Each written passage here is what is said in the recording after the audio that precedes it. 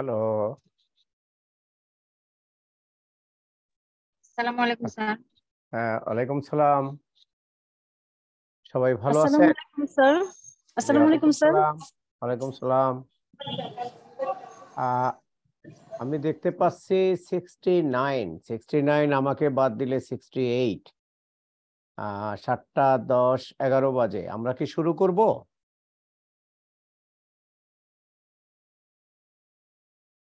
অনেকে তো জয়েন করেন নাই স্যার মানে সবাই তো মানে অফিস করে অন দ্য ওয়েতেই আছে। আর একটু দেখেন স্যার আর একটু কিছুক্ষণ করবে স্যার শুরু করা যেতে পারে? না শুরু করা উচিত এখন সেভেন্টি থ্রি তাহলে আমরা এখন সাতটা এগারো বাজে আমরা আর দুই তিন মিনিট দেখি। অনেকেই হয়তো জয়েন করছেন।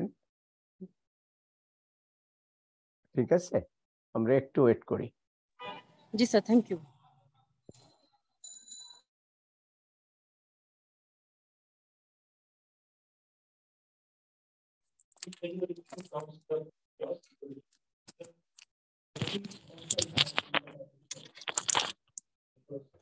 uh, you see that sometimes, uh, I don't know, have you ever, uh, followed the teachers? I guess you're old enough to follow the teachers. Have you ever, like, do you know the teachers at all? Uh, the greatest ever. ODI batsman. Big teachers. In his time, uh, he had, uh, uh, uh, crazy strike rate, close to 90. At that time, anybody who had 70 strike rate, uh, they were considered as pinch We, we had more than 85 strike rate. So he used to choose. uh,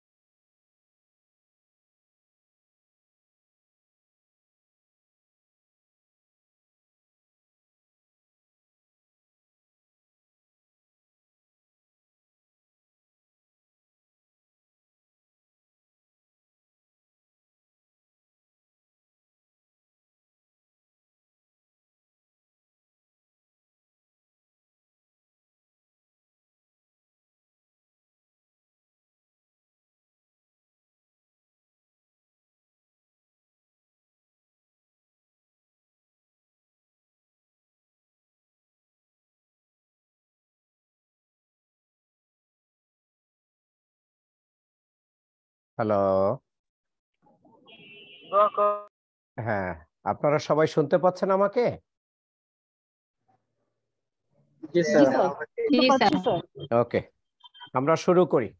আমরা শুরু করি সবাইকে আহ, আজকের সেশনে স্বাগত জানাচ্ছি। আহ, আমরা আজকে যে বিষয়টি নিয়ে আপনাদের সাথে আলোচনা করব সেটি হলো কাস্টমস ভ্যালুয়েশন প্রথম পর্বে আমরা কাস্টমস ভ্যালুয়েশন নিয়ে কথা বলব এবং আমাদের দ্বিতীয়, আজকের দ্বিতীয় সেশন যেটি, সেটি হবে আপনার কাস্টমস আইনে যে বিভিন্ন ধরনের এক্সামশন দেয়া হয় through different type of statutory regulatory order and also standing order সেই বিষয়গুলো নিয়ে। এবং সেখানে আমরা কাস্টম সিস্টেমে অথবা জাতীয় রাজস্ব বোর্ড কর্তৃক বিভিন্ন ইন্ডাস্ট্রিয়াল সেক্টর ইন্ডাস্ট্রিয়াল র মেটেরিয়ালের ক্ষেত্রে যে বিভিন্ন ধরনের এক্সামশন এছাড়াও আছে এক্সামশন সিস্টেম আছে, সেই বিষয়গুলো নিয়েও আপনার আলোচনা হবে। তো আমরা আমাদের প্রথম পার্ট কাস্টমস ভ্যালুয়েশন এই বিষয়ের উপরে উপস্থাপনা শুরু করছি।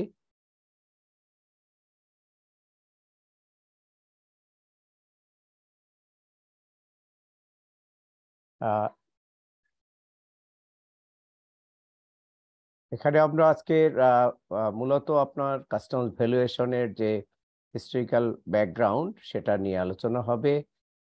এর পাশাপাশি আমাদের বাংলাদেশ কাস্টমসের এই বিষয়ে যে আইন আছে, বিধিবিধান আছে, সেটি নিয়ে কথা বলব এবং সর্বোপরি আমরা আমাদের যে ভ্যালুয়েশন রুল টু সেই ভ্যালুয়েশন রুলে বিভিন্ন ধরনের যে মেথড আছে ভ্যালুয়েশনের সেই বিষয়টি নিয়েও আলোচনা হবে। হ্যালো জি আসসালামু আলাইকুম স্যার। মাঝে মাঝে আমি একটু নক করব যে আপনারা কানেক্টেড আছেন কিনা। কারণ মাঝে মাঝে আহ, কোনো রেসপন্স না পেলে ইন্টারনেটে এই ধরনের মানে জুম সেশনের একটু প্রবলেম হলো এটা যে অনেক সময় আমরা বুঝি না যে আমরা প্রপারলি শুনতে পাচ্ছি কিনা বা কানেক্টেড আছি কিনা। তো যাই হোক আমরা একটু ঐতিহাসিক যে প্রেক্ষাপট বা পটভূমি সেটা আমরা একটু এখানে দেখব। যে এখানে যে আমরা যে ভ্যালুয়েশন মেথড বা ভ্যালুয়েশন রুল ফলো করি, সেটির উৎপত্তিটা আসলে থেকে বা কীভাবে এটির ক্রমবিকাশ হয়েছে। এখানে আমরা প্রথমে দেখতে পাচ্ছি যে বিডিভি নামে একটি বিষয় আছে, যেটার ডিটেলস হলো ব্রাসেলস ডেফিনেশন অফ ভ্যালু অর্থাৎ আমরা যে বর্তমানে আপনার ভ্যালুয়েশন রুলটি ফলো করি বাংলাদেশ কাস্টমস এই রুলটি প্রণীত হয়েছে মূলত আপনার গ্যাড ভ্যালুয়েশন যে এগ্রিমেন্ট সেই এগ্রিমেন্টের আর্টিকেল আপনার সেভেন থেকে। তো এটি হওয়ার আগে আপনার ইউরোপীয় কতগুলো দেশ একত্রিত হয়ে তারা প্রথমে আপনার সেই ধরন উনিশশো সাতচল্লিশ সালে। উনিশশো সাতচল্লিশ সালের ত্রিশে অক্টোবর প্রথম তারা একত্রিত হয়েছিল বিশ্বব্যাপী এই যে বাণিজ্য ব্যবস্থাপনা, এক দেশের সাথে আরেক দেশের বিভিন্ন পণ্যের ট্রানজাকশন এবং সেখানে বিভিন্ন রীতি পদ্ধতিগুলো কীভাবে হবে কীভাবে হলে আপনার মার্কেট ডিস্টর্শন বা বিভিন্ন বিষয়গুলো অ্যাড্রেস করা যায় এই বিষয়গুলো নিয়ে। এবং আমরা যদি ইতিহাস দেখি, তাহলে দেখব যে সেখানে মূলত তেইশটি দেশ প্রথম এই আপনার আলোচনায় অংশ নেয় এবং সেখানেই আপনার অন্যান্য বিষয়ের সাথে, এখানে বিভিন্ন ধরনের বিষয় আলোচিত হয়েছে, ব্যবসা বাণিজ্য সম্পর্কিত বিষয়গুলো নিয়ে এবং সে কারণেই এই যে মূল যে উৎপত্তি, এই বিষয়গুলোর বা এই সিস্টেমগুলোর যে উৎপত্তি, সেটার নামকরণই হয়েছে কিন্তু আপনার GATT general agreement on tariffs and trade অর্থাৎ ব্যবসা বাণিজ্য সম্পর্কিত এবং টেরিফ সম্পর্কিত একটা সাধারণ চুক্তি। এবং সেটির ভিত্তি হলো সেই উনিশশো সাতচল্লিশ সালের ত্রিশে অক্টোবর। এবং পরবর্তীতে উনিশশো আটচল্লিশ সালের পহেলা জানুয়ারি থেকে আপনার এই গ্যাট ব্যবস্থাপনাটি প্রচলিত হয়। এবং সেখানেই আপনার এই মূল্য সম্পর্কিত বিষয়টি, যে আন্তর্জাতিক বাণিজ্যে মূল্যটি যেহেতু একটি গুরুত্বপূর্ণ বিষয় এবং আমরাও জানি যে আমাদের দেশে যে এই টেরিফ পলিসি আমাদের দেশে যে ইম্পোর্ট পলিসি এই পলিসিগুলো যে নিরূপিত হয়, সেখানে আপনার শুল্ক কর আরোপের মূল যে ভিত্তি, সেটি হলো এইচএস কোড ভিত্তিক। আমরা সেদিন এইচএস কোড নিয়ে আলোচনা করেছি। তো সেই আমাদের দেশেও যেমন যত রকমের শুল্ক কর আরোপিত হয়, সেই শুল্ক করটা নিরূপিত হয় বা আরোপিত হয় কিন্তু এইচএস কোডের বিপরীতে। প্রত্যেকটা পণ্যের জন্য একটা হারমোনাইজড কোড আছে এবং সেই কোডের বিপরীতে একটি হারমোনাইজড ডেসক্রিপশন আছে। এই কোডের বিপরীতেই মূলত বিভিন্ন পণ্যের শুল্ক কত হবে সেটা নির্ধারণ করা হয় আমাদের টেরিফের মাধ্যমে। আবার কোন একটি পণ্য আমদানির ক্ষেত্রে কোন ধরনের শর্ত আরোপ করা হবে? এই যে শর্তের বিষয়টি, সেটিও কিন্তু নিরূপিত হয় এই কোডের ভিত্তিতে। আর আমরা এটাও জানি যে আমাদের দেশে টোটাল যে ডিউটি ট্যাক্স ক্যালকুলেট করা হয়, সেই শুল্ক কর নিরূপণের বা ডিউটি ট্যাক্স ক্যালকুলেশনের বেসিক হলো বা বেসিস হলো আপনার ভ্যালু সে কারণে আমাদের টোটাল যে ধরুন প্রায় সাড়ে ছয় হাজারের মতো টেরিফ লাইন আছে। এই টেরিফ লাইনের বলা যায় নাইনটি এইট থেকে নাইনটি নাইন পার্সেন্ট ক্ষেত্রে পণ্যের কিন্তু শুল্ক কর অ্যাসেস করা হয়, ডিটারমিন করা হয় on the basis of value অর্থাৎ অ্যাড ভ্যালোরেম আর বাকি ধরুন এক থেকে দেড় দুই পার্সেন্ট পণ্যের শুল্ক কর নিরূপণ করা হয় আপনার স্পেসিফিক বেসিস অর্থাৎ সেখানে মূল্যটা আপনার মেইন কনসিডারেশনে আসে না। সেখানে বিভিন্ন পণ্যের যে স্ট্যাটিস্টিক্যাল ইউনিট আছে ধরুন কোনো কোনো পণ্যের ক্ষেত্রে মেট্রিক টন কোনো কোনো পণ্যের ক্ষেত্রে কেজি, কোনো কোনো পণ্যের ক্ষেত্রে লিটার, কোনো কোনো পণ্যের ক্ষেত্রে ইউনিট এভাবে বিভিন্ন পণ্যের যে স্ট্যাটিস্টিক্যাল ইউনিট বিশ্বব্যাপী স্বীকৃত, সেই ইউনিট ভিত্তিতে একটা নির্দিষ্ট পরিমাণে ডিউটি ট্যাক্স আরোপ করা আছে। এদের পরিমাণ কিন্তু ওয়ার্ল্ড ওয়াইডই আপনি অন্যান্য দেশের টেরিফ পলিসি বা টেরিফ লাইনগুলো যদি অ্যানালিসিস করেন, তাহলে সেখানেও এই একই ধরনের চিত্র দেখা যাবে।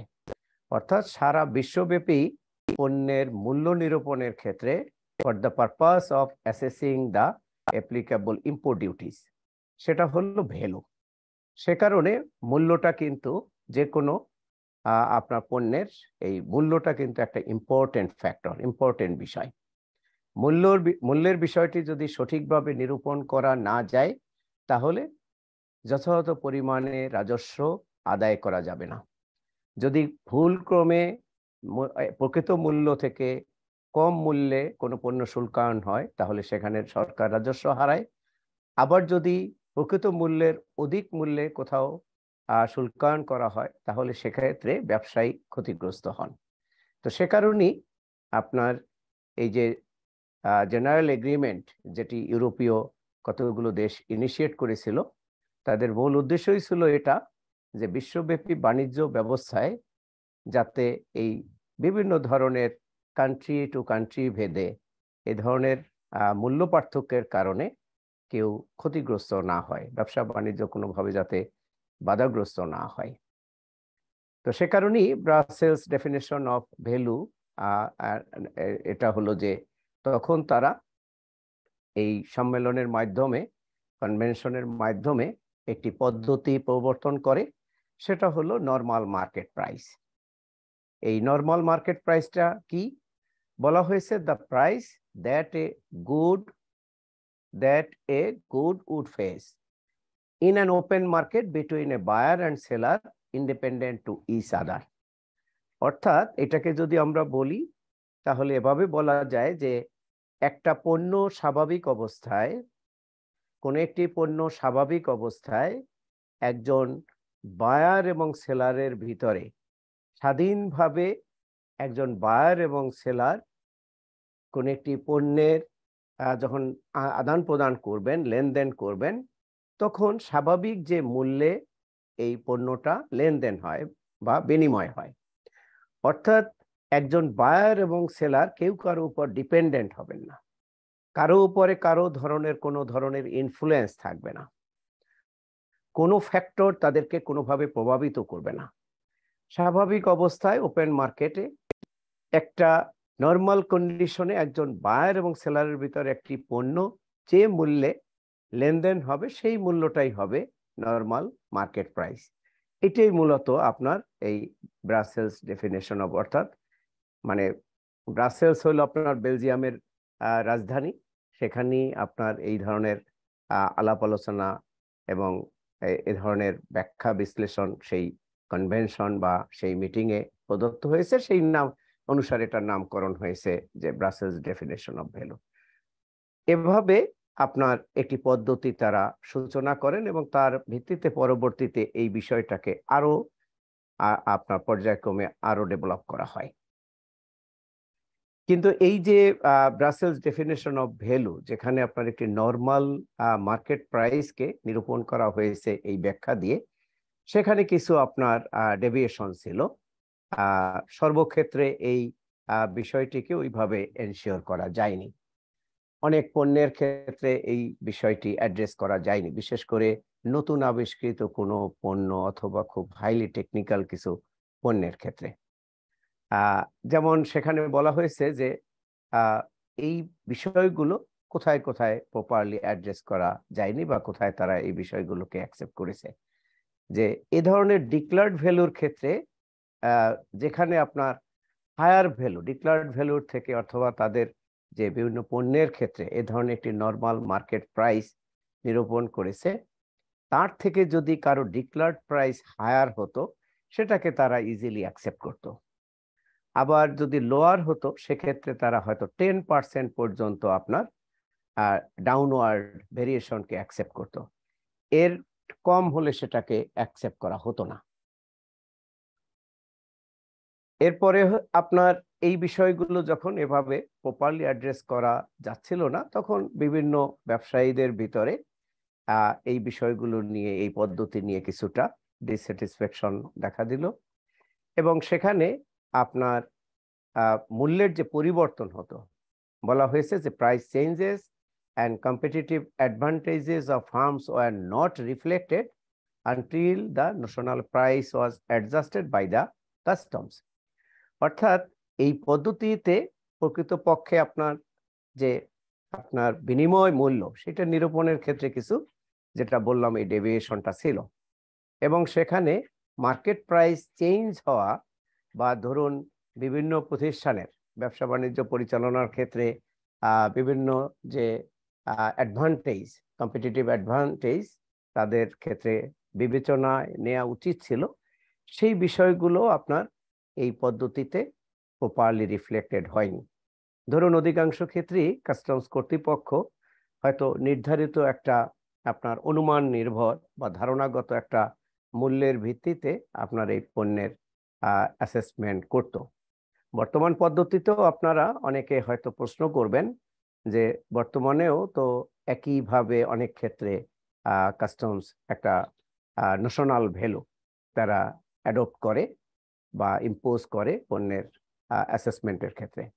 কিন্তু প্রকৃতপক্ষে যদি আমরা এই আর্টিকেল সেভেন অফ গ্যাট যেটা ভ্যালুয়েশন পারপাস আপনার নির্ধারিত, অথবা আমাদের যে ভ্যালুয়েশন রুল সেই রুলের মেথডগুলো যদি প্রপারলি ফলো করা হয়, তাহলে কিন্তু আপনার এই যে ডেভিয়েশনের কথা বলছি বা ডিস্টর্শনের কথা বলছি, সেই বিষয়গুলো কিন্তু শতভাগ না হলেও শতভাগের কাছাকাছি অ্যাড্রেস করা সম্ভব।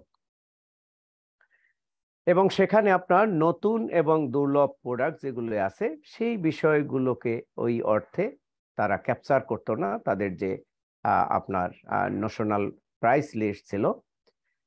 এবং এটা আপনার এই নর্মাল প্রাইস ডিটারমিনেশনের ক্ষেত্রে খুবই আপনার ডিফিকাল্ট ছিল, কঠিন ছিল। এবং এই যে BDB Brussels definition of value এই পদ্ধতিটা প্রবর্তিত হলেও আপনার সবগুলো দেশ কিন্তু এই পদ্ধতি ফলো করতো না। বিশেষ করে আমরা হিস্ট্রি পর্যালোচনায় দেখেছি যে আমেরিকার মতো দেশ তারা কখনোই এই বিডিবি পদ্ধতি যেটা ভ্যালুর ক্ষেত্রে আপনার তারা নির্ধারণ করেছিল, সেখানে তারা কখনোই অংশগ্রহণ করেনি। পরবর্তীতে আপনার এই বিষয়টিকে আরও আপনার হারমোনাইজ করার জন্য বিভিন্ন ধরনের কনসালটেশন ডিসকাশন হয় এবং সেখানে একটা ফ্লেক্সিবল এবং ইউনিফর্ম ভ্যালুয়েশন মেথড অনুভূত হয়, যেটা পরবর্তীতে আপনার আরও বিভিন্ন কনভেনশনের মাধ্যমে পর্যায়ক্রমে ডেভেলপ করা হয়।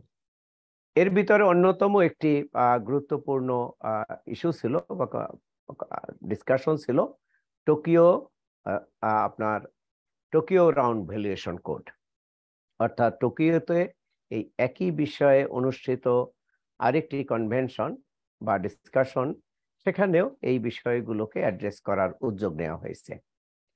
যেটা উনিশশো সালে এই কনভেনশনটি অনুষ্ঠিত হয় এবং সেখানে তারা এই ভ্যালুয়েশন বিষয়ে আরও একটু প্রোগ্রেসিভ চিন্তা করেন এবং এটাকে আরও সুন্দরভাবে ডেভেলপ করার চেষ্টা করেন। এবং সেখানেই তারা এই পণ্যের মূল্য নিরূপণের ক্ষেত্রে একটা বিষয়কে আরও বেশি এমফাসিস দেন, সেটা হলো যে পণ্যের ক্ষেত্রে আপনার ট্রানজাকশন ভ্যালু ট্রানজাকশন ভ্যালু অর্থাৎ বিনিময় মূল্য, যেটা আমরা একটু আগে অর্থাৎ বিডিবি নিয়ে যে কথাটি বললাম, সেটারই একটু আরও আপগ্রেডেড অথবা মডার্ন ভার্সন সেটা হলো ট্রানজাকশন ভ্যালু এটার ব্যাখ্যাও ঠিক ওই একই।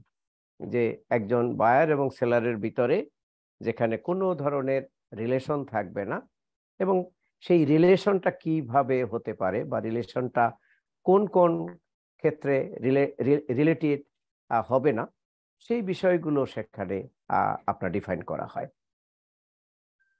বলা হয়েছে based on the price actually paid or payable for the imported goods অর্থাৎ সেটাই হচ্ছে transaction value intended to provide a fair, uniform, and neutral system for the valuation.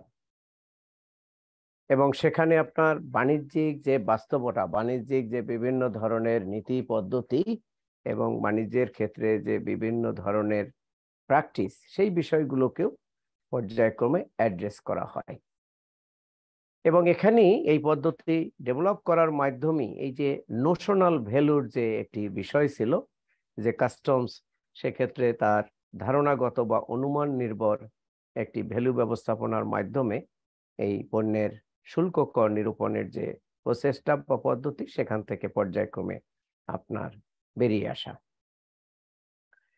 এবং আমরা যে টোকিও রাউন্ড ভ্যালুয়েশনের কথা বললাম সেটিতে আপনার চল্লিশটি দেশ আপনার স্বাক্ষর করেছিল সেই এগ্রিমেন্টে এবং পর্যায়ক্রমে সেটাকে আরও পরবর্তীতে রূপান্তর করা হয়, সেটা হলো আপনার WTO agreement on implementation of article seven of GATT nineteen অর্থাৎ উনিশশো চুরানব্বই সালে আপনার এই যে ভ্যালুয়েশন বিষয়ে যে আর্টিকেল সেভেন গ্যাট চুক্তির আর্টিকেল সেভেন যেখানে ভ্যালুয়েশনের বিষয়গুলো বিস্তারিতভাবে উল্লেখ করা ছিল সেই বিষয়টাকে তখন আরও এমফেসিস দেওয়া হয়।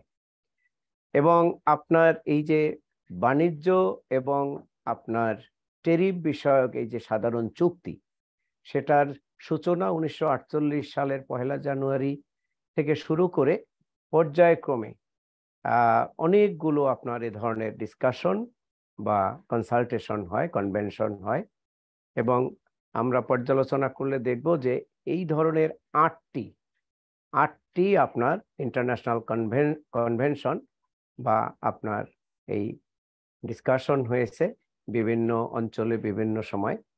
এবং এগুলোর মাধ্যমে একটা পর্যায়ে ধরুন এটাকে আরও প্রাতিষ্ঠানিক রূপ দেওয়ার জন্য আপনার যেটা উরুগোয়ে রাউন্ড আরেকটি ইয়া হয়েছিল। সেখানে আপনার এই টোকিও রাউন্ড কোডকে আপনার রিপ্লেস করা হয়। অর্থাৎ ওই চুক্তির বিষয়গুলোকে আপনার এই গ্যাট নাইনটিন নাইনটি ফোর এর মাধ্যমে এটা আপনার রিপ্লেস করা হয়।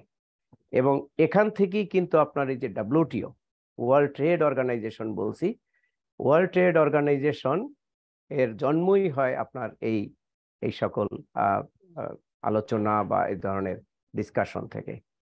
এবং আমরা জানি যে মারাকেশ এগ্রিমেন্ট মারাকেশ এগ্রিমেন্ট, সেই মারাকেশ এগ্রিমেন্ট যেটি উনিশশো চুরানব্বই সালে আপনার মরক্কোতে অনুষ্ঠিত হয়, সেখান থেকেই তখন এই বিশ্ব বাণিজ্য ব্যবস্থার এই নানান দিক, অর্থাৎ বাণিজ্য ব্যবস্থাগুলো কি হবে, বাণিজ্যের ক্ষেত্রে রীতিনীতি পদ্ধতি কি হবে টেরি পলিসিগুলো কি হবে ভ্যালুয়েশন মেথড কি হবে, সেই বিষয়গুলোকে সুন্দরভাবে অ্যাড্রেস করার জন্য একটা আন্তর্জাতিক সংস্থা স্থাপনের বা গঠন করার একটি প্রয়োজনীয়তা অনুভূত হয় এবং সেই মারাকেশ এগ্রিমেন্ট থেকেই মূলত আপনার এই ডাব্লিউটিওর জন্ম হয়।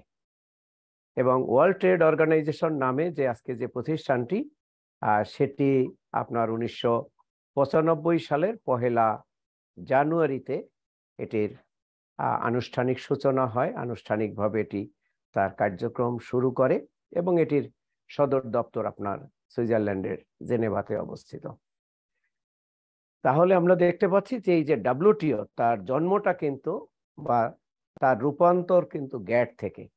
General agreement on tariffs and trade যেটা আটচল্লিশ থেকে শুরু করে চুরানব্বই পর্যন্ত তারা এই গ্যাটের আওতায় এই কার্যক্রমগুলো পরিচালনা করেছে।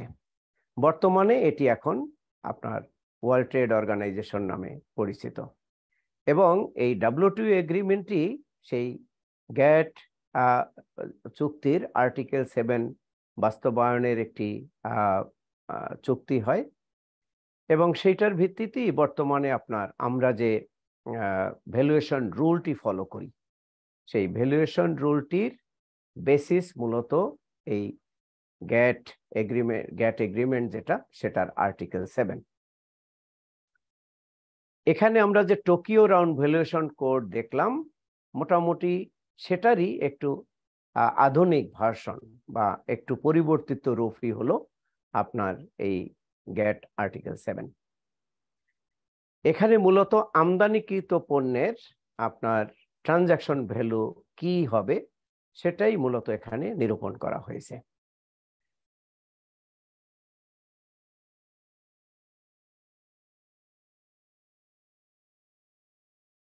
এবং লিগাল ইনস্ট্রুমেন্ট যদি আমরা পর্যালোচনা করি, তাহলে আমরা দেখব যে আমাদের যে কাস্টমস অ্যাক্ট আছে নাইনটিন সিক্সটি নাইনে পরিণত কাস্টমস অ্যাক্ট সেই কাস্টমস অ্যাক্টের সেকশন টোয়েন্টি ফাইভ সেই কাস্টমস অ্যাক্টের টোয়েন্টি ফাইভে মূলত আপনার এই পণ্যের মূল্য সম্পর্কিত।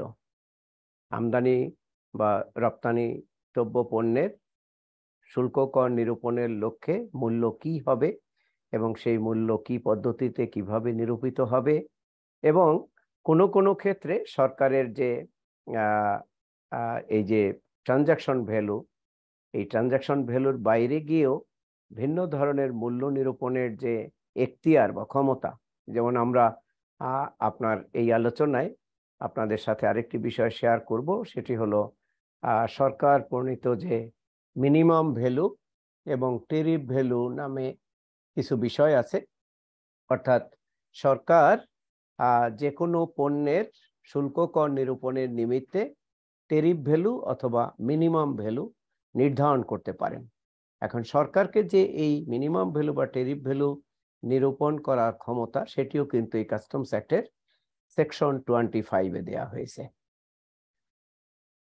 এখন সেকশন টোয়েন্টি ফাইভের বেসিক এরিয়াগুলো আমরা একটু দেখি, যে বলা হয়েছে যে whenever customs duty is leviable on any goods by reference to their value আমি যেটা শুরুতে বললাম যে, অধিকাংশ পণ্যের আপনার শুল্ক কর নিরূপণ করা হয় মূল্যের ভিত্তিতে, যেটাকে আমরা অ্যাড ভ্যালোরেম ডিউটি ক্যালকুলেশন বলছি।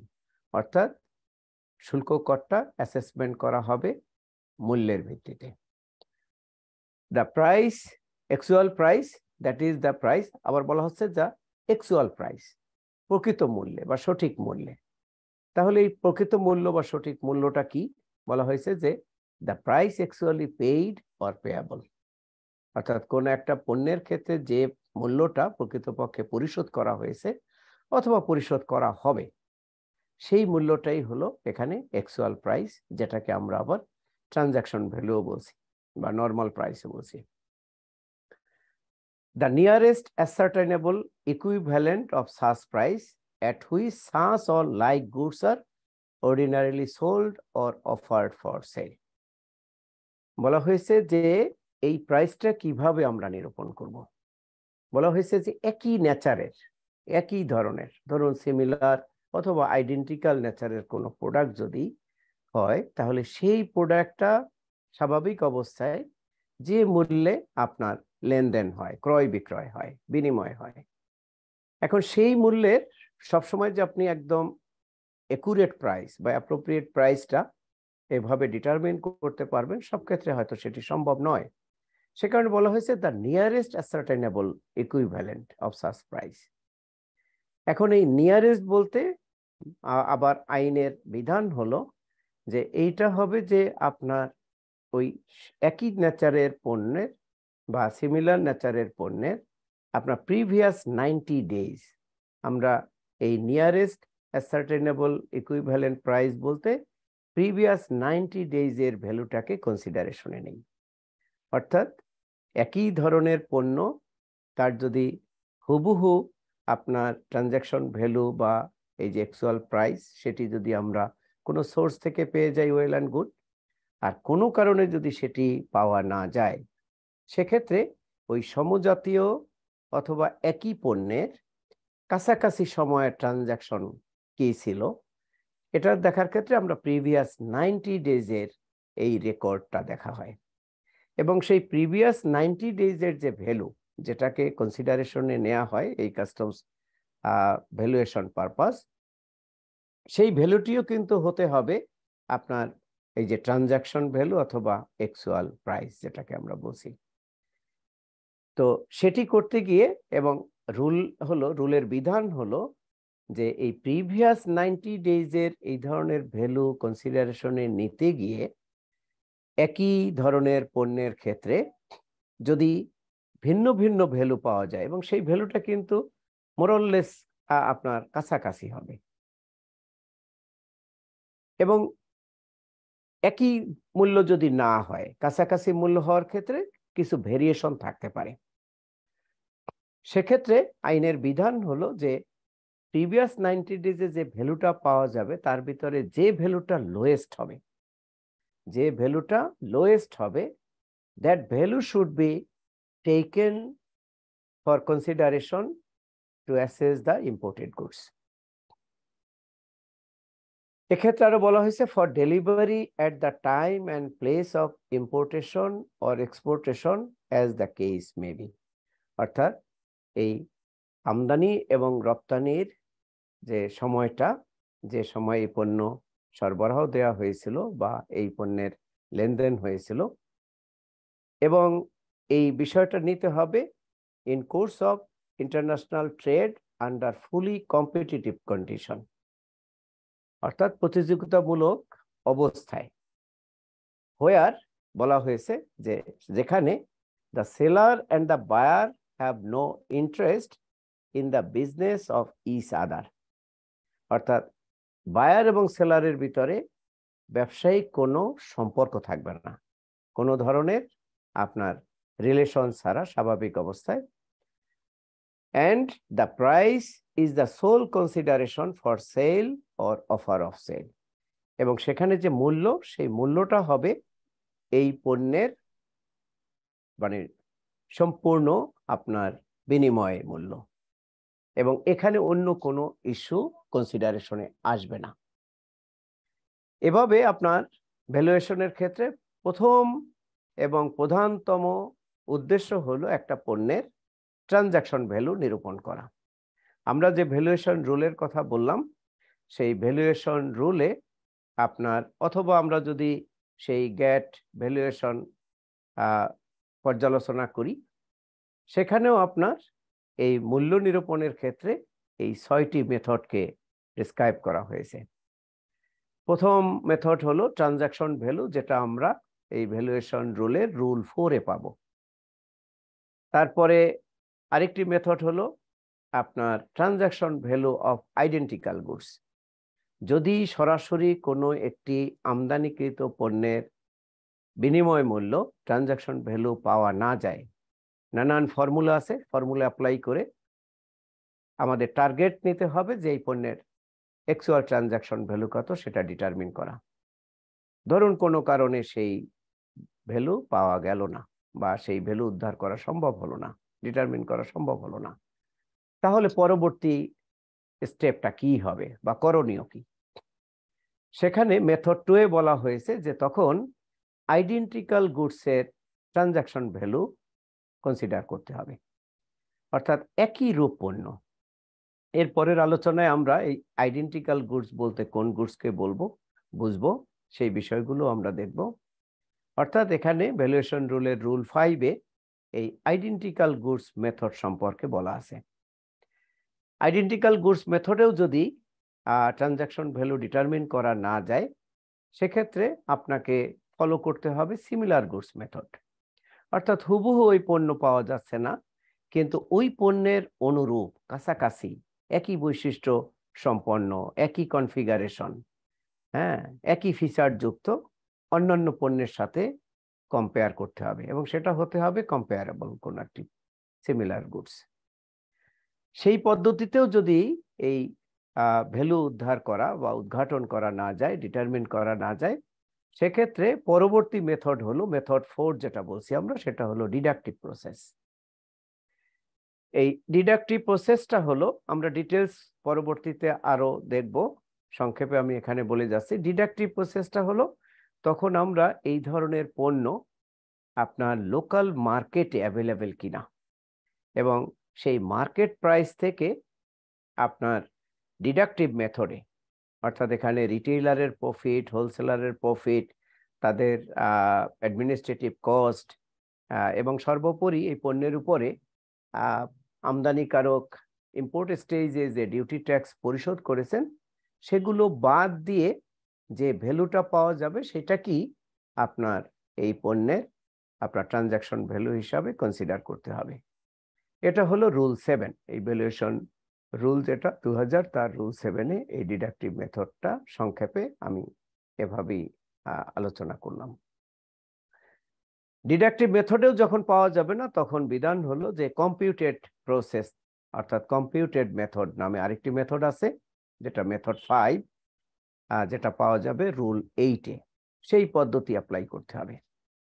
এখানে ওয়ার্ল্ড ওয়াইড আপনার এই কম্পিউটেড প্রসেস যেটা, এই প্রসেসটা কিন্তু অত ইজি না।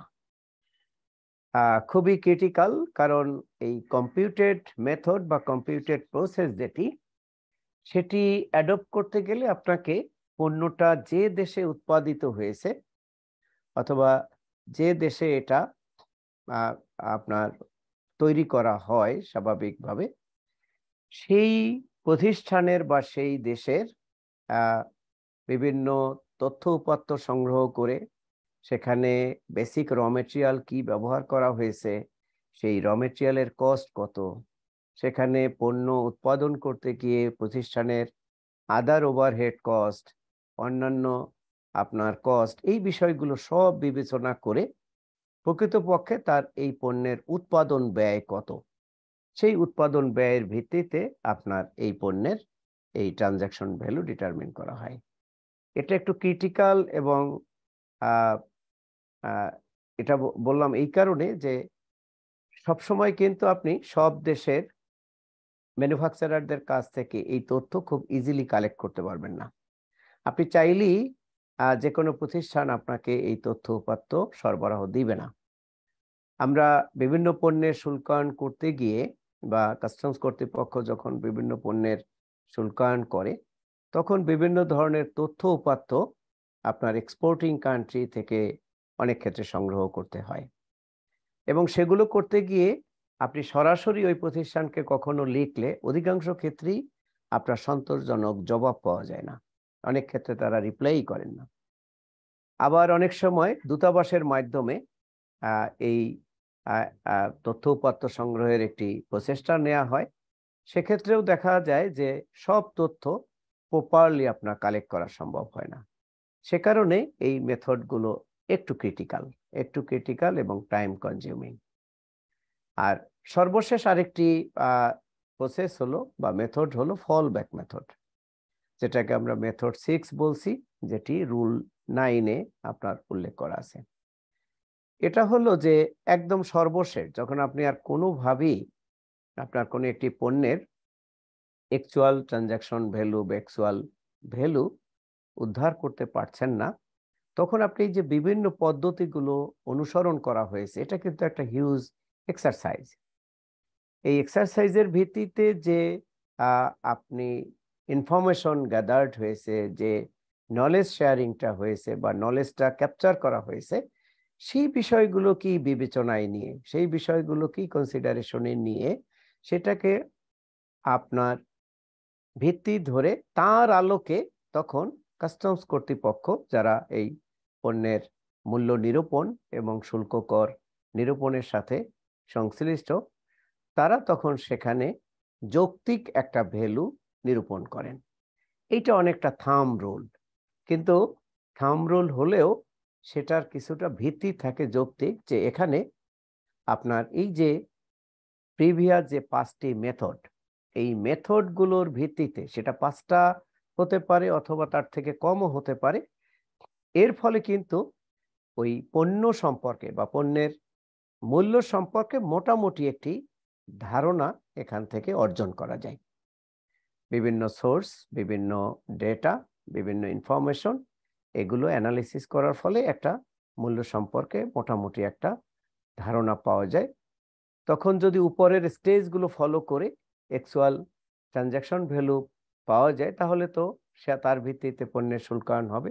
আর যদি কোনো কারণে সেটি উদ্ধার করা না যায়, সেক্ষেত্রেই তখন সর্বশেষ ধাপটি ফলো করতে হয়। এখানে আমরা যেটা বললাম যে ট্রানজ্যাকশন ভ্যালু যে for cases in which there is no transaction value or where the transaction value is not acceptable as the customs value সেখানে বলা হয়েছে, যেটা আমি বললাম, যে যখন আপনি ট্রানজাকশন ভ্যালু পাচ্ছেন না বা ট্রানজাকশন ভ্যালু সরাসরি ডিটারমিন করা যায়নি, পাওয়া যায়নি, সেক্ষেত্রে আপনাকে পরবর্তী যে পাঁচটি ধাপ আছে, বলা হয়েছে the rule lays down five other methods of customs valuation সেটা তখন আপনাকে এখানে অ্যাপ্লাই করতে হবে।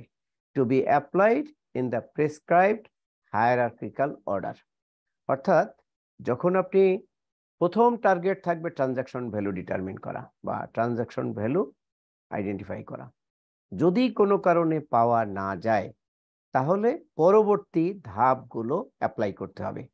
এবং সেক্ষেত্রে বলা হয়েছে যে পরবর্তী যে পাঁচটি ধাপ আমরা দেখলাম টোটাল ছয়টা মেথডের সেগুলো পর্যায়ক্রমে আপনাকে অ্যাপ্লাই করতে হবে। পর্যায়ক্রমে বলতে এখানে যেমন প্রথম অ্যাপ্রোচ হলো ট্রানজাকশন ভ্যালু কোনোভাবেই এই পণ্যের ট্রানজাকশন ভ্যালু আপনার ডিটারমিন করা যাচ্ছে না। তথ্য উপাত্ত নেই বা যে ভ্যালু ইম্পোর্টার ডিক্লেয়ার করেছে সেটা কাস্টমস অ্যাকসেপ্ট করছে না অ্যাজ ট্রানজাকশন ভ্যালু কিন্তু টার্গেট কিন্তু ট্রানজাকশন ভ্যালু ডিটারমিন করা। তাহলে তাকে পরবর্তী এই বা পাঁচটি ধাপ, অর্থাৎ transaction value of identical goods similar goods deductive process computed process এবং ফল ব্যাক প্রসেস ফলো করতে হবে। এবং সেটা করতে হবে পর্যায়ক্রমে। একটাকে বাদ দিয়ে আর একটা জায়গায় যাওয়া যাবে না।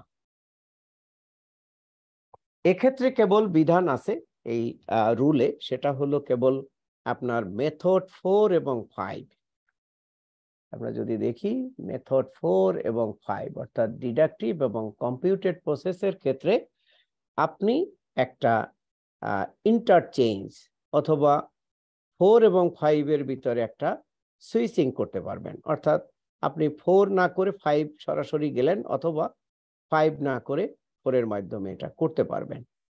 কিন্তু সেটাও কাস্টমস কর্তৃপক্ষ এককভাবে এই কাজটি করতে পারবে না। বলা হয়েছে এক্ষেত্রে ইম্পোর্টার যদি কাস্টমস কর্তৃপক্ষকে রিকোয়েস্ট করেন, বলা হয়েছে the sequence of methods four and five can be switched at the request of the importer and subject to approval of the concerned commissioner. অর্থাৎ এখানে আমদানিকারক যদি কাস্টমস কর্তৃপক্ষ বরাবর আবেদন করেন এবং তিনি যদি এই মেথড ফোর বাদ দিয়ে ফাইভে যাওয়ার জন্য রিকোয়েস্ট করেন এবং সেটা কমিশনার যদি অনুমোদন করেন, তাহলে এই চার এবং পাঁচের ভিতরে কেবল সুইসিং হতে পারে।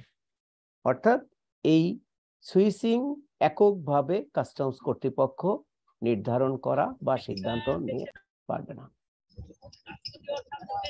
এখন আমরা একটু ট্রানজাকশন ভ্যালুর ব্যাখ্যাটা দেখব। যে ট্রানজাকশন ভ্যালু বলতে মূলত কোন ভ্যালুকে বলা হয়েছে। আমরা সংক্ষেপে বলেছি যে বায়ার এবং সেলারের ভিতরে কোনো ধরনের সম্পর্ক ব্যতি রেখে একটু কাইন্ডলি রিকোয়েস্ট করব আপনাদের মাইক্রোফোনগুলো মিউট করে রাখতে। আমরা অনেকের কথা শুনতে পাচ্ছি। প্লিজ মাইক্রোফোনগুলো একটু মিউট করে রাখবেন। এখন ট্রানজাকশন ভ্যালুর ব্যাখ্যা হিসাবে বলা হয়েছে যে- the price actually paid or payable আরও কিছু ব্যাখ্যা দেয়া আছে সেটা হলো যে it is the total payment made or to be made by the buyer to or for the benefit of the seller for the imported goods অর্থাৎ এখানে যে পণ্যের মূল্যটা দেয়া হবে, সেটা হবে টোটাল পেমেন্ট এবং সেটাই হবে পণ্যের প্রকৃত মূল্য এবং এটা হবে বায়ারের আপনার স্বার্থ সংশ্লিষ্ট।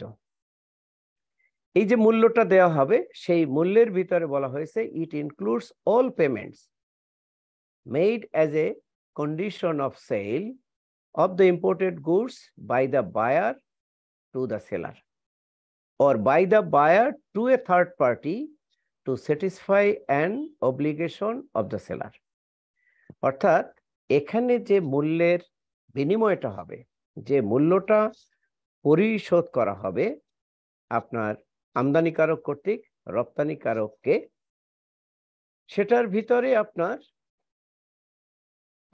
আরেকটি বিষয় হলো যে থার্ড পার্টির মাধ্যমে আমরা পেমেন্ট দিতে পারি। ধরুন একটা পণ্য সরাসরি না এসে তৃতীয় কোনো পক্ষের মাধ্যমেও আসতে পারে।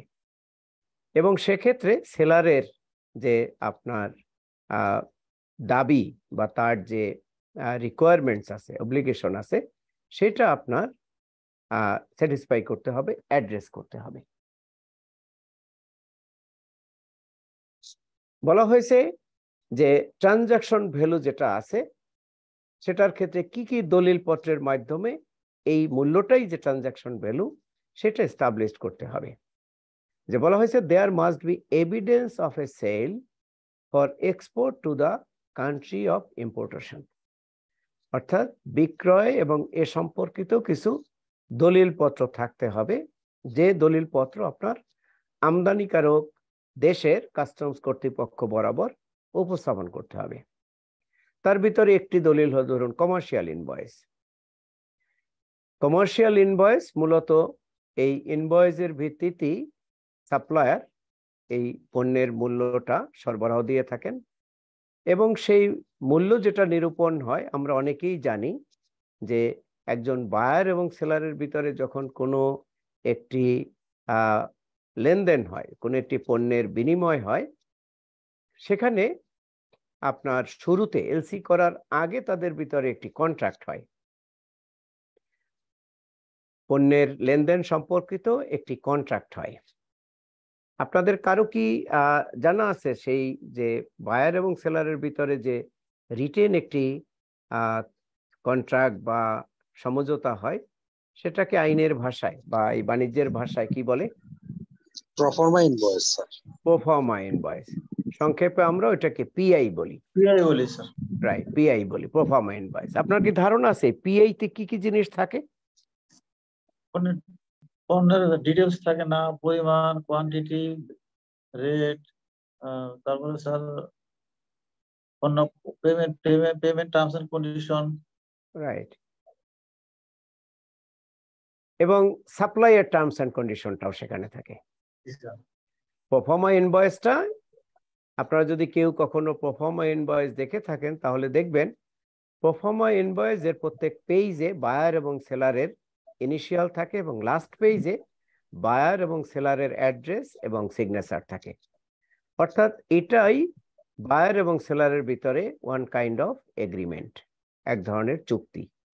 এবং এখানেই একজন ক্রেতা বিক্রেতার কাছ থেকে বা ইম্পোর্টার এক্সপোর্টারের কাছ থেকে কি পণ্য, কি পরিমাণে, কোন সময়ে সরবরাহ নেবেন, কিনবেন এবং তার মূল্যটা কত হবে, সেই বিষয়গুলো ওখানে, অর্থাৎ আমরা যে ট্রানজাকশনের যে বিভিন্ন যে টার্মগুলো আছে, ধরুন এফওবি সিএফআর সিআইএফ এই যে বিভিন্ন ধরনের পেমেন্ট টার্ম আছে, পেমেন্ট মোড আছে, সেই বিষয়গুলো আপনার এই প্রোফার্মা ইনভয়েসে উল্লেখ থাকে। এবং সেখানে এই পণ্যের মূল্য কীভাবে পরিশোধিত হবে, কখন পরিশোধিত হবে এবং এই পণ্যটা কীভাবে আপনার সাপ্লাই হবে, কোন পোর্টের মাধ্যমে আপনার জাহাজীকরণ হবে, কখন জাহাজীকরণ হবে ডিটেলস থাকে। এবং সেখানে পণ্যের art number, part number, colour, total quantity এবং যদি সেটা পার্ট শিপমেন্ট হয়, তাহলে কত পার্টে শিপমেন্ট হবে এবং প্রতি শিপমেন্টে কি পরিমাণে পণ্য সরবরাহ হবে এর বিস্তারিত তাতে উল্লেখ থাকে। এবং যদি সেই পণ্যটি একটা চালানে আসে, তাহলে সেই প্রফর্মা ইনভয়েসের ভিত্তিতে সেখানে আপনার সাপ্লায়ারকে কমার্শিয়াল ইনভয়েস তৈরি করতে হয়। অথবা যদি সেই পণ্যটা আপনার একাধিক চালানে আসে, তখন প্রত্যেকটা চালানের পণ্যের সংখ্যা, পণ্যের আপনার বিবরণ এবং তার আর্ট নাম্বার পার্ট নাম্বার এই বিষয়গুলো নিয়ে সাপ্লায়ার তখন কমার্শিয়াল ইনভয়েস তৈরি করেন। তার মানে এই যে কমার্শিয়াল ইনভয়েস বলছি বা প্রফর্মা ইনভয়েস বলছি, এই ইনভয়েসের মাধ্যমেও কিন্তু আমরা পণ্যের মূল্য সম্পর্কে অফিসিয়াল একটা ডিক্লারেশন পাচ্ছি। অর্থাৎ এটা কিন্তু একটা অফিসিয়াল ডকুমেন্ট এবং এই ডকুমেন্টটি সাপ্লায়ার তৈরি করে দিচ্ছে on the basis of proforma invoice তার মানে এটি একটি আপনার লিগাল ডকুমেন্ট এখন সবসময় যে এই কমার্শিয়াল ইনভয়েস বা প্রফর্মা ইনভয়েস বা এলসিতে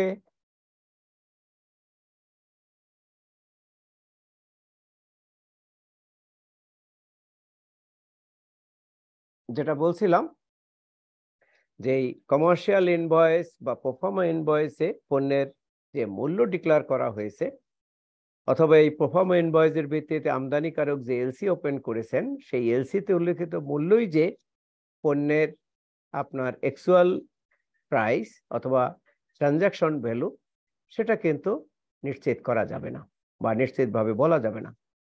সেটি হতেও পারে, নাও হতে পারে। কারণ এই ভ্যালুটি যদি প্রকৃতপক্ষে আপনার ট্রানজাকশন ভ্যালু হয়ে থাকে বা অ্যাকচুয়াল ভ্যালু হয়ে থাকে তাহলে তো আর এই বাণিজ্য ব্যবস্থায় ওভার ইনভয়েসিং আন্ডার ইনভয়েসিং এর কোনো সুযোগ থাকতো না।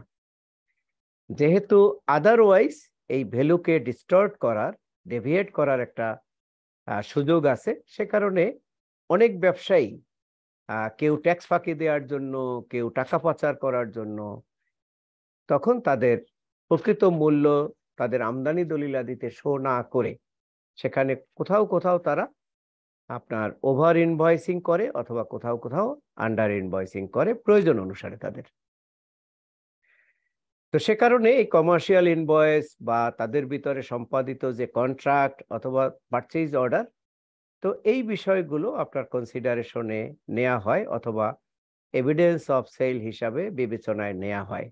কিন্তু সেটা যে সবসময় অ্যাকসেপ্ট করতে হবে নট দ্যাট কারণ কনসিডারেশনে নিতে হবে, তারপর দেখতে হবে যে whether the commercial invoice or other submitted documents is acceptable or not এবং এটা আপনার whether it represent the transaction value of the imported goods or not এই বিষয়গুলো পর্যালোচনা করার পরেই যদি সেটা, ধরুন একজন অনেস্ট ব্যবসায়ী, সে তার আমদানি চালানে কোনো ধরনের ডিস্টর্শন নেই ডেভিয়েশন নেই, সে তার অ্যাকচুয়াল যেটা মানে পে মানে ভ্যালু যেটা বা মূল্য যেটা সে পে করেছে অথবা যেটা পেয়াবল সেটাই তার ডকুমেন্টে শো করেছে।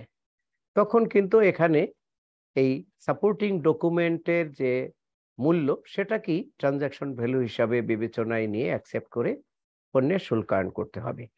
কিন্তু যদি দাখিলকৃত দলিলাদি পর্যালোচনায় দেখা যায় যে না, আমদানিকারকের ঘোষিত মূল্য অথবা তার সাবমিটেড বিজনেস রিলেটেড ডকুমেন্ট সেখানে শোন ভ্যালু যেটা বা মেনশন ভ্যালু যেটা that is not supporting the transaction value or that is not the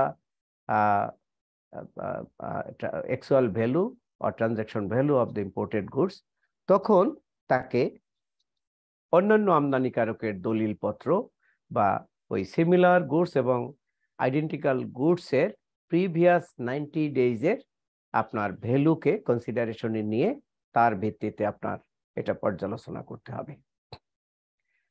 এখানে আরও বলা হয়েছে ট্রানজাকশন ভ্যালু সম্পর্কে যে there must be no restriction on the disposition or use of the goods by the buyer other than restrictions এই যে নিচে যে রেস্ট্রিকশনগুলো বলেছে, এর বাইরে সেই পণ্য আমদানির পরে আপনি সেটা নিষ্পত্তি, অর্থাৎ পরবর্তী নিষ্পত্তি হলো কি হলো না, সেটা আপনার কোনো রেস্ট্রিকশন হিসাবে বিবেচনা আসবে না।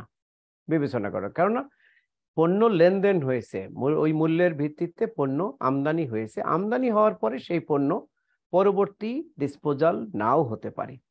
সেটা কোনো রেস্ট্রিকশন না। কিন্তু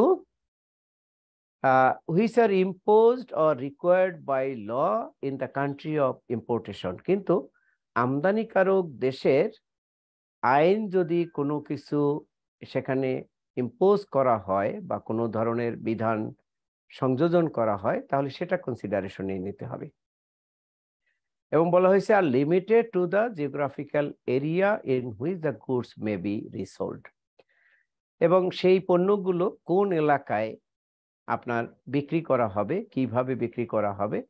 সেখানে যদি আদার কোনো আপনার ডিউটি ট্যাক্সের বিষয় থাকে, যেমন আমরা যদি ভারতের কথা বিবেচনা করি, ভারতে দেখবেন এক স্টেট থেকে আর এক স্টেটে আপনার পণ্যের ট্রানজাকশনের ক্ষেত্রে আবার একটা বিভিন্ন স্টেট ডিউটি চার্জ করে।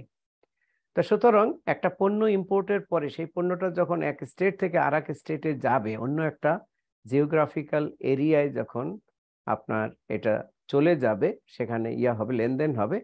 তো সেখানে কিন্তু আদার ফ্যাক্টরগুলো যুক্ত হতে পারে।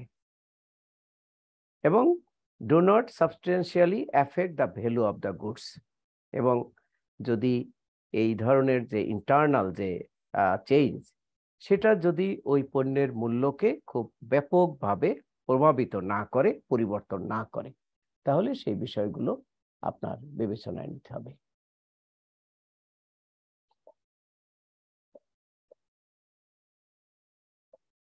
এখানে আরও কিছু কন্ডিশন বলা হয়েছে যে একটা ভ্যালুকে আমরা কখন ট্রানজাকশন ভ্যালু হিসাবে নিব। বলা হয়েছে the sale or price must not be subject to conditions or considerations for which a value cannot be determined with respect to the goods being valued.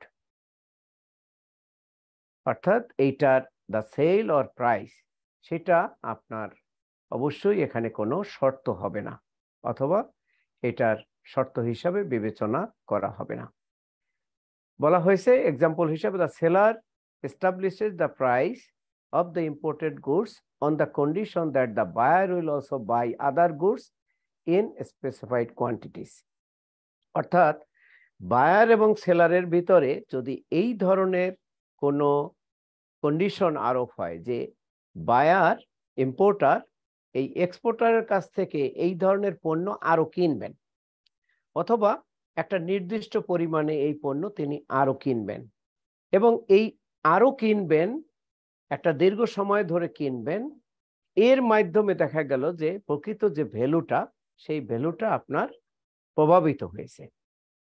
Influenced হয়েছে এই ধরনের তাদের যে ভিতরে যে চুক্তি বা এগ্রিমেন্ট এবং বলা হয়েছে the price of the imported goods is dependent upon the price at which the buyer sells other goods to the seller অর্থাৎ বায়ার এবং সেলারের ভিতরে যে লেনদেন হচ্ছে, সেখানে অন্য পণ্য ক্রয় বিক্রয়ের একটা বিষয় চলে আসে। যে ধরুন, একজন এক্সপোর্টারের কাছ থেকে একজন ইম্পোর্টার তিন ধরনের পণ্য আমদানি করেন। এখন সেখানে একটা প্রভাব আসলো যে যদি সে ওই দুই ধরনের পণ্য নেন, তাহলে এই পণ্য তাকে দেয়া হবে এবং সেটা এই মূল্যে দেয়া হবে। তার মানে এই মূল্যটা কিন্তু কন্ডিশনাল হয়ে গেল। এই ট্রানজাকশনটা কন্ডিশনাল হয়ে গেল। যে এখানে এই মূল্যটা কিন্তু ইন্ডিপেন্ডেন্ট হচ্ছে না। বলা হয়েছে the price of the imported goods is dependent নির্ভরশীল হচ্ছে।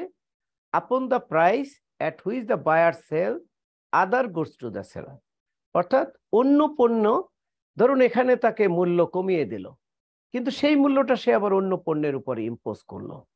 তার মানে সেলার কিন্তু তার অ্যাকচুয়াল প্রাইস হয়তো একটাই কম নিয়েছে আর এক জায়গায় বেশি নিয়েছে। ধরুন দুইটা প্রোডাক্ট একটা, দুইটার ভ্যালুই আপনার পাঁচ টাকা পাঁচ টাকা করে, কিন্তু এখানে সে একটা পণ্যের মূল্য পাঁচ টাকা না করে পাঁচ টাকার জায়গায় ছয় টাকা চার্জ করল, আর আরেকটা পণ্যকে সে পাঁচ টাকা না করে চার টাকা চার্জ করল।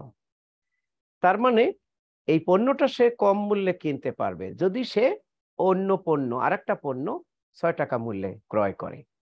তার মানে এভাবে শর্তযুক্ত কোনো যদি ট্রানজাকশন হয়, তাহলে সেটাকে আপনার এই ট্রানজাকশন ভ্যালু হিসাবে অ্যাকসেপ্ট করা যাবে না।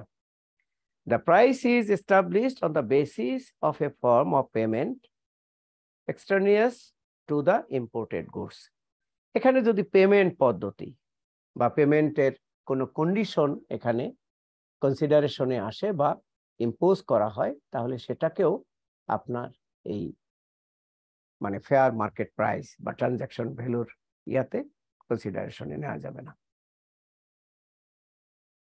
আরও কিছু বিষয় বলা হয়েছে যে no part of the proceeds of any subsequent resale disposal or use of the goods by the buyer will accrue directly or indirectly to the seller.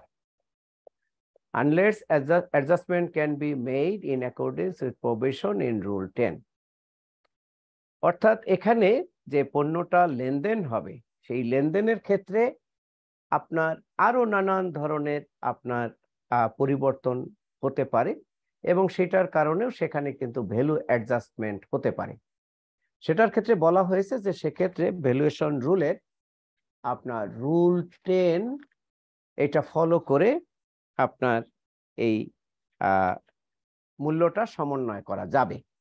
এখানে বলা হয়েছে ব্যয় এবং সেবা কস্ট অ্যান্ড সার্ভিস অর্থাৎ বিনিময় মূল্য নির্ধারণের উদ্দেশ্যে আমদানিকৃত পণ্যের প্রকৃত পরিশোধিত বা পরিশোধযোগ্য মূল্যের সাথে কি কি বিষয় আপনি যোগ করতে পারবেন বা সমন্বয় করতে পারবেন।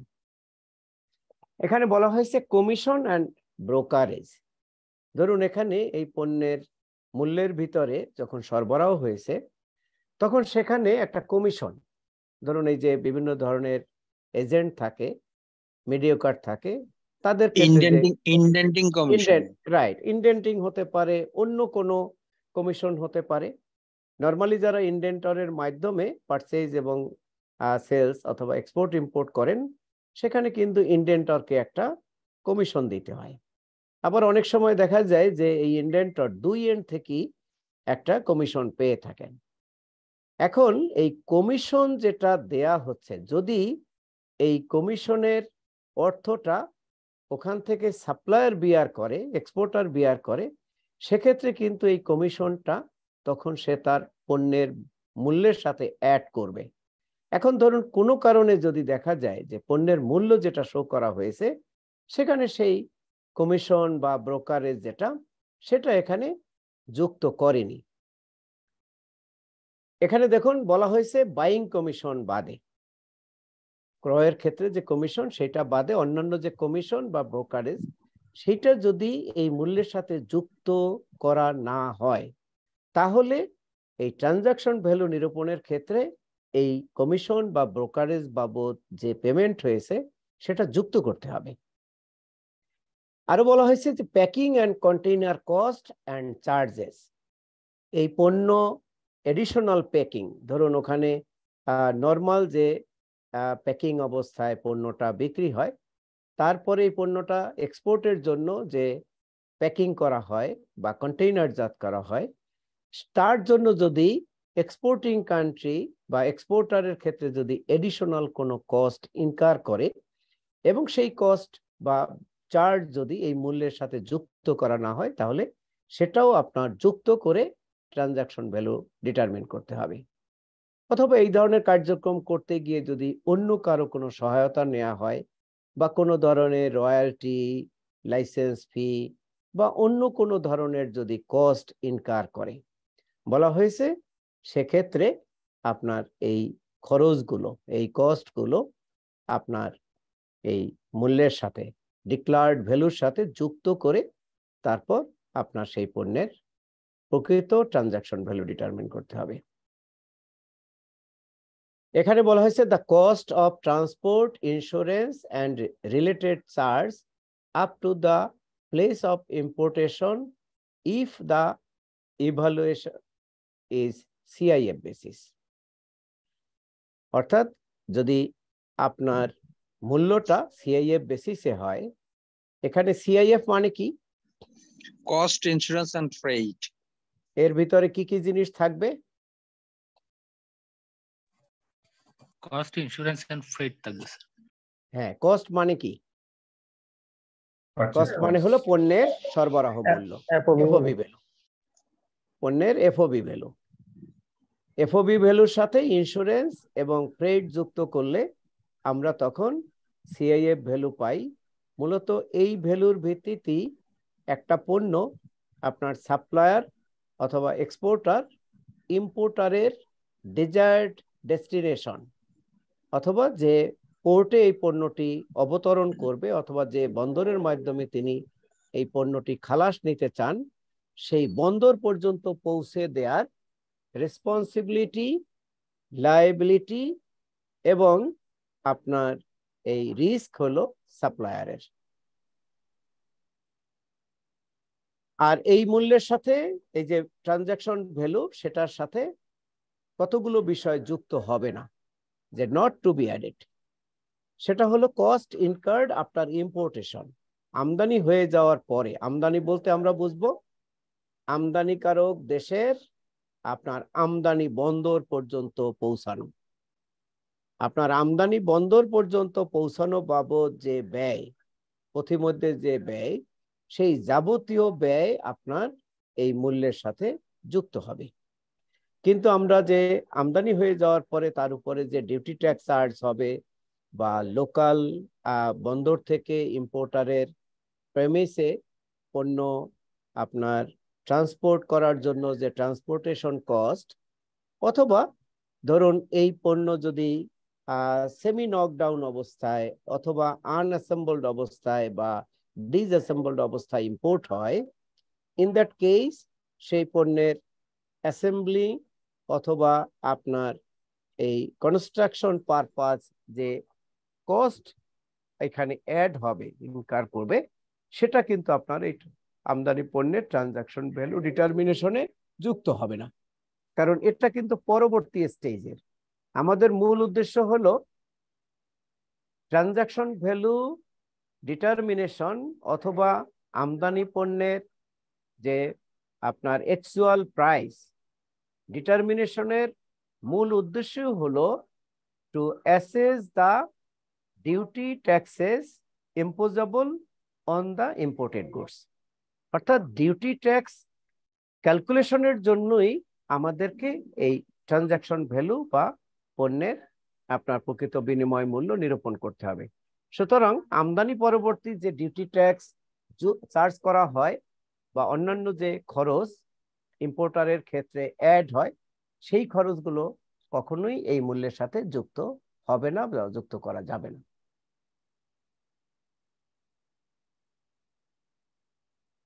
এখানে আরও কিছু বিষয় বলা হয়েছে, সেটা হলো the buyer and seller are not related বলা হয়েছে যে বায়ার এবং সেলার কখনোই সম্পর্কযুক্ত হবে না। এখন এই সম্পর্ক যুক্ত বলতে কাদেরকে বোঝানো হবে? আইনে এখানে পরস্পর সম্পর্ক যুক্ত কারা, তাদের ক্ষেত্রে একটা ব্যাখ্যা দেওয়া হয়েছে। The if the parties are related the use of transaction value is acceptable if the importer demonstrates that, যে আমদানিকারক এবং রপ্তানিকারক স্বাভাবিকভাবে যুক্ত হবে না রিলেটেড হবে না সম্পর্ক যুক্ত হবে না। কিন্তু কখনো কখনো আমদানিকারক, রপ্তানিকারকের একটা সম্পর্ক থাকতে পারে। সেটা অ্যাকসেপ্টেবল হবে যদি তারা প্রমাণ করতে পারেন যে এই সম্পর্কটা the relationship did not influence the price the transaction value close to the test value. অর্থাৎ আপনার যে ভ্যালু ডিক্লেয়ার করা হয়েছে, সেই ভ্যালুটা ট্রানজাকশন ভ্যালু হিসাবে অ্যাকসেপ্টেড হবে even having relation between buyer and seller যদি তারা প্রমাণ করতে পারেন দালিলিক প্রমাণ দিতে পারেন, যে এই সম্পর্কের দ্বারা এই ঘোষিত মূল্য কোনোভাবেই প্রভাবিত হয়নি।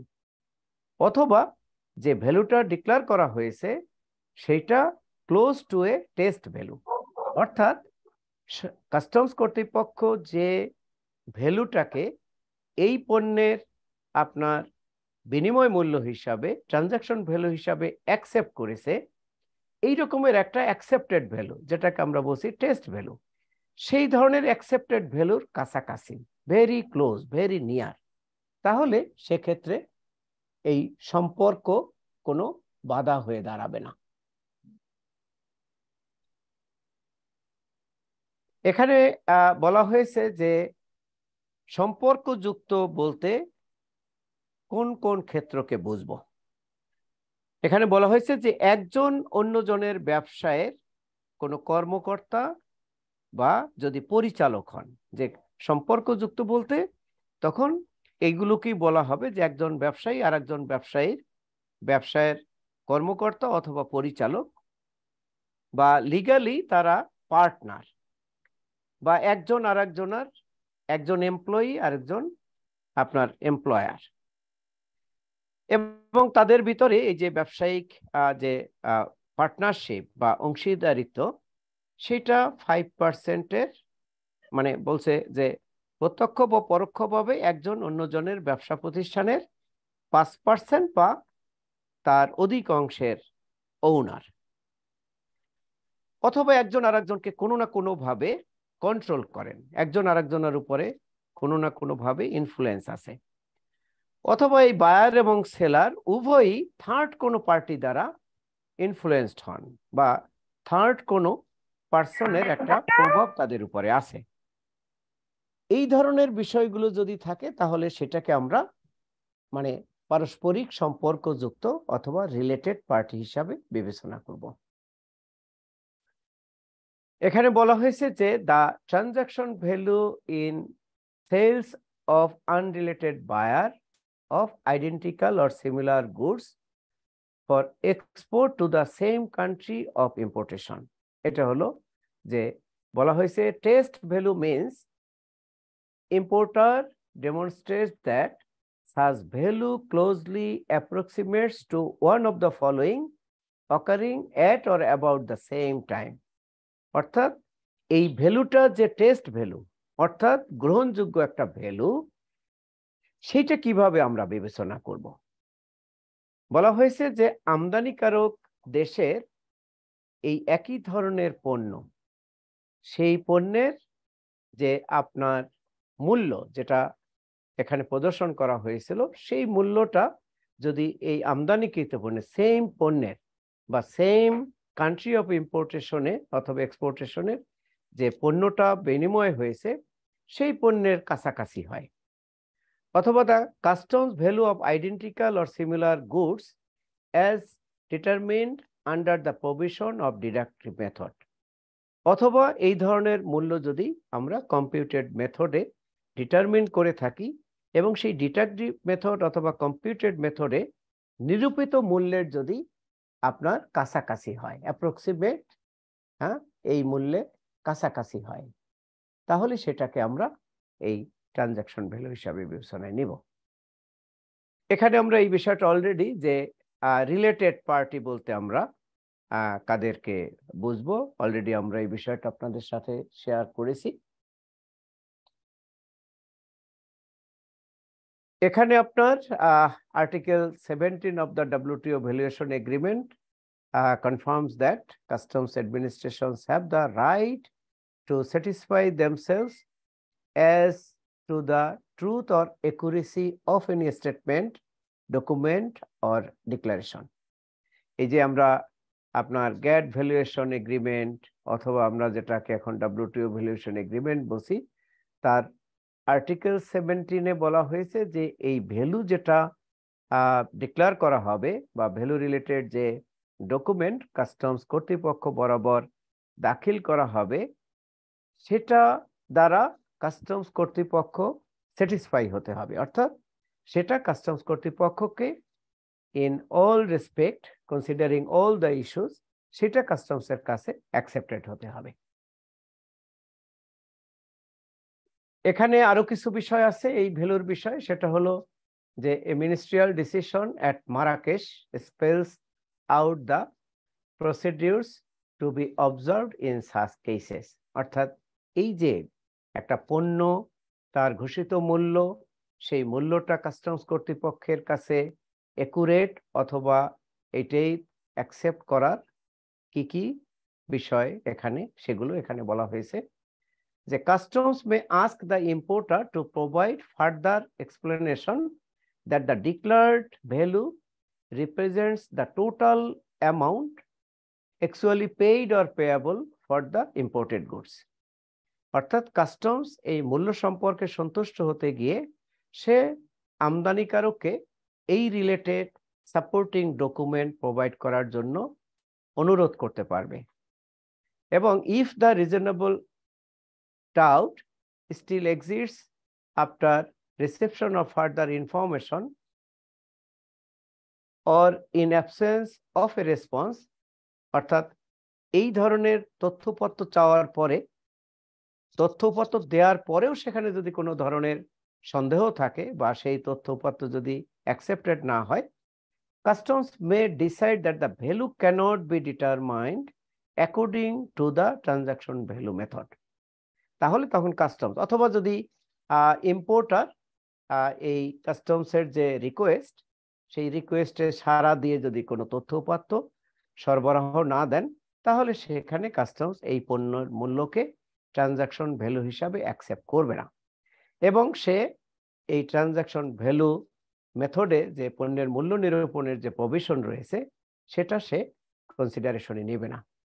এবং before a final decision is taken customs must communicate its reasoning to the importer who in turn must be given reasonable time to respond. এবং এই জাতীয় ক্ষেত্রে কাস্টমস কর্তৃপক্ষ ইম্পোর্টারকে জানাতে হবে যে কি কারণে ইম্পোর্টারের ডিক্লার্ড ভ্যালু অথবা তার সাপোর্টিং ডকুমেন্ট অ্যাকসেপ্টেড নয় এবং সেক্ষেত্রে তার এই জবাব দেওয়ার ক্ষেত্রেও যদি ইম্পোর্টার রিজনেবল টাইম চান কোনো তথ্য উপাত্ত সরবরাহের ক্ষেত্রে, সেটাও তাকে প্রোভাইড করতে হবে, দিতে হবে। এবং এই ক্ষেত্রে যদি কাস্টমস কোনো সিদ্ধান্ত নেয়, পণ্যের মূল্য নিরূপণের ক্ষেত্রে যদি ভিন্নতর কোনো সিদ্ধান্ত নেয় যে এই ডিক্লার্ড ভ্যালু ট্রানজাকশন ভ্যালু হিসাবে অ্যাকসেপ্ট করা হলো না, তাহলে কি কারণে সেটা ট্রানজাকশন ভ্যালু হিসাবে অ্যাকসেপ্ট হলো না এবং পরবর্তী পদক্ষেপ হিসাবে কি গ্রহণ করা হচ্ছে সেই বিষয়ে ইম্পোর্টারকে লিখিতভাবে জানানোর আপনার এই বিধান আর্টিকেল সেভেন্টিনে আছে। এবং নর্মালি এই প্র্যাকটিস এখন এই পণ্য মূল্য নিরূপণের ক্ষেত্রে এটা করা হয়ে থাকে। আইডেন্টিক্যাল গুডস বলতে কোন গুডসকে বুঝব আমরা? আমরা এখানে দুটো বিষয়ে শুরুতে দেখলাম।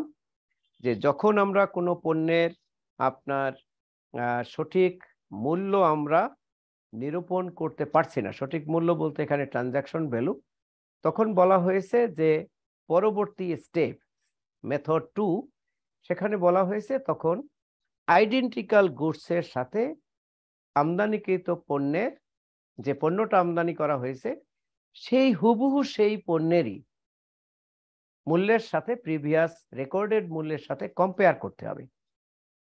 এখন এই আইডেন্টিক্যাল গুডস বলতে কোন গুডসকে বোঝানো হয়েছে?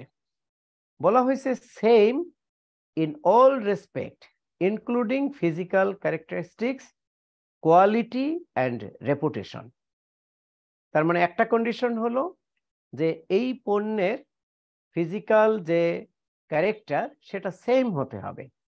এবং কোয়ালিটি সেম হতে হবে। এর যে সুনাম, খ্যাতি, সেটা একই ধরনের হতে হবে। এবং যে দেশের মানে যে পণ্যের মূল্য আমরা নিরূপণ করব ট্রানজাকশন ভ্যালু সেই পণ্যটা যে দেশ থেকে আমদানি হয়েছে, হুবহু এই পণ্যটা কি আপনার? এই ইয়া ওই ওই পণ্যের উৎপাদনকারী যে দেশের। সেই দেশেই এই পণ্যটা উৎপাদন হতে হবে। অর্থাৎ ধরুন আপনি স্যামসাং মোবাইল আমরা একটা এক্সাম্পল দিই যে ধরুন আপনি স্যামসাং মোবাইলের আপনার যে কোনো একটা মডেল ধরুন এস টোয়েন্টি অথবা এস টুয়েলভ এই জাতীয় যেটাই নেন না কেন। এখন এই পণ্যের যখন আপনি ট্রানজাকশন ভ্যালু ডিটারমিন করতে যাবেন তখন বলা হয়েছে যে আইডেন্টিক্যাল গুডসের সাথে আমরা যদি সরাসরি ভ্যালু যেটা ইম্পোর্টার ডিক্লেয়ার করেছিল, সেটাকে যদি আমরা ট্রানজাকশন ভ্যালু হিসাবে না নেই, তাহলে পরবর্তী পদক্ষেপ হিসাবে আমাদেরকে আইডেন্টিক্যাল গুডস মেথডে যেতে হবে।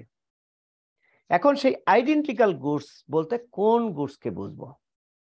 এখানে বললাম ওই যে ধরুন এস টোয়েন্টি অর্থাৎ স্যামসাং এস টোয়েন্টি একটা মোবাইল আমদানি কেউ করেছেন। তাহলে ইতিপূর্বে এই পণ্য বাংলাদেশে কেউ আমদানি করেছেন কিনা? অথবা এক্সপোর্টারের এই পণ্যটা এর আগে তার সেম দেশে বলা হয়েছে produced in the same country as the goods being valued অর্থাৎ যে পণ্যের মূল্যটা নিরূপণ করব, সেই পণ্যের সাথে যে পণ্যকে কম্পেয়ার করব, সেই পণ্যটা ওই একই দেশে উৎপাদিত হতে হবে। ধরুন এখন স্যামসাং মোবাইল কিন্তু শুধু কোরিয়াতে না এই পণ্য আপনার চায়নাতে প্রডিউস হচ্ছে এই পণ্য আপনার ভিয়েতনামে তৈরি হচ্ছে। সুতরাং আপনি কোরিয়ার পণ্যের সাথে ভিয়েতনামের পণ্য কম্পেয়ার করা যাবে না। বলা হয়েছে সেম কান্ট্রি প্রোডাক্টের সাথে এটাকে কম্পেয়ার করতে হবে। Produce by the producer of the goods being valued এবং একই প্রডিউসারের প্রোডাক্টের সাথে কম্পেয়ার করতে হবে। ধরুন এই পণ্যটাই যদি ওই যে বললাম যে একাধিক প্রডিউসার ভিয়েতনামে তৈরি হচ্ছে, আপনার চায়নাতে তৈরি হচ্ছে, কোরিয়াতে তৈরি হচ্ছে। সুতরাং দেখতে হবে যে আমদানিকৃত পণ্যটা কান্ট্রি অফ অরিজিন কোনটা। যদি এটা কোরিয়া থেকে এসে থাকে, তাহলে এই একই পণ্যের আইডেন্টিক্যাল গুডসের কোরিয়া অরিজিনের সাথে এটা কম্পেয়ার করতে হবে। এরপরে বলা হয়েছে যা transaction value is not accepted customs value of identical goods may be applied আমরা যেটা আগে বললাম যে যদি কোনো কারণে আমরা ডিক্লার্ড ভ্যালুকে ট্রানজাকশন ভ্যালু হিসাবে না নেই, তাহলে সেক্ষেত্রে তখন এই আইডেন্টিক্যাল গুডসের মূল্যকে কনসিডারেশনে নিতে হবে। এবং আইডেন্টিক্যাল গুডস বলতে যেটা বললাম যে ওই একই প্রোডাক্টের আপনার সেম অরিজিন সেম ম্যানুফ্যাকচারার হতে হবে।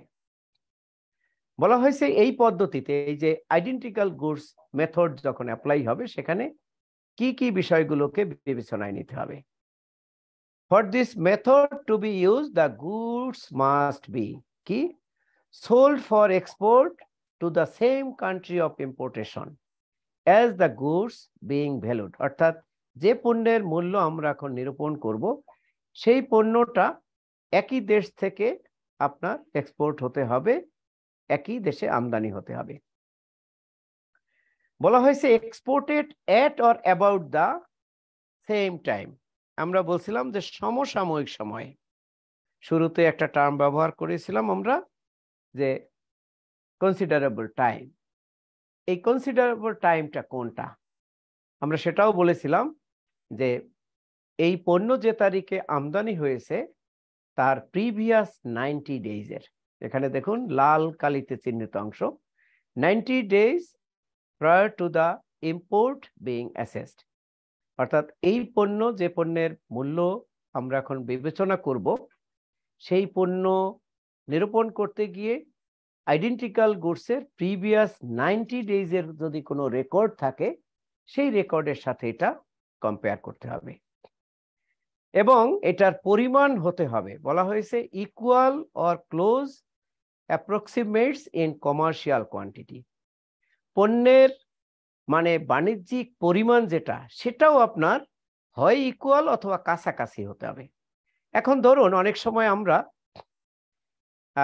কোনো একটা পণ্যের যখন হিউজ কোয়ান্টিটি ইম্পোর্ট হয়, তখন কিন্তু একটা আপনার ট্রেড ডিসকাউন্ট পাওয়া যায়। আমরা যেটা পিছনে দেখে এসছিলাম, পিছনে দেখে আসছিলাম যে ট্রেড ডিসকাউন্ট যেটা পাওয়া যায় সেইটা বাদে অন্যান্য যদি কোনো কস্ট ইনকার করে, সেটা মূল্যের সাথে যুক্ত হবে, কিন্তু ট্রেড ডিসকাউন্ট যেটা দেয়া হয়, সেটা আপনার মূল্যে যুক্ত হবে না। এখন ধরুন, কখনো যদি হিউজ কোয়ান্টিটি পণ্য কেউ আমদানি করে, একই পণ্য, একজনে আমদানি করল ধরুন একশো মেট্রিক টন আর আরেকজনে সেই পণ্য আমদানি করল বিশ মেট্রিক টন দুইজনের ভ্যালু কিন্তু এক হবে না। যিনি কমার্শিয়াল কোয়ান্টিটি যার বেশি তিনি কিন্তু একটা এখানে ট্রেড ডিসকাউন্ট পাবেন, যার ফলে দুটোর মূল্য এক হবে না। সে কারণেই বলা হয়েছে যে ট্রানজ্যাকশন ভ্যালুর ক্ষেত্রে অবশ্যই এই আমরা যে প্রিভিয়াস নাইনটি ডেজের যে পণ্যের মূল্যের সাথে এটারে কম্পেয়ার করব, সেই পণ্যের পরিমাণ হয় একই হতে হবে অথবা কাছাকাছি হতে হবে। ভেরিয়েশন বড় বেশি হলে সেই মূল্যকে আপনার ট্রানজাকশন ভ্যালু হিসাবে গ্রহণ করা যাবে না। এবং বলা হয়েছে if any difference differences are found in the value due to quantity distance or transport necessary adjustment have to be made to determine the custom value. এবং এটাও আমরা আলোচনা করেছি যে এই জাতীয় ক্ষেত্রে যদি মাল্টিপল ভ্যালু পাওয়া যায়, ধরেন সিমিলার আইডেন্টিক্যাল গুডস কিন্তু সেটা দেখা গেল যে প্রিভিয়াস নাইনটি ডেজে তিনটা ভ্যালু পাওয়া গেল। একটা ধরুন বিশ ডলার আর একটা বিশ ডলার পঞ্চাশ সেন্ট, আর আর একটা ধরুন একুশ ডলার। তাহলে আইডেন্টিক্যাল গুডসের প্রিভিয়াস নাইনটি ডেজে অর্থাৎ যে এই যে আমরা যেটাকে বলছি যে কনসিডারেবল টাইম সেই টাইমের ভিতরে দেখা গেল তিনটা ভ্যালু পাওয়া গেল। তাহলে এই চুক্তি বা এই রুলের বিধান হলো যে সেক্ষেত্রে লোয়েস্ট যেটা ভ্যালু পাওয়া যাবে that value should be chosen for considering the transaction value এবারে আসি আমরা সিমিলার গুডস যখন কোনো পণ্যের ক্ষেত্রে আবার বলা হয়েছে যে যখন আমরা কোনো পণ্যের ইয়া পাবো না, আপনার ধরুন আইডেন্টিক্যাল গুডসের মেথডে পাওয়া যাবে না, তখন যেতে হবে আপনার সিমিলার গুডস মেথডে এখন সিমিলার গুডস মেথডটা কি? বলা হয়েছে goods closely resemble the goods being valued in terms of component material and characteristics comparable of performing the same function, commercially interchangeable with the goods being valued, produced in the same country and by the same producer. তার মানে এখানে খেয়াল করে দেখুন ধরুন এই Samsung mobile আমরা কিছুক্ষণ আগে বললাম যে স্যামসাং এস টোয়েন্টি ধরুন এই মডেল যখন আমি বিবেচনায় নিব, এখন এস টোয়েন্টির সাথে সিমিলার গুডসের ক্ষেত্রে এইটা এস টোয়েন্টি হবে না। ওটা হলো আইডেন্টিক্যাল গুডসের জন্য। সিমিলারের ক্ষেত্রে ধরুন স্যামসাং এর আর একটা মডেল সেটা ধরুন এস টোয়েন্টি ফাইভ তার মানে এস টোয়েন্টি এবং এস টোয়েন্টি ফাইভের ভিতরে, এখানে খেয়াল করে দেখুন তার কম্পোনেন্ট মোটামুটি সেম তারপর তার ক্যারেক্টারিস্টিক্স মোটামুটি সেম এবং এটার ফাংশনও কাছাকাছি কিন্তু মডেল ভিন্ন। এবং কমার্শিয়ালি এটা ইন্টারচেঞ্জেবল ধরুন, আপনার একটা এস টোয়েন্টি আছে আর আরেকজনের একটা এস টোয়েন্টি ফাইভ আছে। এটার কনফিগারেশন তারপর ফাংশন ম্যাটেরিয়াল সব বিবেচনায় এইটা ইজিলি একজন আরেকজন বিনিময় করতে পারেন চেঞ্জ করতে পারেন। এবং চেঞ্জ করার ক্ষেত্রে আপনি এডিশনাল কোনো আর এখানে ভ্যালু চার্জ করছেন না যে, না, এটা দিব, এর সাথে তোমাকে আরও আপনার এক হাজার টাকা দিতে হবে, পাঁচ হাজার টাকা দিতে হবে। অর্থাৎ সেম প্রডিউসারের উৎপাদিত আর একটা প্রোডাক্ট যেটা আমদানিকৃত পণ্যের কাছাকাছি, হুবহু এক না, কিন্তু কাছাকাছি। এইটাকে বলা হয়েছে যে সিমিলার গুডস স্যার হ্যালো? জি। জি একটু নামাজে ব্রেক দিলে ভালো হতো হ্যাঁ আমরা এই যে একটু এই অংশটা শেষ করে আমরা বিরতিতে যাব আমি আর পাঁচ মিনিট নিচ্ছি একটু। ঠিক আছে এরপর বলা হয়েছে যে method can be chosen if no value can be determine based on the method আপনার ওয়ান অ্যান্ড টু এক এবং দুই যখন পাওয়া যাবে না তখনই আপনাকে এই সিমিলার গুডস মেথডে যেতে হবে। এরপরের ধাপ হলো ডিডাকটিভ মেথড যেটা আমরা শুরুতে একটু ধারণা দিয়েছি যে যখন আমরা ট্রানজাকশন ভ্যালু পাবো না সিমিলার আইডেন্টিক্যাল পাবো না সিমিলার মেথডেও ভ্যালু ডিটারমিন করতে পারব না, তখন আমরা যাব ডিডাকটিভ মেথডে এবং এই মেথডে বিষয়টা হলো যে আপনি যে মূল্য, সেই মূল্যটি জেনারেট করতে হবে লোকাল মার্কেট প্রাইস থেকে। অর্থাৎ হুবহু এই পণ্যটা লোকাল মার্কেটে এর আগে আমদানি হয়েছে কিনা বা আমদানি হয়ে থাকলে সেটা মার্কেটে কি ভ্যালুতে বিক্রি হচ্ছে? সেই ভ্যালুটা বিবেচনার ক্ষেত্রেও খেয়াল রাখতে হবে যে ইম্পোর্ট কোয়ান্টিটি এবং পণ্যের নেচারের সাথে যাতে সিমিলারিটি থাকে বা আপনার মিল থাকে।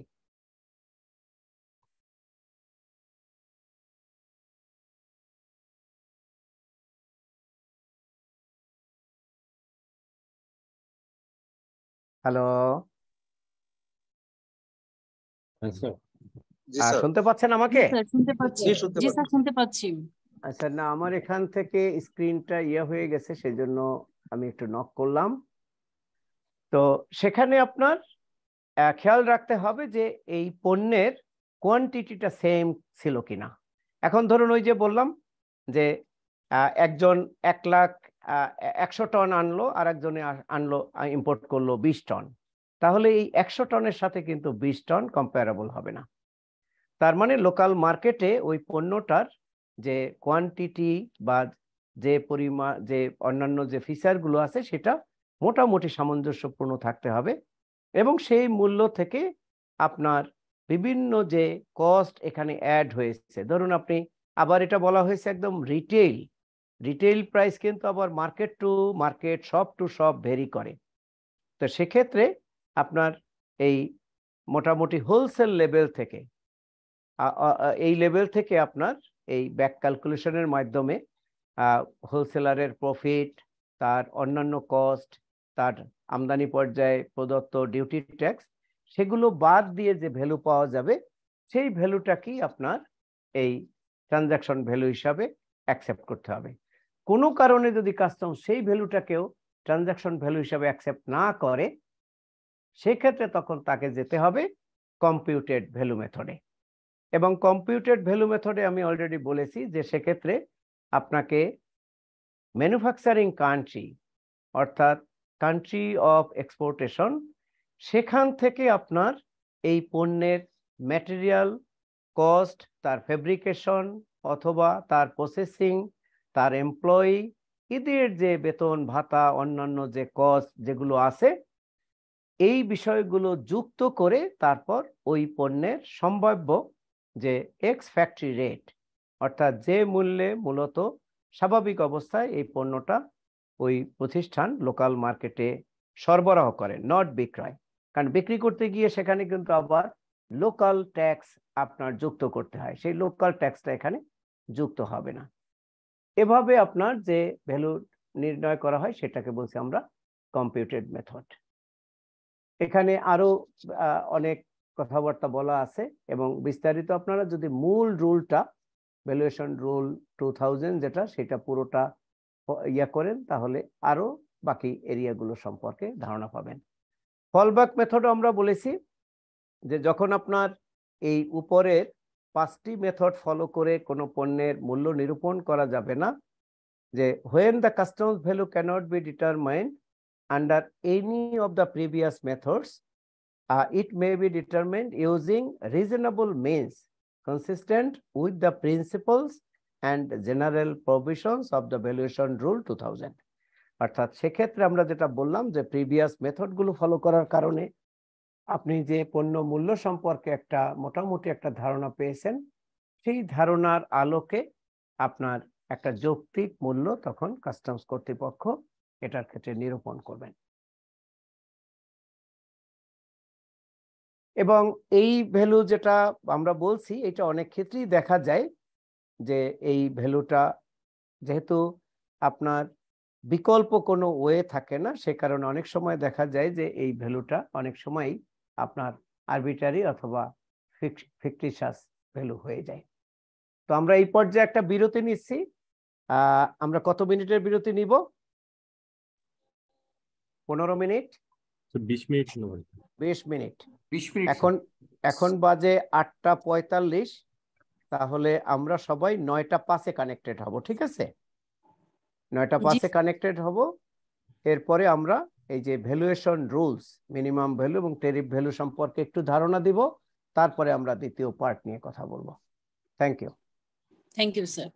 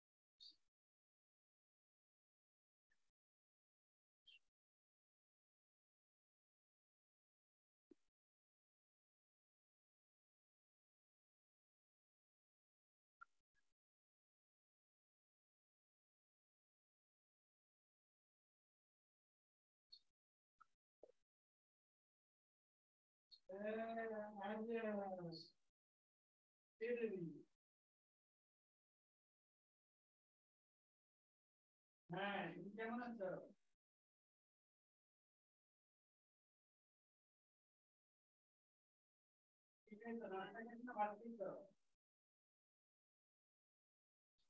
তোমার তো বাসায় আসছি বেশি বলি নাই হ্যাঁ রাতে ঘুমানোর সময়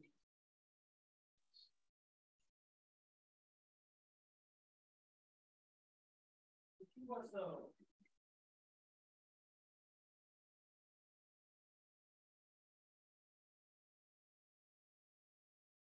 ভাত খেয়েছো কি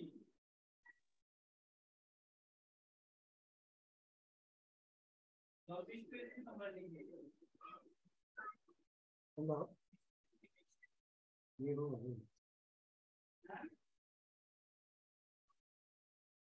না আমাদের সিএ ক্লাস চলতেছে বলেন আমি যে না না না বলেন বলেন ব্রেক চলতেছে তো, বলেন।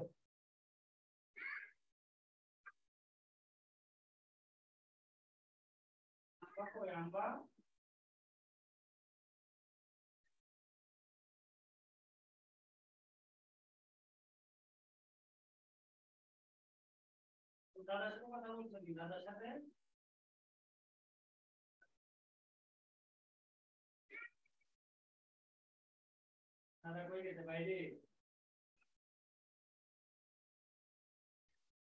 কার সাথে কথা বলছো?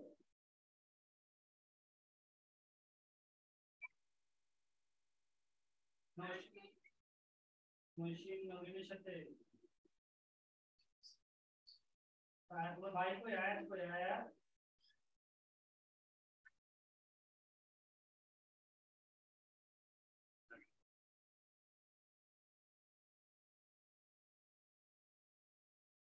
অন্যান্য ভাই কই ঢাকা নানা ভাই কই মুর্শিদাবাদ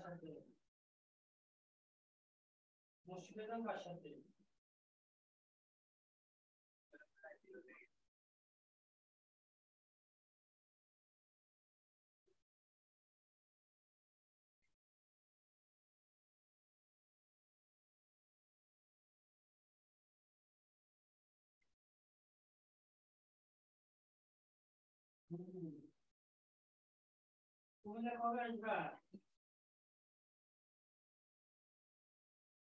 কানপুর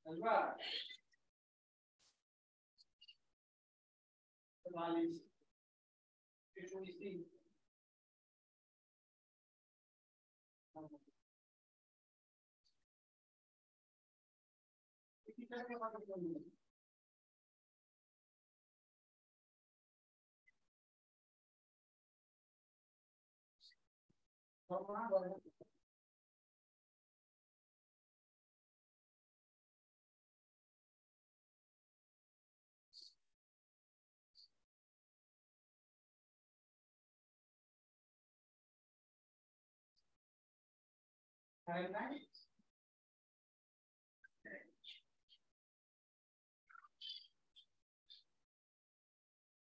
জন্য এটা হুম? না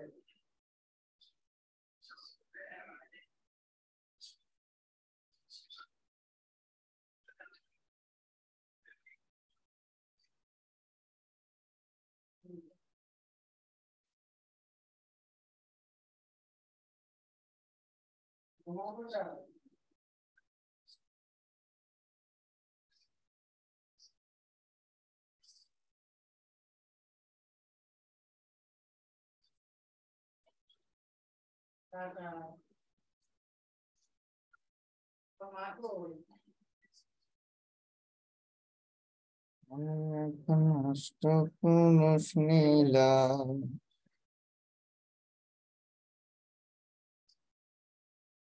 Bao.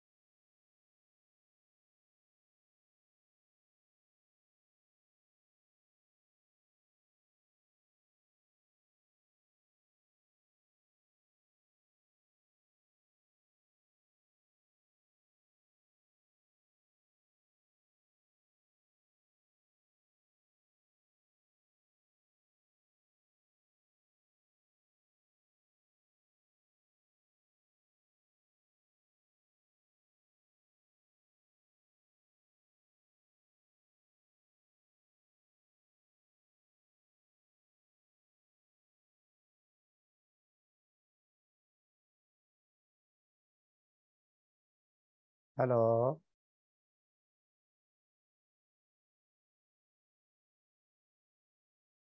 হ্যালো স্যার- আছি আমরা স্যার। হ্যাঁ আপনার কানেক্টেড হয়েছেন সবাই? ওকে আমরা শুরু করি তাহলে। আমরা স্লাইডে আপনার দুটো এসআরওর রেফারেন্স দেয়া আছে। একটা হলো ভ্যালুয়েশন রুল যেটা নিয়ে আমরা অলরেডি কথা বললাম। শেষ করলাম। আরেকটি হলো রেফারেন্স হিসাবে আমরা আলোচনায় বলেছিলাম যে সরকারকে কাস্টমস আইনে ক্ষমতা দেয়া আছে যে আমদানিকৃত যে কোনো পণ্যের ক্ষেত্রে সরকার মিনিমাম ভ্যালু বা টেরিফ ভ্যালু নিরূপণ করতে পারে। এবং এখানে আমরা দেখতে পাচ্ছি যে একটি এসআরও আছে এসআরও নম্বর দুইশো তিন, যেটা আপনার আঠাইশে জুন দু হাজার বাইশ। এই এসআরওটি আসলে দু হাজার বাইশ সালে নতুন করে জারি করা হয়েছে, এটা বিগত কয়েক বছর ধরেই আপনার প্রত্যেক বছরই বাজেটের সময়। আবার এই যে আগামী পহেলা জুন মহান সংসদে যে আপনার তেইশ চব্বিশ অর্থ বছরের বাজেট পেশ হবে, সেখানেও আপনারা এ ধরনের একটি এসআরও পাবেন নতুন করে। এটাকে বাতিল করে আবার নতুন করে করা হবে। এখানে আমরা যে কাস্টমস আইনের সেকশন টোয়েন্টি ফাইভের সাবসেকশন তিনে দেখলাম যে সরকারকে আইনে এই ক্ষমতাটি দেয়া আছে যে সরকার আমদানিকৃত যে কোনো পণ্যের ক্ষেত্রে টেরিফ ভ্যালু বা মিনিমাম ভ্যালু নির্ধারণ করতে পারে। এই এসআরওটি যদি দেখেন, তাহলে আপনারা দেখবেন যে এসআরওর প্রথম যে দুটো টেবিল আছে টেবিল ওয়ানে আপনার বেশ কিছু পণ্যের ক্ষেত্রে একটা ভ্যালু নির্ধারণ করে দিয়েছে, এটাকে বলি আমরা টেরিফ ভ্যালু আর টেবিল টুতে অনেকগুলো পণ্য আছে, সেই পণ্যের ক্ষেত্রে কিছু মূল্য নির্ধারণ করে দেওয়া আছে, সেই মূল্যগুলোকে আমরা বলছি মিনিমাম ভ্যালু এখন এই টেরিফ ভ্যালু এবং মিনিমাম ভ্যালু এই দুটোর ভিতরে আপনার বেসিক পার্থক্য আছে কিনা? যদি আমরা আইনি বিশ্লেষণে যাই বা এসআরও শেষে যে ব্যাখ্যা দেয়া আছে, সেই ব্যাখ্যায় যাই, তাহলে আমরা দেখব যে হ্যাঁ টেরিফ ভ্যালু এবং মিনিমাম ভ্যালুর ভিতরে একটি বেসিক পার্থক্য আছে। এবং সেই পার্থক্য আছে বিধায়ী আপনার এই পণ্য মূল্যের ক্ষেত্রে। দুটো আলাদা টেবিল করা হয়েছে। এখানে ধরুন আমরা একটু আগেই মানে পণ্যের মূল্যের ক্ষেত্রে বললাম যে ট্রানজাকশন ভ্যালু এখন ট্রানজাকশন ভ্যালুর পরে আপনার এই টেরিফ ভ্যালু বা মিনিমাম ভ্যালু এটা কিন্তু আপনার ওই যে গ্যাট ভ্যালুয়েশন এগ্রিমেন্ট বা ডাব্লিউটিও ভ্যালুয়েশন এগ্রিমেন্ট এবং তার সাথে আমাদের যে ভ্যালুয়েশন রুল তার সাথে মূলত এই টেরিফ ভ্যালু এবং মিনিমাম ভ্যালুটা কন্ট্রাডিক্টরি। ওই বিধান অনুসারে বা এগ্রিমেন্টের শর্ত অনুসারে আসলে এই ধরনের ভ্যালু নির্ণয় করা এটা যৌক্তিক নয়। তারপর আপনি অনেক দেশেই দেখবেন এ ধরনের চুক্তি বা এ ধরনের কনভেনশন থাকার পরেও অধিকাংশ দেশেই কম বেশি আপনার এ ধরনের টেরিফ ভ্যালু বা মিনিমাম ভ্যালুর প্রচলন আছে।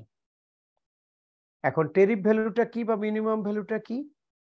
এটাও কিন্তু আমদানিকৃত পণ্যের আপনার শুল্ক কর নিরূপণের জন্য সরকার কর্তৃক নির্ধারিত একটা মূল্য। আবার এই মূল্যের ক্ষেত্রে ব্যতিক্রমী কিছু বিধানও আছে। যেমন টেরিফ ভ্যালুর ক্ষেত্রে ধরুন কোনো একটা পণ্যের টেরিফ ভ্যালু নির্ধারণ করা হলো একশো ডলার যে কোনো একটা পণ্যের ধরুন। এখন এই টেরিফ ভ্যালু একশো ডলার নির্ধারণ করলেই যে এই পণ্য একশো ডলারে অ্যাসেসমেন্ট হবে নট দ্যাট আইনের বিধান বলছে যে ওই যে পণ্যের টেরিফ ভ্যালু একশো ডলার নির্ধারণ করা হলো, সেই পণ্য যদি কেউ একশো ডলারের কম মূল্যে আমদানি করেন, ধরুন কেউ একজন এই পণ্যটা আপনার বর্তমান market price international market price এবং সেটা ট্রানজাকশন ভ্যালুই ট্রানজাকশন প্রাইস সেটা পঁচানব্বই ইউএস ডলার কিন্তু গভর্নমেন্ট এটার টেরিফ ভ্যালু নির্ধারণ করল একশো ইউএস ডলার তাহলে এইটা ট্রানজাকশন ভ্যালু পঁচানব্বই ডলার হলেও যেহেতু গভর্নমেন্ট এটার ভ্যালু একশো ডলার নিরূপণ করেছে, সে কারণে এই পণ্যটা পঁচানব্বই ডলার ভিত্তিতে শুল্কায়ন হবে না। পণ্যটা কিনলে, কেনা হয়েছে পঁচানব্বই ডলারে কিন্তু যেহেতু সরকার এর ভ্যালু নির্ধারণ করে দিয়েছে ফর ট্যাক্স ক্যালকুলেশন পারপাস একশো ইউএস ডলার সে কারণে এই পণ্যটা একশো ডলারের ভিত্তিতে শুল্ক কর অ্যাসেসমেন্ট করা হবে, শুল্ক কর ক্যালকুলেশন করা হবে। আবার সেম পণ্যটাই যদি ধরুন, সরকার নির্ধারিত মূল্য হলো একশো ইউএস ডলার কিন্তু কোনো একজন আমদানিকারক সেই পণ্যটা একশো পাঁচ ডলারে আমদানি করলেন, অর্থাৎ তার ট্রানজাকশন ভ্যালু হলো একশো পাঁচ ডলার এবং সেই একশো পাঁচ ডলারই তার import document proforma invoice LC বা ইনভয়েসে একশো পাঁচ ডলার উল্লেখ আছে। এটার ক্ষেত্রে আইনের এই বিধান, অর্থাৎ আপনার এই যে section twenty five sub section three সেখানে বলা হয়েছে যে কোনো আমদানিকারকের ঘোষিত মূল্য যদি সরকার নিরূপিত টেরিফ ভ্যালুর অধিক হয় তাহলে এই ঘোষিত উচ্চতর মূল্যে বা অধিক মূল্যে সেই পণ্যের শুল্কায়ন করতে হবে। শুধু ব্যতিক্রম কি দাঁড়াল তাহলে? যে টেরিফ ভ্যালু আর ঘোষিত মূল্য, এই দুটো মূল্যের ভিতরে যে মূল্যটাই অধিক হবে, একজন আমদানিকারকের ঘোষিত মূল্য অথবা সরকার নিরূপিত টেরিফ মূল্য, এই দুটো মূল্যের ভিতরে যে মূল্যটা অধিক হবে সেই মূল্যের ভিত্তিতেই তাহলে সেই পণ্যটার শুল্ক কর, নিরূপণ করতে হবে। এটা হলো টেরিফ ভ্যালু এটা হলো আইনে দেয়া সরকারকে ক্ষমতা। আরেকটি হলো মিনিমাম ভ্যালু এটা ওই একই। এখানেও বিধান হলো একই যে আমদানিকারকের ঘোষিত মূল্য এই মিনিমাম ভ্যালুর কম হতে পারে। কম হলেও ওই কম ভ্যালুতে অ্যাসেসমেন্ট করা যাবে না। সেক্ষেত্রে এই মিনিমাম ভ্যালুতে এটার অ্যাসেসমেন্ট করতে হবে। আর মিনিমাম ভ্যালুর ক্ষেত্রে ধরুন, সরকার কোন একটা পণ্যের মিনিমাম ভ্যালু নির্ধারণ করল বিশ ডলার বিশ ইউএস ডলার একজন আমদানিকারক সেই পণ্যটা আপনার বিশ ডলারে বা আঠেরো ডলারে আমদানি করল। ধরুন আঠেরো ডলারে আমদানি করল। তাহলে আঠেরো ডলারের ভিত্তিতে অ্যাসেসমেন্ট হবে না ডিউটি ট্যাক্স ক্যালকুলেশন হবে আপনার বিশ ডলারের ভিত্তিতে। এখানে ব্যতিক্রমী একটা ব্যাখ্যা আপনার এই শেষে দেয়া আছে। সেটা হলো যে কোনো আমদানিকৃত পণ্যের আপনার art number part number model country of origin বা অন্যান্য যে ফিচার আছে কনফিগারেশন আছে, সেটার ভিত্তিতে যদি কাস্টমস কর্তৃপক্ষের কাছে প্রতীয়মান হয় যে the declared value is not the transaction value of the imported goods এবং সরকার নির্ধারিত যে মিনিমাম ভ্যালু সেই ভ্যালুতেও এই পণ্যটি অ্যাসেস করা যৌক্তিক নয়। কারণ এই এই পণ্যের আপনার ট্রানজ্যাকশন ভ্যালু এর থেকে অনেক হায়ার তাহলে আইনি বিধিবিধান ফলো করে ব্যাখ্যা বিশ্লেষণ সহকারে সেই পণ্য মিনিমাম ভ্যালুতেও অ্যাসেসমেন্ট না করে আপনার এই ট্রানজ্যাকশন ভ্যালুর ভিত্তিতে শুল্কায়ন করা যাবে শুল্ক কর নিরূপণ করা যাবে।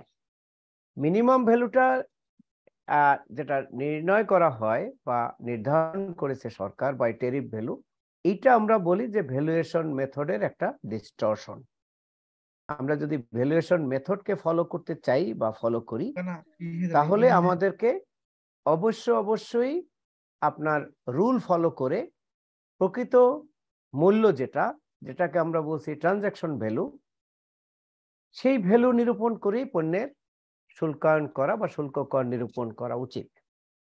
এখন ধরুন অনেক সময় এই প্রশ্ন আসবে যে তাহলে এই ইন্টারন্যাশনাল যে কনভেনশন এগ্রিমেন্ট এবং সেই এগ্রিমেন্টের আলোকে প্রণীত যে রুল সেটা ফলো না করে তার বাইরে গিয়ে আমরা এই টেরিফ ভ্যালু বা মিনিমাম ভ্যালুর বিধান কেন করলাম?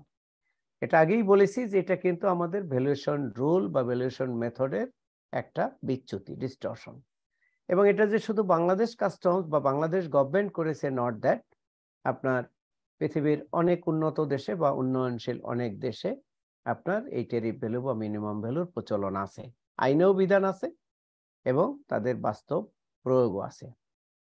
এখন ধরুন এগুলো অনেক সময় করা হয় মানে এটার ব্যাখ্যা হিসাবে এটা যে আপনার অনেক সময়ই সরকারের পক্ষে বা কাস্টমস কর্তৃপক্ষের পক্ষে অনেক পণ্যের ক্ষেত্রেই আপনার এই বিভিন্ন তথ্য উপাত্ত, বিভিন্ন লোকাল এবং ইন্টারন্যাশনাল সোর্স বিশ্লেষণ করে বা সেগুলো সার্চ করে আপনার অ্যাকচুয়াল ইনফরমেশন গ্যাদার করা এবং সেগুলো অ্যানালিসিস করা সম্ভব হয় না।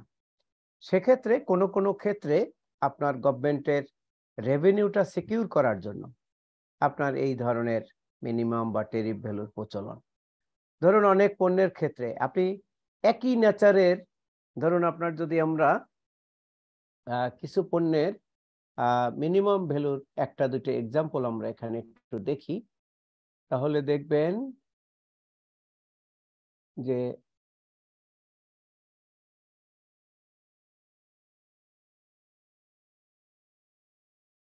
আমরা একটু টেবিলে যাই।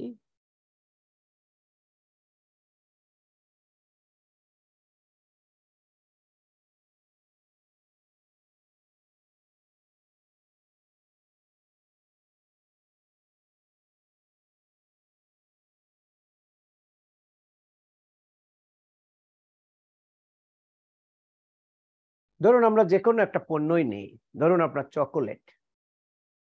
এখন বাজারে কিন্তু বিভিন্ন কান্ট্রি অফ অরিজিনের বিভিন্ন ব্র্যান্ডের বিভিন্ন কালারের বিভিন্ন ফ্লেভারের চকলেট আছে। এখন সরকার যখন এই ধরনের পণ্যের একটা মিনিমাম ভ্যালু নির্ধারণ করে, তখন কিন্তু আপনার প্রত্যেকটা ব্র্যান্ড ভিত্তিক, প্রত্যেকটা আপনার প্রতিষ্ঠান ভিত্তিক এই ভ্যালু নিরূপণ করা সম্ভব হয় না। তো যখন প্রতিষ্ঠান ভিত্তিক, ব্র্যান্ড ভিত্তিক এই ধরনের ভ্যালু নির্ণয় করা না যায়, তখন কি হয়? যে আপনি ধরুন চকলেটের ক্ষেত্রে আপনি একটা মিনিমাম ভ্যালু বলে দিলেন। বাজারে ধরুন এই চকলেট বিভিন্ন মূল্যে বিক্রি হয়। কোনোটা ধরুন পাঁচ ডলারে, কোনোটা সাত ডলারে, কোনোটা দশ ডলারে, কোনোটা পনেরো ডলারে, বিশ ডলারে। তাহলে আপনি যখন শুধু একটা নামে, একটা ডেসক্রিপশন দিয়ে যখন এই যে এখানে দেখুন যে বাইশে এখানে যেমন একটা আইটেম দেখালাম যে অল এইচএস কোড সাতাশি ডট বারো, সাতাশি ডট চোদ্দ, সাতাশি ডট পনেরো। এখানে অনেকগুলো হেডিং ভুক্ত, যত এইচএস কোড আছে সেই এইচএস কোড ভুক্ত পণ্যগুলোর আপনার বর্ণনা দিয়ে তার সামনে আপনার ইয়াটা ভ্যালুটা নির্ধারণ করে দিল মিনিমাম ভ্যালু যে স্টিলের হলে পার কেজির ভ্যালু হবে দেড় ডলার আর যদি অ্যালয় হয়, তাহলে তার পার কেজির ভ্যালু হবে সাড়ে তিন ডলার এখন কান্ট্রি অফ অরিজিন কিন্তু এখানে নাই, কোন দেশের পণ্য? তাহলে এটা জাপান থেকে আসলে সেটার মূল্য আর চায়না থেকে আসলে সেটার মূল্য কিন্তু এক হবে না। আবার যে চকোলেটের কথা বললাম, সেখানে আপনার ইউরোপ অরিজিন তারপর এশিয়া অরিজিন যে চকলেট তার বাজার মূল্য কিন্তু এক না। ইউরোপ অরিজিন চকলেটের মূল্য অনেক বেশি। এখন ধরুন এভাবে কোনোটা সাত ডলার কোনোটা দশ ডলার কোনোটা বিশ ডলার কোনোটা পনেরো ডলার গভর্নমেন্ট ধরুন মিনিমাম ভ্যালু করে দিল দশ ডলার তার মানে যে পণ্যটা সাত ডলারে আমদানি হচ্ছে, সেই পণ্যটা সে সাত ডলারে শুল্ক কর দিবে না। যেহেতু গভর্নমেন্ট এই ভ্যালুটা নির্ধারণ করেছে only for tax calculation purpose not for determining the value of the imported goods তার মানে ট্যাক্স ক্যালকুলেশন হবে এই ভ্যালুর ভিত্তিতে। এখন ধরুন, তাহলে এই যে পনেরো ডলার বিশ ডলারে যারা কিনলো ইউরোপ অরিজিন আপনার ধরুন এই প্রোডাক্ট তাহলে সেটাও কি দশ ডলারে না। আমরা একটু আগে দেখলাম যে না। যদি ডিক্লার্ড ভ্যালু এবং মিনিমাম ভ্যালু বা টেরিফ ভ্যালু এ দুটোর ভিতরে যেটাই হায়ার হবে, সেই হায়ার ভ্যালুতে যেতে হবে। এখন ধরুন এই মিনিমাম ভ্যালু সুযোগ নিয়ে কোনো কোনো আমদানিকারক এই কাজটা করতে পারেন। যে তিনি ওই যে বিশ ডলার বা পনেরো ডলারের যে চকলেট সেটা তিনি আন্ডার ইনভয়েসিং করে ট্যাক্স ফাঁকি দেওয়ার জন্য মার্কেট ক্যাপচার করার জন্য তিনি তখন কম ভ্যালুতে ইম্পোর্ট করতে পারেন। দেখা গেল তিনি ওই যেহেতু দশ ডলার মিনিমাম কিনেছেন, হয়তো ধরুন তিনি বিশ ডলারে কিন্তু তিনি দেখলেন যে এখানে যেহেতু গভর্নমেন্ট একটা মিনিমাম ভ্যালু করে দিয়েছে, সুতরাং আমি যদি এই মিনিমাম ভ্যালুর নিচে ডিক্লেয়ার করে আনি ইনভয়েস ভ্যালু যদি আমার মিনিমাম ভ্যালুর কম হয়, তাহলে আমি কাস্টমস কি করবে? ওইটা হয়তো মিনিমাম ভ্যালু পর্যন্ত এটাকে আপনার এনহ্যান্স করবে বা আপলিফট করবে। তার মানে আমি দশ ডলারে ডিউটি ট্যাক্স দিয়ে বেরিয়ে আসতে পারব। সেই কারণে সেইটা যাতে না হয়, সেই কারণে এই রুলের শেষে একটা ব্যাখ্যা দেয়া আছে। সেখানে বলা হয়েছে যে কিছু কিছু পণ্যের ক্ষেত্রে, এই যে দেখুন, যে এই প্রজ্ঞাপনের উদ্দেশ্য পূরণকল্পে রিনাউন ব্র্যান্ড অর্থ খ্যাতনামা বা বহুল প্রচলিত বা বিখ্যাত ব্র্যান্ড আর জেনারেল ব্র্যান্ড বলতে যেগুলো রিনাউন্ড নয়, সেটাকে বলা হয়েছে।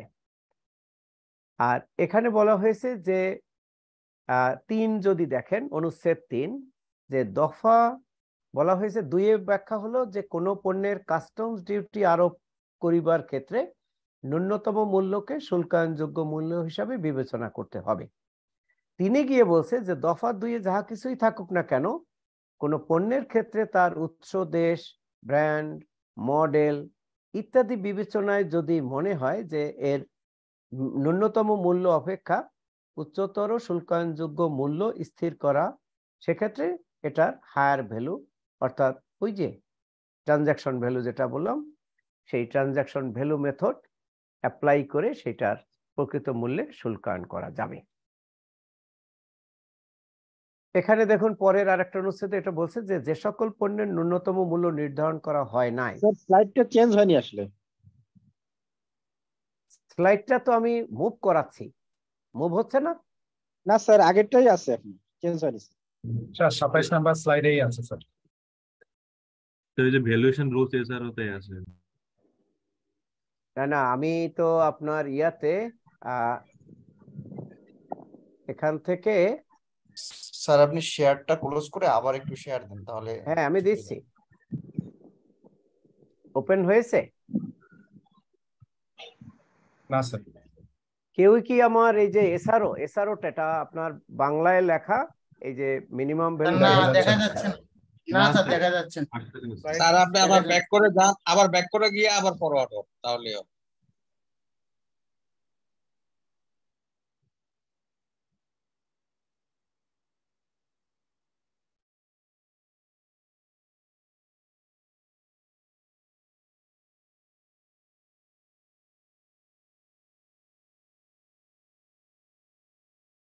সরাসরি ওপেন হয়ে যাচ্ছে এটাই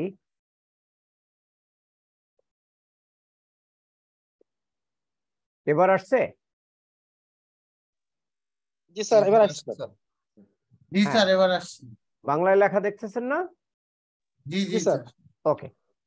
এবার দেখুন আহ, আপনার চার নম্বর দফায় যেটা বলা হয়েছে যে যে সকল পণ্যের ন্যূনতম মূল্য নির্ধারণ করা হয় নাই সেই ক্ষেত্রে আপনি কি করবেন? কি পদ্ধতি ফলো করবেন? সেক্ষেত্রে বলা হয়েছে যে ভ্যালুয়েশন রুল দু হাজার আমরা যেই দু হাজার বিধিমালার যে পদ্ধতিগুলো অনুসরণ বা কীভাবে করতে হবে সেটা যেটা আলোচনা করলাম, সেটার ক্ষেত্রে এই পদ্ধতি ফলো করার জন্য বলা হয়েছে। আর আরেকটা ব্যাখ্যা এখানে আছে, বিশেষ করে টেরিফ ভ্যালুর ক্ষেত্রে যে সরকার অনেক সময় অ্যাকচুয়াল ভ্যালু থেকে টেরিফ ভ্যালুর ভিত্তিতে শুল্কায়নের যৌক্তিক একটা ব্যাখ্যা। যদিও সেটা ওই আইনি ব্যাখ্যার কারণে আসলে গ্রহণযোগ্য হয় না। যেটা বললাম আমরা যে যখন আপনার ডিক্লার্ড ভ্যালু আর টেরিফ ভ্যালু দুটোর ভিতরে বিধান হলো হায়ার ভ্যালুতে অ্যাসেসমেন্ট করতে হবে। তা সুতরাং কেউ যদি অনেস্টলি অ্যাকচুয়াল ভ্যালুটা ডিক্লেয়ার করে আর সেই ভ্যালুটা যদি টেরিফ ভ্যালুর বেশি হয় তাহলে তো আর টেরিফ ভ্যালু অ্যাকসেপ্ট করার কোনো সুযোগ নেই। অনেক ব্যাখ্যা আসে এরকম যে টেরিফ ভ্যালু নিরূপণের মাধ্যমে গভর্নমেন্ট কোনো কোনো পণ্যের যদি বাজার মূল্য নিয়ন্ত্রণ করতে চায় বা বাজারে মূল্যে, মূল্যটা যাতে খুব বেশি এফেক্ট না করে, তো সেটার জন্য আসলে এই টেরিফ ভ্যালুর এই বর্তমান যে আইনি বিধান সেটি দিয়ে আসলে এটি করা সম্ভব না। ধরুন বাজারে আপনার সয়াবিন তেলের বা চিনির দাম হঠাৎ করে বেড়ে গেল। এটা নিয়ন্ত্রণের একমাত্র ওয়ে হলো আপনি এটার উপরে যে ইম্পোজেবল ডিউটি রেট আছে, সেই ডিউটি রেট আপনি রিডিউস করলেন অথবা উইথড্র করলেন। একটা হলো যে, ধরুন কোনো পণ্যের উপর টোয়েন্টি ফাইভ পার্সেন্ট সিডি আছে, যার জন্য সেটার ডিউটি পেইড ভ্যালু অনেক বেশি হয়ে যায়। আপনি যদি বাজার মূল্য নিয়ন্ত্রণ করতে চান, সেক্ষেত্রে ওই পণ্যের ডিউটি কমিয়ে দিতে পারেন। আবার যদি দেখা যায় যে না, কমালেও ওই মাত্রায় বাজার মূল্যকে আপনার অ্যাড্রেস করা যাচ্ছে না বাজার মূল্য রিডিউস করা যাচ্ছে না in that case government can withdraw the total import duty এরপরেও দেখবেন অনেক পণ্যের ক্ষেত্রে যদি যৌক্তিক মূল্য বাজারে নির্ধারণ করার প্রয়োজন হয় বা কোনো পণ্যের মূল্য সরকার আরও কমাতে চায়, সেক্ষেত্রে এই ডিউটি ট্যাক্স উইথড্র করেও হয় না। তখন গভর্নমেন্টকে ওই পণ্যের উপরে সাবসিডি দিতে হয়। যেমন আপনার এই যে আপনার টিসিবি অনেক পণ্য। আপনার ডিউটি ট্যাক্স ছাড়াই ধরুন ক্রয় মূল্য পঞ্চাশ টাকা। গভর্নমেন্ট তখন সেই পণ্যটা ধরুন তিরিশ টাকা বা বিশ টাকায় কনজিউমারের কাছে সরবরাহ দেয়। তো এর ফলে বাজারে একটা ইম্প্যাক্ট পড়ে, বিশেষ করে যারা নিম্ন আয়ের, তারা তখন সেই পণ্যটা তুলনামূলক কম মূল্যে কিনতে পারে। তো এটা ছিল মোটামুটি আপনার এই যে ইয়া মানে টেরিফ ভ্যালু এবং মিনিমাম ভ্যালু সম্পর্কিত বেসিক আইনি ব্যাখ্যা। আর এর বাইরে আমরা জানি যে কিছু কিছু পণ্যের মূল্য নিরূপণের ক্ষেত্রে ভিন্নতর কিছু বিধান আছে। যেমন আপনার অনেকেই জানেন যে রিকন্ডিশন ভেহিকেল পাঁচ বছরের অধিক পুরনো গাড়ি আমদানি নিষিদ্ধ, কিন্তু পাঁচ বছর পর্যন্ত কোনো গাড়ি যদি বিদেশ থেকে কেউ আমদানি করে, সেক্ষেত্রে শুল্ক করে কিন্তু কোনো রেয়াত নেই। আপনি একই সিসির ধরুন পনেরোশো সিসির একটি টয়োটা কারের, নতুন কারের যে ডিউটি ট্যাক্স শুল্ক করের যে হার, আপনার রিকন্ডিশন গাড়ির ক্ষেত্রেও সেম শুল্ক কর। শুল্ক করে কোনো ভিন্নতা নেই, পার্থক্য নেই। তাহলে রিকন্ডিশন গাড়ির ক্ষেত্রে গভর্নমেন্ট বেনিফিটটা কীভাবে দিচ্ছে? এখানে খেয়াল করবেন যে এখানে বছর ভিত্তিক পণ্যের মূল্য নিরূপণের ক্ষেত্রে একটা ইয়ার ওয়াইজ ডেপ্রিসিয়েশন আছে। ধরুন যদি এক বছরের পুরনো হয়, সেক্ষেত্রে গভর্নমেন্ট কোনো ডেপ্রিসিয়েশন দেয়নি। দুই বছরের পুরনো হলে ধরুন টোয়েন্টি পার্সেন্ট অর্থাৎ একশো টাকা যদি ওই গাড়িটার মূল্য হয়ে থাকে, তাহলে ট্যাক্স ক্যালকুলেশন হবে আশি টাকার ভিত্তিতে, বিশ টাকা বাদ যাবে। আবার ধরুন তিন বছরের পুরনো হলে সেখানে হয়তো থার্টি পার্সেন্ট ডেপ্রিসিয়েশন পাবে। এভাবে পাঁচ বছরের পুরনো পর্যন্ত যদি হয়, পাঁচ বছরের অধিক যাওয়া যাবে না। পাঁচ বছর পর্যন্ত হলে সেক্ষেত্রে ধরুন সর্বোচ্চ ফোরটি ফাইভ পার্সেন্ট ভ্যালুতে ডেপ্রিসিয়েশন তার মানে আপনি সর্বোচ্চ একটা রিকন্ডিশন গাড়ি সর্বোচ্চ ডেপ্রিসিয়েশন পাবেন forty five percent say for example যদি ওই গাড়িটার ভ্যালু একশো টাকা হয় ইয়েলো বুক ভ্যালু যদি একশো টাকা হয়, নতুন গাড়ির মূল্য, তাহলে রিকন্ডিশন সর্বোচ্চ অ্যালাউড আপনার ইয়া হিসাবে ডেপ্রিসিয়েশন হিসাবে আপনি তখন পঞ্চান্ন টাকার ভিত্তিতে, যেহেতু পঁয়তাল্লিশ পার্সেন্ট ডেপ্রিসিয়েশন সে কারণে আপনি পঁয়তাল্লিশ টাকার ভিত্তিতে এইটা শুল্ক কর নিরূপণ করে খালাস দেওয়া হবে। অর্থাৎ এই ধরনের কিছু আপনার বিধান আছে, যার মাধ্যমেও আপনার পণ্যের শুল্কায়নযোগ্য মূল্য ভিন্নভাবে নিরূপণ করা হয়। এটা নির্ভর করে সরকারের পলিসির উপরে। আবার এর বাইরে ধরুন তাহলে কি এখানে অ্যাসেসমেন্ট ভ্যালুটা কি 55 টাকা হবে? হ্যাঁ পঞ্চান্ন টাকা পঞ্চান্ন টাকা। আপনি এইটা হবে পঞ্চান্ন যখন আপনি ফোরটি ফাইভ পার্সেন্ট ডেপ্রিসিয়েশন পাবেন। আবার ধরুন আপনার গাড়িটা তিন বছরের পুরনো সেই কারণে গভর্নমেন্ট সে ফর এক্সাম্পল আমি হুবহু এসআরও ধরে বলছি না এসআরওতে হয়তো বিধান একটু হেরফের থাকতে পারে কিন্তু আমি যেটা বলছি এর কাছাকাছি। ধরুন আপনার তিন বছরের পুরনো হলে গভর্নমেন্ট সেখানে থার্টি পার্সেন্ট আপনাকে ডেপ্রিসিয়েশন দিবে। তার মানে আপনার গাড়িটা যদি তিন বছরের পুরনো হয়, তাহলে আপনাকে সত্তর টাকার ভিত্তিতে শুল্ক কর দিতে হবে। তো এটা হলো পুরনো গাড়ির শুল্কায়নের ক্ষেত্রে ভ্যালু কীভাবে নিরূপণ করব তার পদ্ধতি। এর বাইরে ধরুন, আমাদের অন্যান্য পণ্যের ক্ষেত্রে তো ওই পদ্ধতি একটাই, যে ভ্যালুয়েশন রুল ফলো করে আপনি তার ভিত্তিতে ট্রানজাকশন ভ্যালু নিরূপণ করবেন এবং তার ভিত্তিতে ইম্পোর্ট ইম্পোর্টেবল পণ্যের শুল্ক কর নিরূপণ করতে হবে। এর বাইরে আমাদের ইন্টারন্যাশনাল কিছু ডাটা সোর্স আছে। ধরুন আপনার বিশেষ করে মেটাল প্রোডাক্ট যেগুলো আছে কপার অ্যালুমিনিয়াম বা স্টিল এই জাতীয় পদার্থের, সেক্ষেত্রে দেখবেন আপনি প্লার্স অথবা লন্ডন মেটাল এক্সচেঞ্জ যেটাকে আমরা সংক্ষেপে এলএমই বলি এখানে আপনার এই জাতীয় পণ্যের একটা প্রকৃত মূল্য পাওয়া যায়। এখানে এই পণ্যগুলো একটা নির্দিষ্ট সময়ে, ধরুন একটা নির্দিষ্ট মাসে এই পণ্যগুলো যে মূল্যে ইন্টারন্যাশনাল মার্কেটে লেনদেন হয়, সেই মূল্যের ভিত্তিতে এটার একটা অ্যাভারেজ মূল্য এই এলএমই প্রাইস হিসাবে আপনার এদের ওয়েবসাইটে বা এদের ডকুমেন্টে পাওয়া যায়। এটার ক্ষেত্রেও আপনার যেমন ভ্যালুয়েশন রুলে বা মিনিমাম ভ্যালু টেরিফ ভ্যালু রেসারোতে দেখেন, এই বিষয়টা উল্লেখ করে দেওয়া আছে। পাঁচ নম্বর অনুচ্ছেদটা যদি দেখেন যে এই জাতীয় পণ্যের ক্ষেত্রে যদি এলএমইতে বর্ণিত মূল্য অপেক্ষা আপনার কম মূল্যে শুল্কায়ন যোগ্য মূল্য নিরূপণ করা যাবে না। ধরুন, ডিক্লার্ড ভ্যালু কম হতে পারে, কিন্তু এলএমই প্রাইস দেখা গেল তার থেকে একটু বেশি। তার মানে এখানে এলএমই প্রাইসটাই হলো গ্রহণযোগ্য মূল্য। যেহেতু এটা একটা রিলায়েবল ডাটা সোর্স তো এই ছিল মোটামুটি আপনাদের সাথে আমার ভ্যালুয়েশন রিলেটেড আলোচনা। যদি এর উপরে কারও কোনো প্রশ্ন থাকে, করতে পারেন। আমরা এরপরে আপনার ডিউটি এক্সামশন এবং বিভিন্ন সেক্টরে ক্যাপিটাল মেশিনারি তারপর আপনার ইন্ডাস্ট্রিয়াল র মেটেরিয়াল এবং অন্যান্য সেক্টরে যে গভর্নমেন্ট বিভিন্ন ধরনের ট্যাক্স বেনিফিট দিয়ে থাকে, সেই ট্যাক্স বেনিফিটগুলো দেওয়ার পলিসিটা কি? কীভাবে এগুলো গভর্নমেন্ট এক্সিকিউট করে এবং এর মানে প্রকৃত গ্রাউন্ডস কি? সেই বিষয় নিয়ে আমরা আলোচনা করব। স্যার আমার একটা কোশ্চেন ছিল। স্যার পুরানো গাড়ি আমদানির ক্ষেত্রে স্যার যেটা বলছিলেন যে ওই যে অপচয়টা বাদ দিয়ে কি স্যার ওইটার মূল্যটা নির্ধারণ করবে? জি। ধরুন আপনার পুরনো গাড়ির ক্ষেত্রে যেমন আমরা যদি জাপানের গাড়ির কথা চিন্তা করি যেমন আমাদের দেশে পুরনো গাড়ি যেটা আমদানি হয় সেটার ক্ষেত্রে কিছু কন্ডিশন আছে। একটা কন্ডিশন হলো যে গাড়িটা যে দেশে তৈরি হচ্ছে ওই দেশ থেকেই আসতে হবে। ধরুন টয়োটা গাড়ি টয়োটা গাড়ি আপনি অন্য কোনো দেশ থেকে আনতে পারবেন না। টয়োটা গাড়ি পুরনো আনতে হবে এটা যেহেতু তৈরি দেশ জাপান জাপান থেকে। এখন জাপান অটো অ্যাপ্রাইজাল অ্যাসোসিয়েশন ওরা ইয়ারলি একটা জার্নাল প্রকাশ করে যেটাকে আমরা ইয়োলো বুক বলি। Yellow book.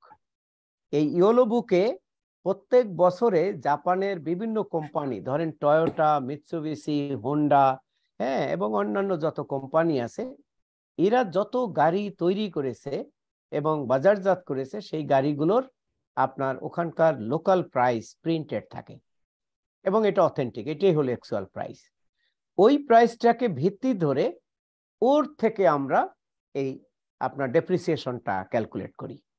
ধরুন সে ফর এক্সাম্পল ওখানে ভ্যালু হলো একশো ডলার। কোনো একটা গাড়ির আপনার ইয়োলো বুক ভ্যালু হলো একশো ডলার। ওই গাড়িটা পাঁচ বছরের পুরনো। তার মানে গভর্নমেন্ট সর্বোচ্চ পাঁচ বছর পর্যন্ত পুরনো গাড়ি অ্যালাউ করেছে। তার মানে এই গাড়িটা সর্বোচ্চ ডেপ্রিসিয়েশন পাবে।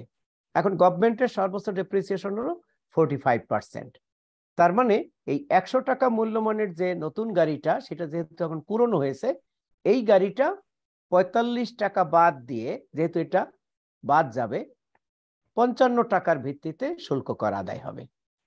এখন ধরুন নতুন গাড়ি যেটা, সেটার ভ্যালু একশো টাকা, সেটার টোটাল ট্যাক্স ইনসিডেন্স একশো পার্সেন্ট ধরুন CD twenty five percent RD five percent SD ten percent VAT অন্যান্য সব মিলে টোটাল ট্যাক্স একশো পার্সেন্ট তাহলে একশো টাকার একটা গাড়ি সরি একশো ডলারের একটা গাড়ি, আমদানি করতে হলে আপনাকে কত ডলার ডিউটি ট্যাক্স দিতে হবে? একশো টাকা দিতে হবে। একশো ডলার। যেহেতু একশো পার্সেন্ট ডিউটি খেয়াল করুন আমি শুরুতে বলেছি যে পুরনো গাড়ি আর নতুন গাড়ির ডিউটি ট্যাক্সের ক্ষেত্রে কোনো পার্থক্য নেই। শুধু নতুন গাড়ি আর পুরনো গাড়ির ক্ষেত্রে যেহেতু ভ্যালুর একটা পার্থক্য তৈরি হয় ডেপ্রিসিয়েশন দেওয়ার কারণে সে কারণে ওই ভ্যালুর ভিত্তিতে নতুন পুরনো গাড়ির মূল্যটা পার্থক্য তৈরি হয় বা মূল্যের পার্থক্য তৈরি হয়। এখন ধরুন ওই সেম পুরনো গাড়িটার ট্যাক্স ইনসিডেন্সও কিন্তু একশো পার্সেন্ট কিন্তু ওই গাড়িটার ভ্যালু কত? পঞ্চান্ন ডলার তাহলে পঞ্চান্ন ডলারের উপর একশো পার্সেন্ট হারে কত ডলার ডিউটি ট্যাক্স আসবে? পঞ্চান্ন টাকাই আসবে। পঞ্চান্ন পঞ্চান্ন ডলার তাহলে দেখুন নতুন গাড়ির ক্ষেত্রে ডিউটি দিচ্ছে একশো ডলার আর পুরনো গাড়িটার কারণে ওটার উপর ডিউটি দিচ্ছে পঞ্চান্ন ডলার এর ফলে নতুন এবং পুরনো গাড়ির ভ্যালুর ক্ষেত্রে কারণ আপনি তো মার্কেট প্রাইস নিরূপণ হবে তো প্রোডাক্ট কস্ট তার সাথে ডিউটি ট্যাক্স তার সাথে আদার কস্ট ইনক্লুডিং প্রফিট ঠিক আছে? স্যার এই ক্ষেত্রে গাড়ি যদি পাঁচ বছরের বেশিও হয় তাহলে আমি তো পঞ্চান্ন টাকার বেশি তো ভ্যালু ভ্যালু পাবো না আসলে। পাঁচ বছরের বেশি পুরনো হলে আপনি সেই পণ্য খালাসি করতে পারবেন না। আমদানি নিষিদ্ধ। ঠিক আমদানি নিষিদ্ধ সেই পণ্য আপনি খালাসি করতে পারবেন না। ঠিক আছে? তাহলে সে পাঁচ বছরের নিচে থাকতে হবে বয়স। পাঁচ বছর পাঁচ বছর হ্যাঁ, পর্যন্ত থাকতে হবে। পাঁচ বছর প্লাস হলেই আপনি আমদানি নিষিদ্ধের আওতায় পড়ে যাবেন এবং সেই পণ্য আপনি কাস্টমস থেকে সার করাতে পারবেন না। হ্যাঁ সার করানোর বিকল্প পদ্ধতি আছে। সেটার জন্য আপনাকে বাণিজ্য মন্ত্রণালয় থেকে ক্লিয়ারেন্স পারমিট নিতে হবে। বিষয়টা হলো যদি ক্লিয়ারেন্স পারমিট আপনি ম্যানেজ করতে না পারেন ক্লিয়ারেন্স পারমিট যদি আপনি ম্যানেজ করতে না পারেন তাহলে আপনি কখনোই এই পণ্য খালাস নিতে পারবেন না। ডেপ্রিসিয়েশন রেটটা কি ফিক্সড হ্যাঁ? ডেপ্রিসিয়েশন রেটটা পার ইয়ার হ্যাঁ এটা ওই এসআরও এই সম্পর্কিত একটা এসআরও আছে। আপনি ওই এসআরওটা দেখলে দেখবেন ওর ভিতরে ওই প্রথম বছরের জন্য শূন্য দুই বছরের জন্য পরবর্তী দুই বছরের জন্য ধরুন বিশ পার্সেন্ট পরবর্তী তিন বছরের জন্য ধরুন তিরিশ পার্সেন্ট তারপর চল্লিশ পার্সেন্ট পঁয়তাল্লিশ পার্সেন্ট এভাবে ইয়ার ওয়াইজ ফিক্স করে দেয়া আছে। স্যার। হ্যাঁ বলুন। আর ইন্ডেন্টার সম্পর্কে একটু ধারণা চাচ্ছিলাম স্যার ইন্ডেন্টার। প্রত্যেকটা পণ্যের এইচএস কোড অনুসারে হ্যাঁ বলুন। মানে স্যার আমার প্রশ্নটা হচ্ছে প্রত্যেকটা পণ্যের এইচএস কোড অনুসারে তো গভর্নমেন্ট একটা মিনিমাম মূল্য নির্ধারণ করা থাকে। এখন না, না, বলছেন সব পণ্যের মিনিমাম ভ্যালু নেই। আমরা যে একটু আগে মিনিমাম ভ্যালুর যে এসআরওটি আপনাদেরকে দেখালাম এই এসআরও টেবিল টু এ শুধু যতগুলো পণ্য আছে ওই পণ্যগুলোরই আপনার আইন সিদ্ধভাবে মিনিমাম ভ্যালু করা আছে। অন্য কোনো পণ্যের কোনো মিনিমাম ভ্যালু নির্ধারণ করা নেই। তাহলে স্যার সেটা তো কীভাবে নির্ধারণটা হবে? ওই যে ওই ভ্যালুয়েশন মেথড ভ্যালুয়েশন রুল অনুসারে। অন্যান্য পণ্যের ক্ষেত্রে কাস্টম যে পদ্ধতি ফলো করে সেটা হলো ওই যে ভ্যালুয়েশন রুল বাস্তবতা হলো যে ভ্যালুয়েশন রুল ওই যেটা আমি বললাম যে ইম্পোর্টারদের নন কোঅপারেশন তারপর রিলেটেড ডকুমেন্টের আনঅ্যাভেলেবিলিটি অথবা এগুলো যথাসময়ে আপনার কালেক্ট করা বা এগুলো অ্যানালিসিস করার অভাবে বাস্তবতা যেটা, সেটা শুধু আমাদের দেশে না ওয়ার্ল্ডের অন্যান্য দেশেও, সেটা হলো তখন আমরা একটা শুনে থাকবেন যে ডাটাবেস ভ্যালু শুনে থাকবেন যে ডাটাবেস প্রত্যেকটা পণ্যের ক্ষেত্রে যেগুলো নর্মালি আমাদের দেশে আমদানি হয়, এই জাতীয় পণ্যের একটা ডাটাবেস আছে। ডাটাবেসটা কি? সেটা হলো আপনি একটা নির্দিষ্ট পণ্য আজকে অ্যাসেসমেন্ট করলেন তাহলে আপনি তো একটা নির্দিষ্ট ভ্যালুতে অ্যাসেসমেন্ট করেছেন সেটা হতে পারে ইম্পোর্টারের ডিক্লার্ড ভ্যালু, অথবা হতে পারে আপনার কাছে যতটুকু তথ্য উপাত্ত আছে, তার ভিত্তিতে আপনি পর্যালোচনা করে দেখলেন যে না, এই ভ্যালুটা যথাযথ নয়, আপনি তার উপরে টেন পার্সেন্ট ফিফটিন পার্সেন্ট অথবা টোয়েন্টি পার্সেন্ট ভ্যালুটা এনহ্যান্স করে তার ভিত্তিতে ধরুন পণ্যটা আপনি শুল্কায়ন করলেন। তাহলে যে মূল্যে আপনি ওই পণ্যটা শুল্কায়ন করলেন, এর একটা রেকর্ড তো এর একটা রেকর্ড তো আপনার সিস্টেমে রয়ে যাচ্ছে। আমাদের যেমন আমরা যেমন অ্যাসেসমেন্টের ক্ষেত্রে জানেন যে আমরা একটা সফটওয়্যার ব্যবহার করি এটা আংটার ডেভেলপড একটা সফটওয়্যার অ্যাসাইকুডা ওয়ার্ল্ড এর ভিতরে এই ডাটা কিন্তু সংরক্ষিত থাকে। এটা যে কোনো বাংলাদেশের যে কোনো প্রান্ত থেকে যে কোনো কাস্টম অফিস এটা দেখতে পারে। ধরুন আপনার চিটাং কাস্টম হাউসে কোনো একটি পণ্য, একই ধরনের পণ্য, ধরুন কোন মূল্যে শুল্কায়ন হয়েছে, কত তারিখে শুল্কায়ন হয়েছে, এটা চাইলে আপনার সেই, আপনার হিলি কাস্টমস স্টেশন অথবা বেনাপোল কাস্টমস স্টেশনের কর্মকর্তারা দেখতে পারে। আবার বেনাপোলের ডাটা, ঢাকা কাস্টম হাউস অথবা চিটাং কাস্টম হাউস অথবা সোনা মসজিদ এলসি স্টেশন থেকে দেখা যায়। তো এখন ধরুন এইভাবে একটা ডাটাবেস দাঁড়িয়েছে।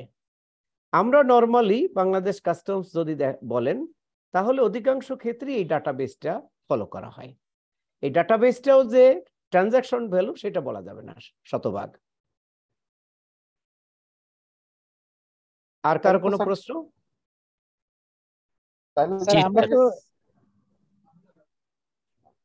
জি বলুন বলুন আমি শুনতে পাচ্ছি। আর ইন্ডেন্টার সম্পর্কে একটু ধারণা চাচ্ছিলাম স্যার ইন্ডেন্টার ইন্ডেন্টর আচ্ছা আমাদের সাথে যারা কানেক্টেড আছেন কারও কি ইন্ডেন্টর সম্পর্কে ধারণা আছে? ইন্ডেন্টর ওই ইন্ডেন্টরের একটা লাইসেন্স থাকে। তো ওই লাইসেন্সটার মাধ্যমে দেখা গেছে যে একটা এজেন্ট ক্রয় বিক্রয় করতে পারি একে অন্য কান্ট্রির সাথে এক্সপোর্ট ইম্পোর্ট করে। তো সেই ক্ষেত্রে যত নেট সেল হয়, সেই সেলের উপরে হচ্ছে একটা কমিশন দেয়। মানে ইন্ডেন্টারের সাথে যার লাইসেন্স ইউজ করে, তাদের একটা চুক্তি থাকে। হ্যাঁ থ্যাংক ইউ এটা হলো ইন্ডেন্টর যেটা বলছেন এটা এক ধরনের সার্ভিস এটা এক ধরনের সার্ভিস আপনার আইনের আওতায় তাদেরকে আপনার একটা লাইসেন্স নিতে হয়। এটা হলো exporter importer and indentors rules নামে একটা রুলস আছে। এটা রেগুলেট করে আপনার ministry of commerce exporter importer indentors rules ওই রুলের আওতায় আপনার ধরুন কোনো একটা নির্দেশ, আপনিও ইন্ডেন্টর হতে পারেন। আপনি ওখানে যে ক্রাইটেরিয়া আছে সেগুলো ফুলফিল করলে, আবেদন করবেন, আবেদনের পরে সেটা ফুলফিল করলে আপনার মিনিস্ট্রি অফ কমার্স থেকে আপনাকে ইন্ডেন্টর হিসাবে তালিকাভুক্ত করবে।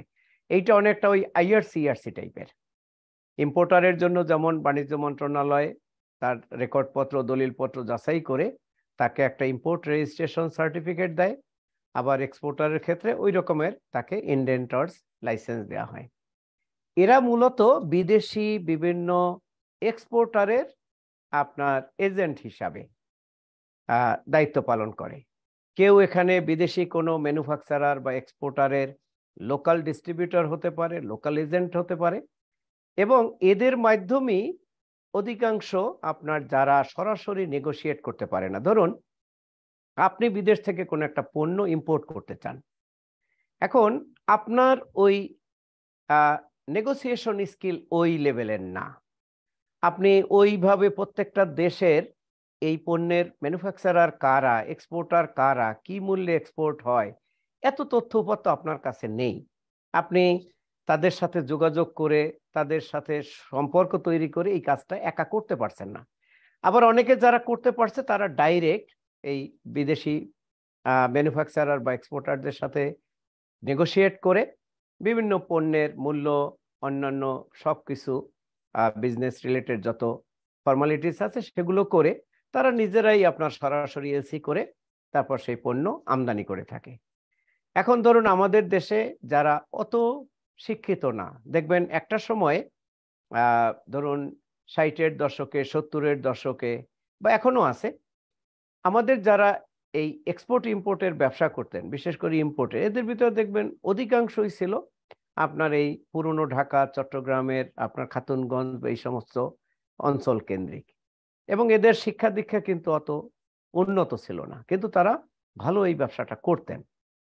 তো এরা তখন এই সাপোর্টটা নেয়ার জন্য এই ইন্ডেন্টারদের শরণাপন্ন হন। এই জন্য বলছি যে ইন্ডেন্টিং যে পেশাটা বা এইটা যে ইয়ার, এটা একটা অন্যতম সার্ভিস সেক্টর।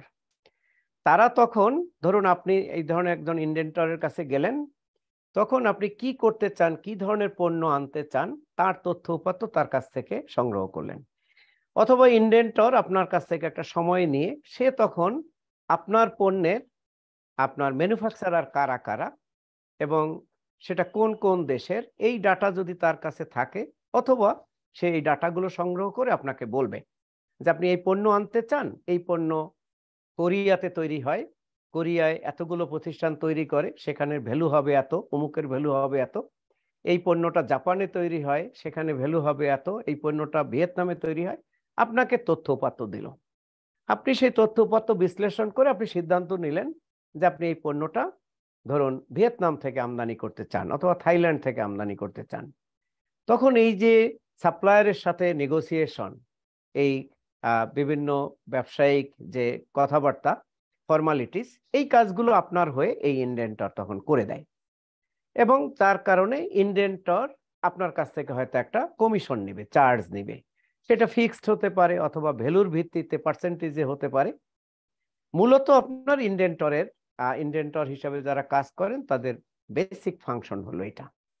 তারা অনেক সময় বিদেশি কোনো প্রতিষ্ঠানের লোকাল এজেন্ট বা ডিস্ট্রিবিউটর হিসেবেও কাজ করেন। আবার অন্যান্য ইম্পোর্টারদের পক্ষে এই নেগোসিয়েশনের কাজে সহায়তা করে থাকেন। আর কারও কোনো প্রশ্ন? স্যার স্যার আরেকটা কোয়েশ্চেন ছিল। জি বলুন। স্যার এখানে আপনি যেটা বলেছিলেন মিনিমাম ভ্যালিউ এবং টেরিফ ভ্যালিউ স্যার এই দুইটার মধ্যে কি কোনো পার্থক্য আছে নাকি দুটাই সেম ওই অর্থে কোনো বেসিক পার্থক্য নাই। আপনার টেরিফ ভ্যালু আর মিনিমাম ভ্যালুর ক্ষেত্রে আইনি বিধান আমি যেটা বললাম যে যদি কোনো পণ্যের ডিক্লার্ড ভ্যালু যদি মিনিমাম ভ্যালু বা টেরিফ ভ্যালুর থেকে বেশি হয়, তাহলে আইনের বিধান হলো হায়ার ভ্যালুতি ডিক্লার্ড ভ্যালু অথবা টেরিফ ভ্যালু ধরুন ডিক্লার্ড ভ্যালু আট ডলার টেরিফ ভ্যালু দশ ডলার তাহলে সেটা টেরিফ ভ্যালুতে করতে হবে। আবার টেরিফ ভ্যালু দশ ডলার কিন্তু ডিক্লার্ড ভ্যালু বারো ডলার তাহলে যেহেতু ডিক্লার্ড ভ্যালু হায়ার ওই ভ্যালুতে করতে হবে। এটা মিনিমাম এবং টেরিফ উভয় ক্ষেত্রে এই পদ্ধতি প্রযোজ্য। শুধু মিনিমাম ভ্যালুর ক্ষেত্রে বলা আছে যে একটা পণ্যের মিনিমাম ভ্যালু মানে এই নয় যে এটা মিনিমাম ভ্যালুতেই শুল্কায়ন করতে হবে।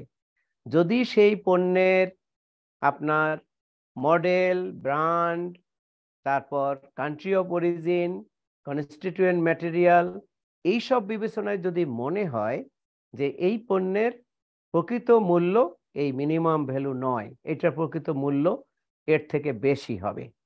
তাহলে ওই ভ্যালুয়েশন রুল ফলো করে অ্যাকচুয়াল ট্রানজাকশন ভ্যালু তার ভিত্তিতে শুল্কায়ন করতে হবে। এই বিধানটা টেরিফ ভ্যালুর ক্ষেত্রে শুধু বলা নেই। টেরিফ ভ্যালুর ক্ষেত্রে বলা হয়েছে যে ডিক্লার্ড ভ্যালু যদি টেরিফের কম হয়, তাহলে আপনাকে টেরিফ ভ্যালুর ভিত্তিতে ডিউটি ট্যাক্স দিতে হবে। পার্থক্য শুধু এইটুকু, আর কোনো পার্থক্য নেই। তো যাই হোক, আমরা পরের আলোচনায় চলে যাই। আমরা বলেছিলাম যে কাস্টমস আইনে বিভিন্ন সেক্টরকে যে শুল্ক কর প্রণোদনা দেয়া হয় আপনারা জানেন যে বিভিন্ন সেক্টরকে নানান ধরনের শুল্ক কর ছাড় দেয়া হয় যেটাকে আমরা এক্সামশন অফ ডিউটিস বলে থাকি। তো এই ছাড় দেওয়ার আইনগত ভিত্তিটা কি? আমরা দেখতে পাচ্ছি যে কাস্টমস আইনের সেকশন উনিশ বিশ এবং একুশ এই তিনটা সেকশনের মাধ্যমে জি? শেয়ার হচ্ছে। স্যার শীটটা ডিসপ্লেতে শেয়ার হচ্ছে না। শেয়ার হয়নি সবার ক্ষেত্রে কি একই? জি স্যার জি স্যার জি স্যার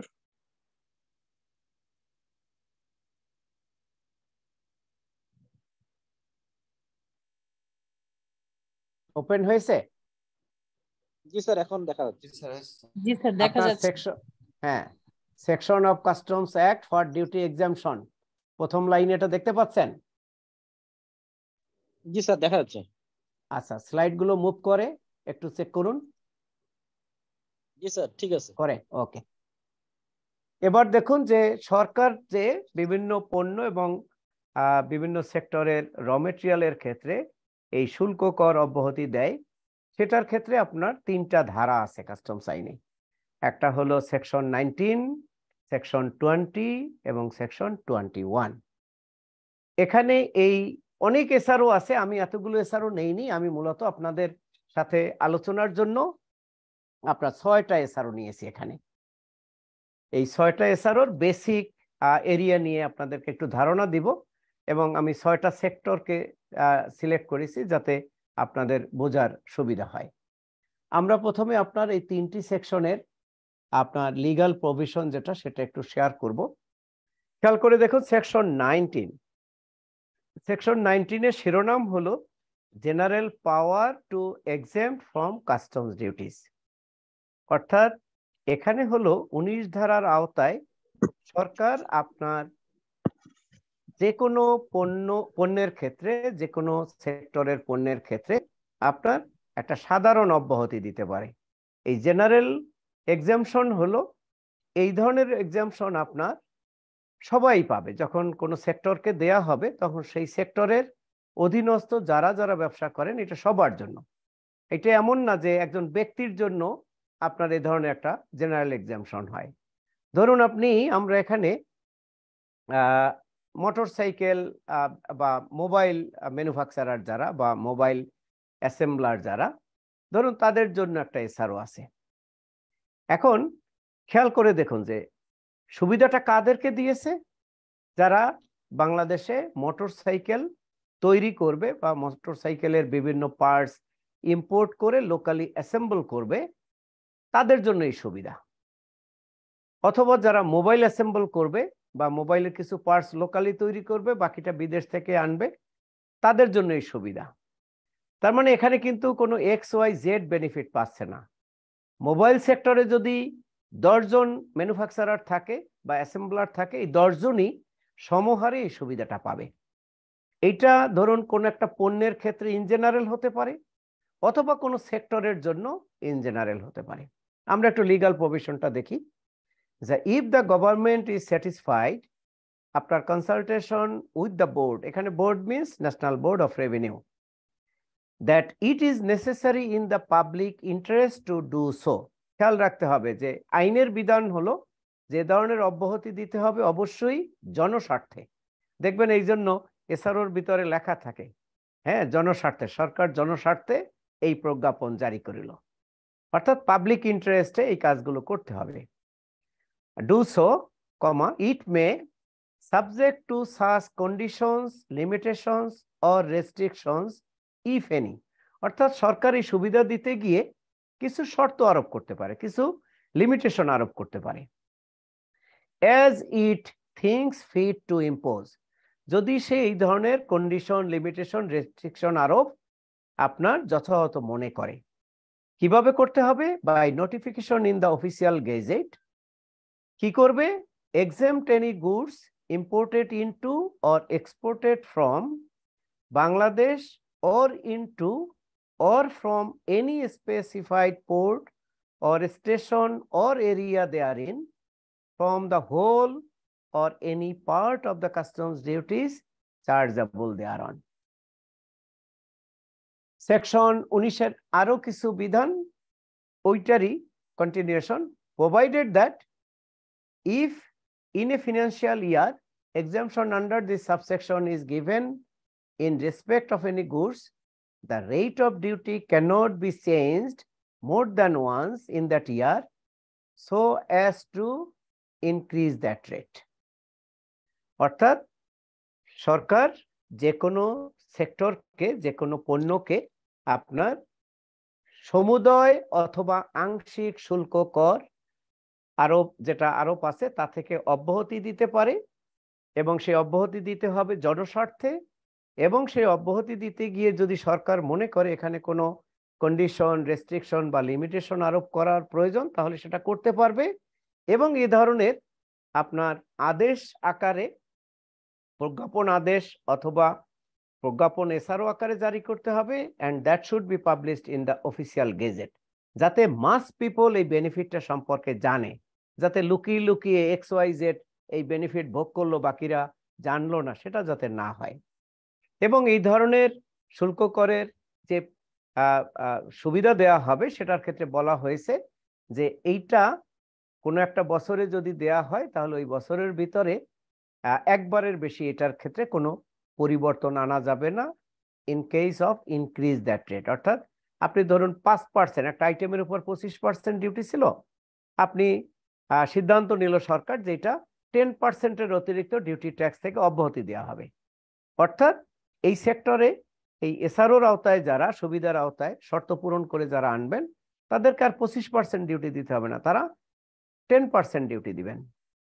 এখন গভর্নমেন্ট চিন্তা করল এইটা, এই অর্থ বছরে দিয়েছিল, এখন এটা বাড়াতে চাই। হ্যাঁ বাড়াতে পারবেন, সেটা বছরে মাত্র একবার। কমানোর ক্ষেত্রে কোনো আইনে কোনো বাধা নেই। Subsection 2 তে বলছে an exemption granted under subsection 1 shall be effective from the date mentioned in the notification issued under that subsection অর্থাৎ এই যে সুবিধাটা সরকার দিবে সেই সুবিধাটা কবে থেকে কার্যকর হবে এখানে খেয়াল করে দেখবেন সরকারের জারিকৃত অনেক আদেশ অথবা প্রজ্ঞাপন এসারোর নিচে লেখা থাকে উল্লেখ করা থাকে এই আদেশ অবিলম্বে কার্যকর হবে। অথবা বলা থাকে, এই আদেশ এত তারিখ থেকে কার্যকর হবে। ধরুন এসআরওটা জারি হলো আজকে হলো আঠারোই মে। ধরুন এসআরওটা জারি হলো আজকে। নোটিফিকেশনটা জারি হলো আজকে। কিন্তু এসআরওর নিচে নোটিফিকেশনের নিচে গভর্নমেন্ট বলে দিল যে এটা পহেলা জুন থেকে কার্যকর হবে। তার মানে এই সুবিধাটা যারা পাবেন, যাদের জন্য এটা দেয়া হয়েছে, তারা পহেলা জুন থেকে এটা পাবেন। আর যদি নিচে এই পহেলা জুন বা কোনো তারিখ উল্লেখ না করে অবিলম্বে কার্যকর হবে বলা থাকে, অথবা কিছুই বলা নেই, তাহলে এই প্রজ্ঞাপনটা যে তারিখে জারি হয়েছে, প্রজ্ঞাপনের উপরে দেখবেন একটা ডেট আছে। প্রত্যেকটা প্রজ্ঞাপনের উপরে একটা ডেট আছে। এই যেমন দেখুন এসআরও নম্বর, খেয়াল করুন থার্ড লাইন এসআরও নম্বর একশো আঠেরো সেটার ডেট হলো এক ছয় দু যদি এই এসআরওর নিচে ভিন্নতর কোনো ডেট না থাকে, তাহলে এটা পহেলা জুন দু হাজার বাইশ থেকে কার্যকর হয়েছে বলে গণ্য হবে।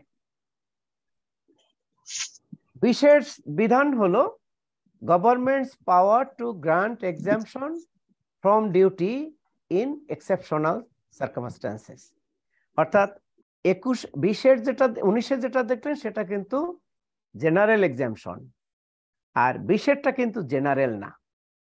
কি বলেছে বিধান দেখুন? If the government is satisfied that it is necessary in the public interest to do so অর্থাৎ এখানেও একটা পাবলিকের জনস্বার্থ থাকতে হবে it may under circumstances of exceptional nature subject to such conditions, limitations, or restrictions, if any.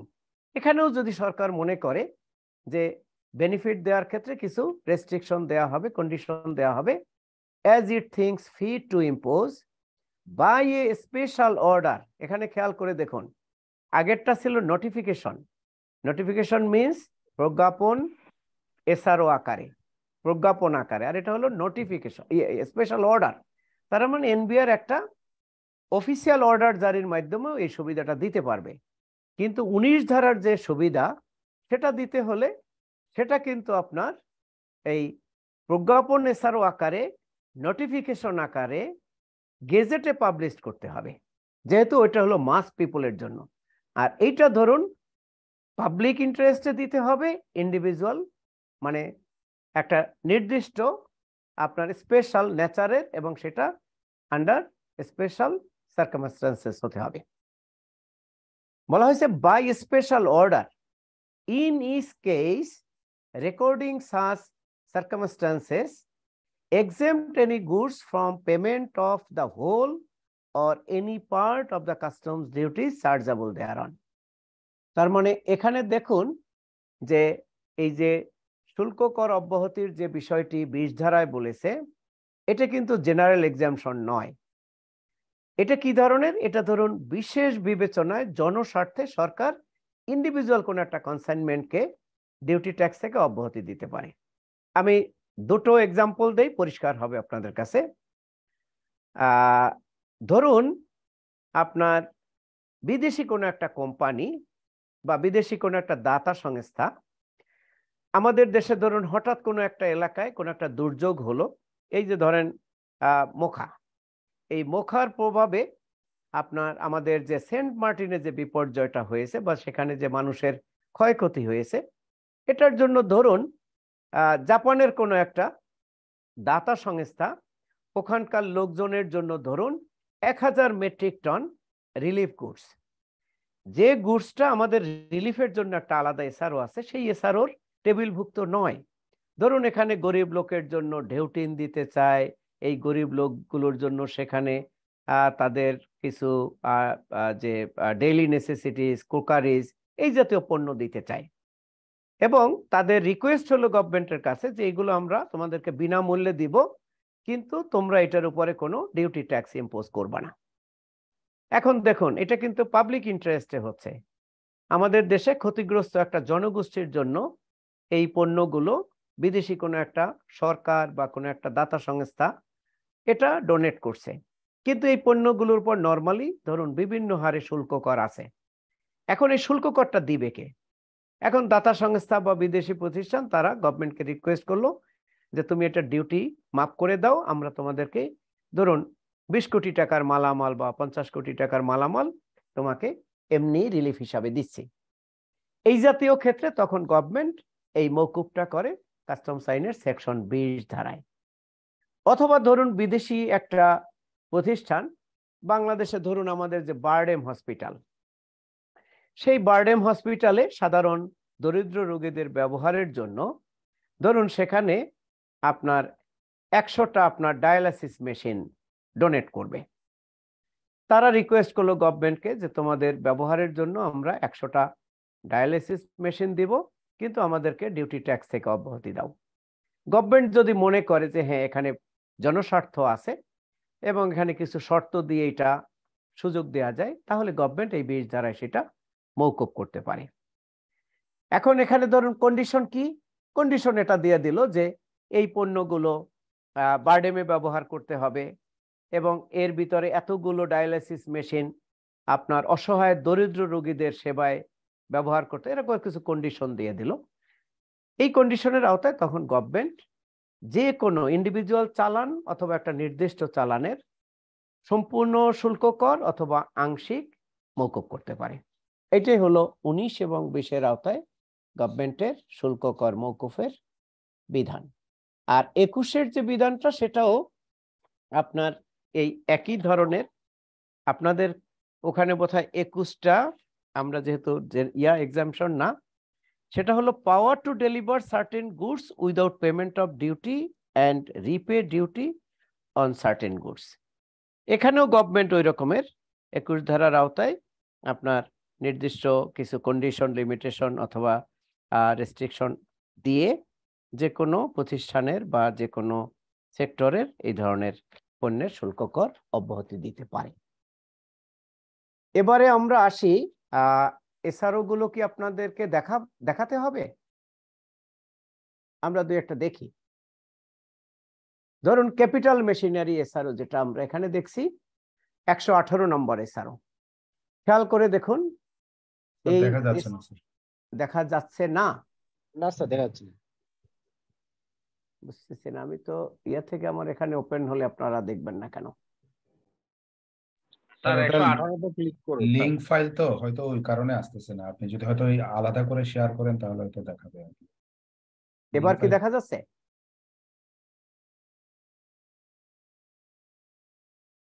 না sir এখানে দেখা যাচ্ছে লোড নিচ্ছে আচ্ছা একটু ওয়েট করতে হবে। হ্যাঁ এটা ওপেন হতে একটু সময় নেয়।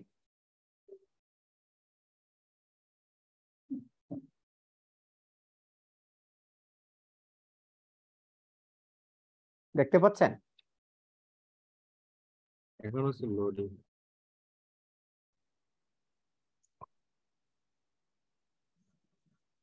আচ্ছা ওপেন হলে আপনার দেখে নেবেন। আমার কথা তো শুনতে পাচ্ছেন?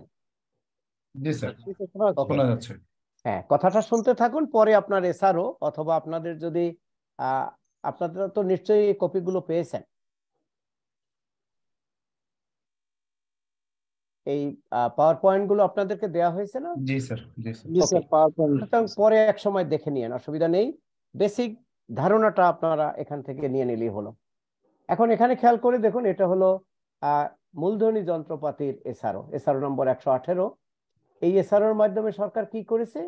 নির্দিষ্ট কিছু শর্তের আওতায় নির্দিষ্ট কিছু শর্তের আওতায় গভর্নমেন্ট নির্দিষ্ট কিছু মেশিনারিকে আপনার বেনিফিট দিয়েছে। কি বেনিফিট দিয়েছে? ধরুন আপনার এই পণ্যের উপরে যদি বেনিফিট না হতো, তাহলে বিভিন্ন আপনার মেশিনারির উপরে বিভিন্ন হারে শুল্ক কর আরোপ হতো। কোথাও ধরুন কোন আইটেমের উপরে সিডি আছে, ধরুন ফাইভ পার্সেন্ট কোথাও আছে টেন পার্সেন্ট কোথাও ফিফটিন পার্সেন্ট আবার যদি ভ্যাট অব্যাহতিপ্রাপ্ত না হতো, তাহলে এই পণ্যের উপরে ফিফটিন পার্সেন্ট হারে ভ্যাট হতো। কারণ আমরা জানি আমদানি পর্যায়ে যে পণ্যের উপরে ভ্যাট আছে সেখানে কোনো রিডিউস রেট নাই। যেখানে আছে সেটা ফিফটিন পার্সেন্ট আর যেখানে নাই সেটা নাই। তারপরে অ্যাডভান্স ট্যাক্স আছে অ্যাডভান্স ইনকাম ট্যাক্স আছে নানান ট্যাক্স আছে। কিন্তু গভর্নমেন্ট কি করল? এছাড়াটা কি ওপেন হয়েছে? না স্যার এখনও ওপেন হয়নি। এখনও কি লোড হচ্ছে? লোড নিচ্ছে এখনও। হ্যাঁ বড় এসআরও তো হয়তো ওপেন হতে সময় নিচ্ছে। তো এখানে গভর্নমেন্ট কি করল? খেয়াল করে দেখুন, এসআরওটার প্রিয়াম বলে আছে, সরকার কাস্টমস অ্যাক্ট নাইনটিন অতপর উক্ত অ্যাক্ট বলে উল্লেখিত এর সেকশন উনিশের সাবসেকশন ওয়ান আমরা একটু আগে যে উনিশের ধারাটা বললাম, যে ওই ধারায় সরকারকে শুল্ক, কর, আংশিক বা সম্পূর্ণ মৌকুফের আপনার এখতিয়ার দেয়া আছে। তাহলে এখানে ওই ধারা এবং যেহেতু আমদানি পর্যায়ে এই পণ্যের উপরে ভ্যাটও মৌকুব করা হয়েছে। সেই কারণে আপনার ভ্যাট, তারপর ইয়া, এই সম্পূরক শুল্ক। সেই কারণে এখানে মূল্য সংযোজন কর আইনের রেফারেন্স আছে। এবং মূল্য সংযোজন কর ও সম্পর্ক শুল্ক আইন দু বারো এর ধারা একশো ছাব্বিশের উপধারা একে প্রদত্ত ক্ষমতা বলে। দেখুন, ক্ষমতা বলে, কমা, জনস্বার্থে। ওই যে আমরা দেখেছিলাম ইন দ্য পাবলিক ইন্টারেস্ট জনস্বার্থে সে এইটা করবে। বলা হয়েছিল যে সরকার করবে কি? জাতীয় রহস্য বোর্ডের সহিত কনসালটেশন পূর্বক। তাহলে এভাবে করে কি করল সরকার? এই যে টেবিল নিচে, ক্যাপিটাল মেশিনারির যে টেবিল দেয়া আছে, সেই টেবিলভুক্ত সকল মেশিনারির ক্ষেত্রে বলা হয়েছে যে আরোপনীয় আমদানি শুল্ক যে পরিমাণে মূল্যভিত্তিক এক শতাংশের অতিরিক্ত হয়। আমরা যেটা বলেছিলাম যে আমাদের দেশে কিন্তু অধিকাংশ পণ্যের শুল্ক কর নিরূপিত হয় on the basis of value মূল্যের ভিত্তিতে। সে কারণে বলা হয়েছে যে যে পরিমাণে মূল্যভিত্তিক এক শতাংশের অতিরিক্ত হয়, তার মানে এক শতাংশের অতিরিক্ত সমুদয় আমদানি শুল্ক মৌকুব করে দিল। আর কি মৌকুব করেছে? এবং সমুদয় মূল্য সংযোজন কর ও সম্পূরক শুল্ক। তার মানে আপনি এই টেবিলভুক্ত এসআরও টেবিলভুক্ত ক্যাপিটাল মেশিনারি যদি আমদানি করেন বা এর স্পেয়ার্স আমদানি করেন, তাহলে আপনাকে শুধু এক পার্সেন্ট কাস্টমস ডিউটি দিতে হবে। আর কোনো ডিউটি নেই। আপনার এই জাতীয় পণ্যের উপরে কোনো অ্যাডভান্স ট্যাক্স নাই, কারণ আলাদা একটি এসআরওর মাধ্যমে এই টেবিলভুক্ত পণ্যের উপর থেকে অ্যাডভান্স ট্যাক্স অব্যাহতি দেওয়া হয়েছে। আবার এই পণ্যের উপরে কোনো অ্যাডভান্স ইনকাম ট্যাক্স নেই কারণ ইনকাম ট্যাক্স অব্যাহতির আলাদা একটি এসআরও আছে। সেই এসআরওতে এই ক্যাপিটাল মেশিনারি এসআরও ভুক্ত সকল পণ্যের উপর থেকে অগ্রিম আয়কর প্রত্যাহার করা হয়েছে। তাহলে কি পেলাম আমরা? এই এসআরওর মাধ্যমে সরকার কিছু নির্দিষ্ট শর্তের অধীনে এই মেশিনারির উপরে শুধু এক পার্সেন্ট কাস্টম ডিউটি আরোপ করেছে। তার মানে আপনি যদি এক কোটি টাকা মূল্যমানের কোনো ক্যাপিটাল মেশিনারি আমদানি করেন, তাহলে এক পার্সেন্ট হিসাবে আপনাকে মাত্র এক লাখ টাকা আমদানি শুল্ক দিতে হবে। আর কোনো শুল্ক কর দিতে হবে না। এখন ধরুন নিচে কিছু শর্ত থাকে, কোনো এসআরওতে শর্ত আছে, অনেক এসআরওতে কোনো শর্ত নেই। তো শর্তের ভিতরে বলা আছে যে, কারা আমদানি করতে পারবে? যেমন ধরুন একটা দুইটা শর্ত আমি একটু শেয়ার করি।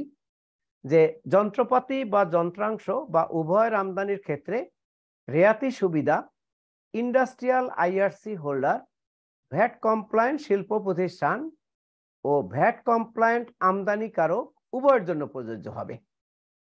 তার মানে এই machinery industrial IRC holder VAT compliant যে কোনো ইন্ডাস্ট্রি আনতে পারবে, আবার ভ্যাট কমপ্লায়েন্ট যে কোনো আমদানিকারক আনতে পারবে। উভয় সেম সুবিধা পাবে। তবে পৃথক চালানে কেবল যন্ত্রাংশ আমদানির ক্ষেত্রে শুধু industrial IRC holder VAT compliant শিল্প প্রতিষ্ঠানের জন্য এই রিয়াতি সুবিধা প্রযোজ্য হবে। তার মানে আলাদা চালানে যদি এই চালানের সাথে যখন আপনি স্পেয়ার্স নিয়ে আসবেন, সেটা কিন্তু আপনি টেন পার্সেন্ট মূল্যসীমা পর্যন্ত সেটাও এই একই এক পার্সেন্ট সুবিধায় পাবেন। কিন্তু ধরুন, এরপরে এই ইন্ডাস্ট্রি মেনটেনেন্সের জন্য এই টেবিলভুক্ত এই এসআরও টেবিলভুক্ত শুধু স্পেয়ার পার্টস ক্যাপিটাল মেশিনারি না, শুধু স্পেয়ার পার্টস কেউ আমদানি করবে। সেক্ষেত্রে বলা হয়েছে যে শুধু ইন্ডাস্ট্রি যারা ভ্যাট কমপ্লায়েন্ট শিল্প প্রতিষ্ঠান যারা, তারা এই আলাদা চালানেও যদি স্পেয়ার পার্টস আনেন, তারাও এই সুবিধাটা পাবেন। অর্থাৎ আলাদা চালানে বাণিজ্যিক আমদানিকারকরা যদি আমদানি করেন, তাদের জন্য এই সুবিধাটা নাই। তাহলে এইভাবে আপনার বিভিন্ন এসআরওর ক্ষেত্রে দেখবেন নানান ধরনের শর্ত দেয়া আছে। তার মানে শর্ত পরিপালন করলে তারা এই সুবিধাগুলো এনজয় করতে পারবে। এই ক্যাপিটাল মেশিনারি সুবিধার ক্ষেত্রে এখন আমরা দেখলাম যে ইন্ডাস্ট্রিয়াল আইআরসি হোল্ডার আবার বলছে ভ্যাট কমপ্লায়েন্ট এখন ইন্ডাস্ট্রিয়াল আইআরসি হোল্ডার বলতে কাদেরকে বুঝব? বলা হয়েছে যে ইন্ডাস্ট্রিয়াল আইআরসি হোল্ডার অর্থ এইরূপ প্রতিষ্ঠান যাহার নিকট আমদানি ও রপ্তানি প্রধান নিয়ন্ত্রকের দপ্তর হইতে ইস্যুকৃত হালনাগাদ আপনার শিল্প ভোক্তা আইআরসি যার রয়েছে, তারাই ইন্ডাস্ট্রিয়াল আইআরসি হোল্ডার আপনার ইন্ডাস্ট্রি। আর ভ্যাট কমপ্লায়েন্ট কারা?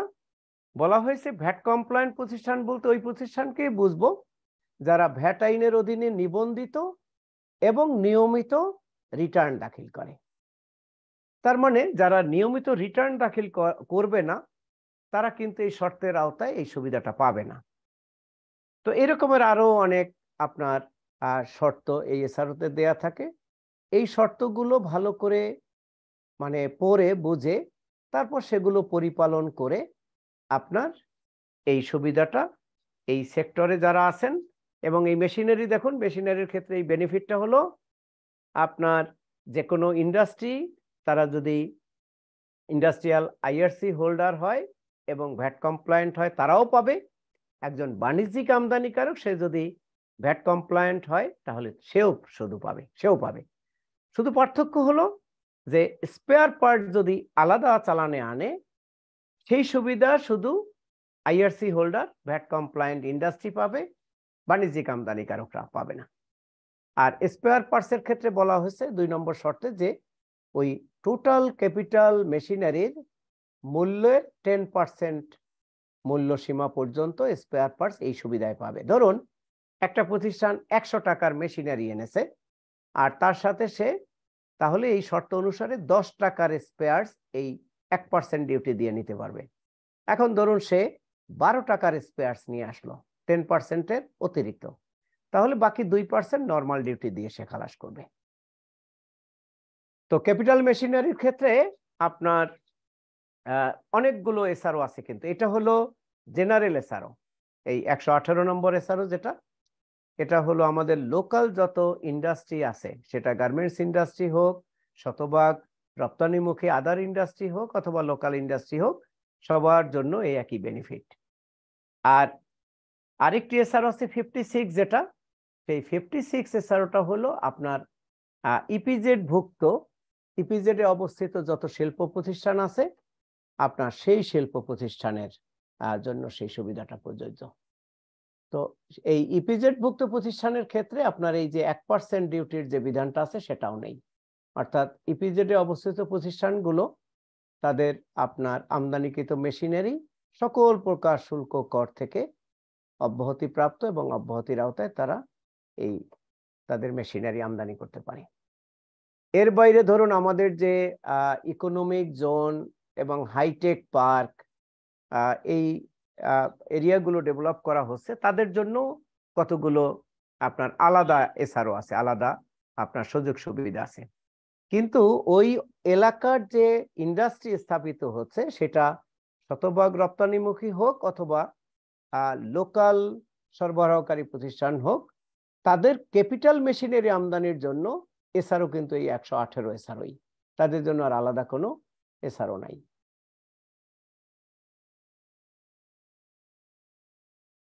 তো এর বাইরে আমি যেটা বললাম যে যে আপনার ইকোনমিক জোন বা হাইটেক পার্ক বা এই জাতীয় যে প্রতিষ্ঠানগুলো, সেখানে আলাদা কিছু প্রজ্ঞাপন এসারোর মাধ্যমে সুবিধা দেওয়া হয়েছে। সেটা হলো এই ইকোনমিক জোন বা হাইটেক পার্ক উন্নয়নের জন্য। এই অঞ্চলগুলো উন্নয়নের জন্য যারা এটা উন্নয়নের সাথে সংশ্লিষ্ট, সেটা সরকারি খাতে হোক এবং আপনারা জানেন যে আমাদের এই যে ইকোনমিক জোন বর্তমানে যেটা গভর্নমেন্ট ডেভেলপ করছে, তার অধিকাংশই কিন্তু এই জোনগুলো উন্নয়ন করা হচ্ছে প্রাইভেট সেক্টরে বিভিন্ন প্রাইভেট অর্গানাইজেশন যেমন আপনার ধরুন এই যে মেঘনা ইকোনমিক জোন তারপর আব্দুল মোনেম ইকোনমিক জোন, তারপর ধরুন জাপানিজ কিছু ইনভেস্টর নারায়ণগঞ্জ এলাকায় ইকোনমিক জোন ডেভেলপ করতেছে। একইভাবে চট্টগ্রাম অঞ্চলে আপনার এই সীতাকুণ্ড, মিরসরাই এলাকায় আপনার কিছু ইকোনমিক জোন সরকারি সেক্টরে ডেভেলপ হচ্ছে।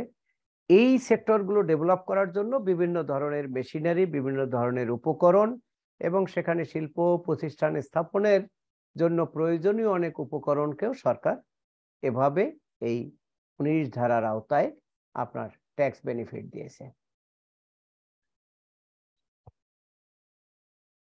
এর বাইরে ধরুন আপনার অনেক প্রতিষ্ঠানের ক্ষেত্রে আপনার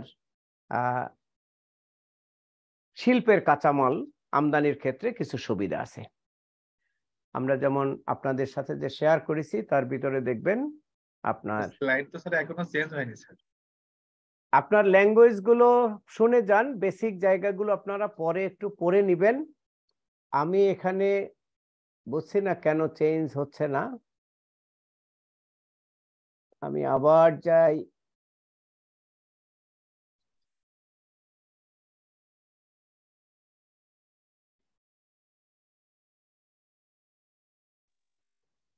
স্যার আপনি ব্যাক করে যান। ব্যাক করে গিয়ে আবার আবার ইন করেন।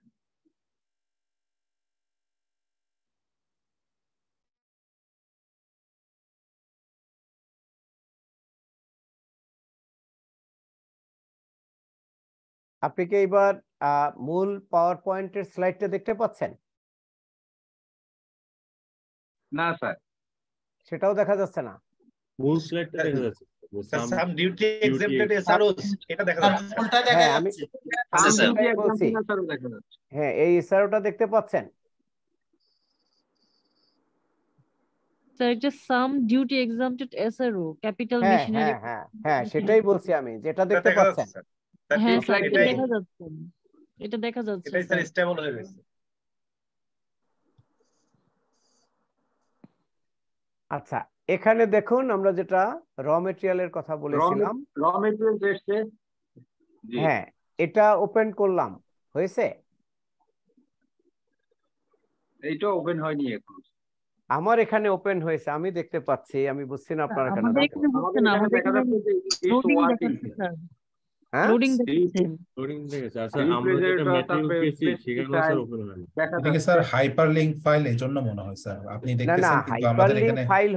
আপনারা কি দেখতে পাবেন না? দেখতে পাবেন তো আমি ওপেন করলে আপনাদের তো দেখার কথা।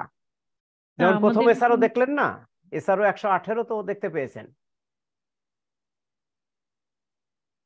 হ্যালো? আমাদের এখানে স্যার ঘুরতেছে স্যার এখনও অন হয়নি স্যার। হ্যাঁ তার মানে আপনাদের ওই এন্ডে কোনো সমস্যা হচ্ছে তাহলে। আমার এখানে তো ওপেন হয়েছে আমি তো সবগুলো ওপেন করতে পারলাম।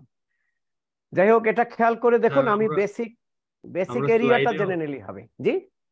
স্যার আমরা স্লাইডে ওপেন করতে গেলেও স্যার হয় না স্যার। আমরা যে স্লাইডগুলো পেয়েছি সেখানে। কেন? হবে না কেন? ওখানে ওই ব্যাকআপ ওই ফাইলগুলা লাগবে তখন ওপেন হবে।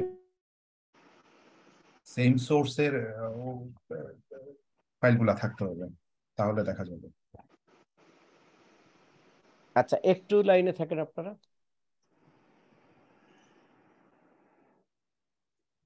আচ্ছা আমি যে একশো আঠেরো এসআরও ওপেন করেছিলাম ক্যাপিটাল মেশিনারি ওটা কি দেখতে পেয়েছিলেন? না স্যার দেখা যায় না না স্যার এছাড়া দেখা যাচ্ছে না স্যার।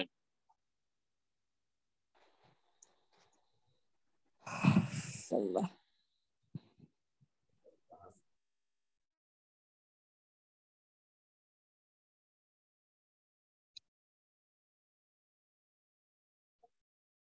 হ্যালো স্যার স্যার আরেকটা কাজ করা যায় যদি ওই এসআরওটা যদি সেট বক্সে দিয়ে দেন তাহলে আমরা আমাদের এন্ডিং থেকে অন্তত ওপেন করে দেখতে পারব। আপনি বললেই হবে।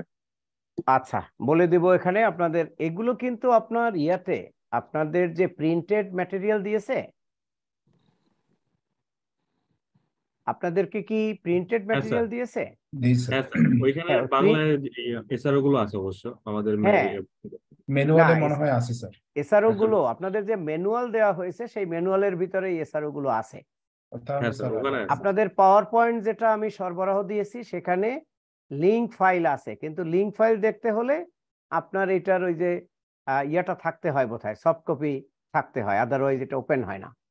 আমি একটা জিনিস বলি আপনারা আমার প্রথম এসআরওটা তো ওপেন হয়েছিল দেখতে পেয়েছিলেন। জি স্যার। হ্যাঁ তার মানে প্রথমটা যদি দেখতে পান বাকিগুলো হয়তো ওই যে লোড হচ্ছে কিন্তু সময় নিচ্ছে। যাই হোক আমি মূল আলোচনায় যাই। এগুলো বেসিক প্রিন্সিপালটা হ্যাঁ বেসিক প্রিন্সিপালটা সম্পর্কে যদি আপনি ধারণা পান পরে আপনি যে কোনো একটা এসআরও পড়লেও পরিষ্কার ধারণা পেয়ে যাবেন। এছাড়াও আমি তো পুরো এত বড় বড় এসআরও তো আর সব এখানে ডিসকাস হচ্ছে না। বেসিক এরিয়াগুলো আমরা ধারণা দিচ্ছি এখানে। এবার ধরুন ক্যাপিটাল মেশিনারির ক্ষেত্রে আমরা এটা বললাম।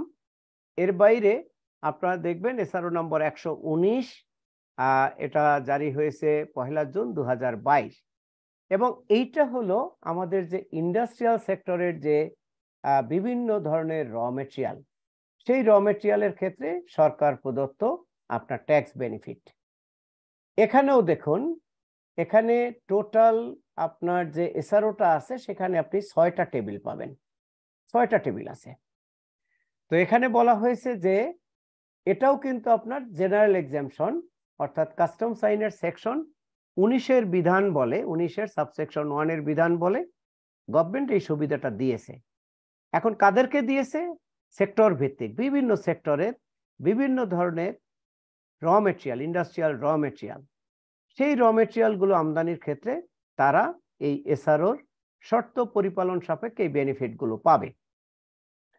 যেমন এক নম্বর টেবিলে যদি যান, তাহলে এক নম্বর টেবিলের ক্ষেত্রে বলা হয়েছে যে table one, table two, table three, table four, table five এবং টেবিল সিক্স।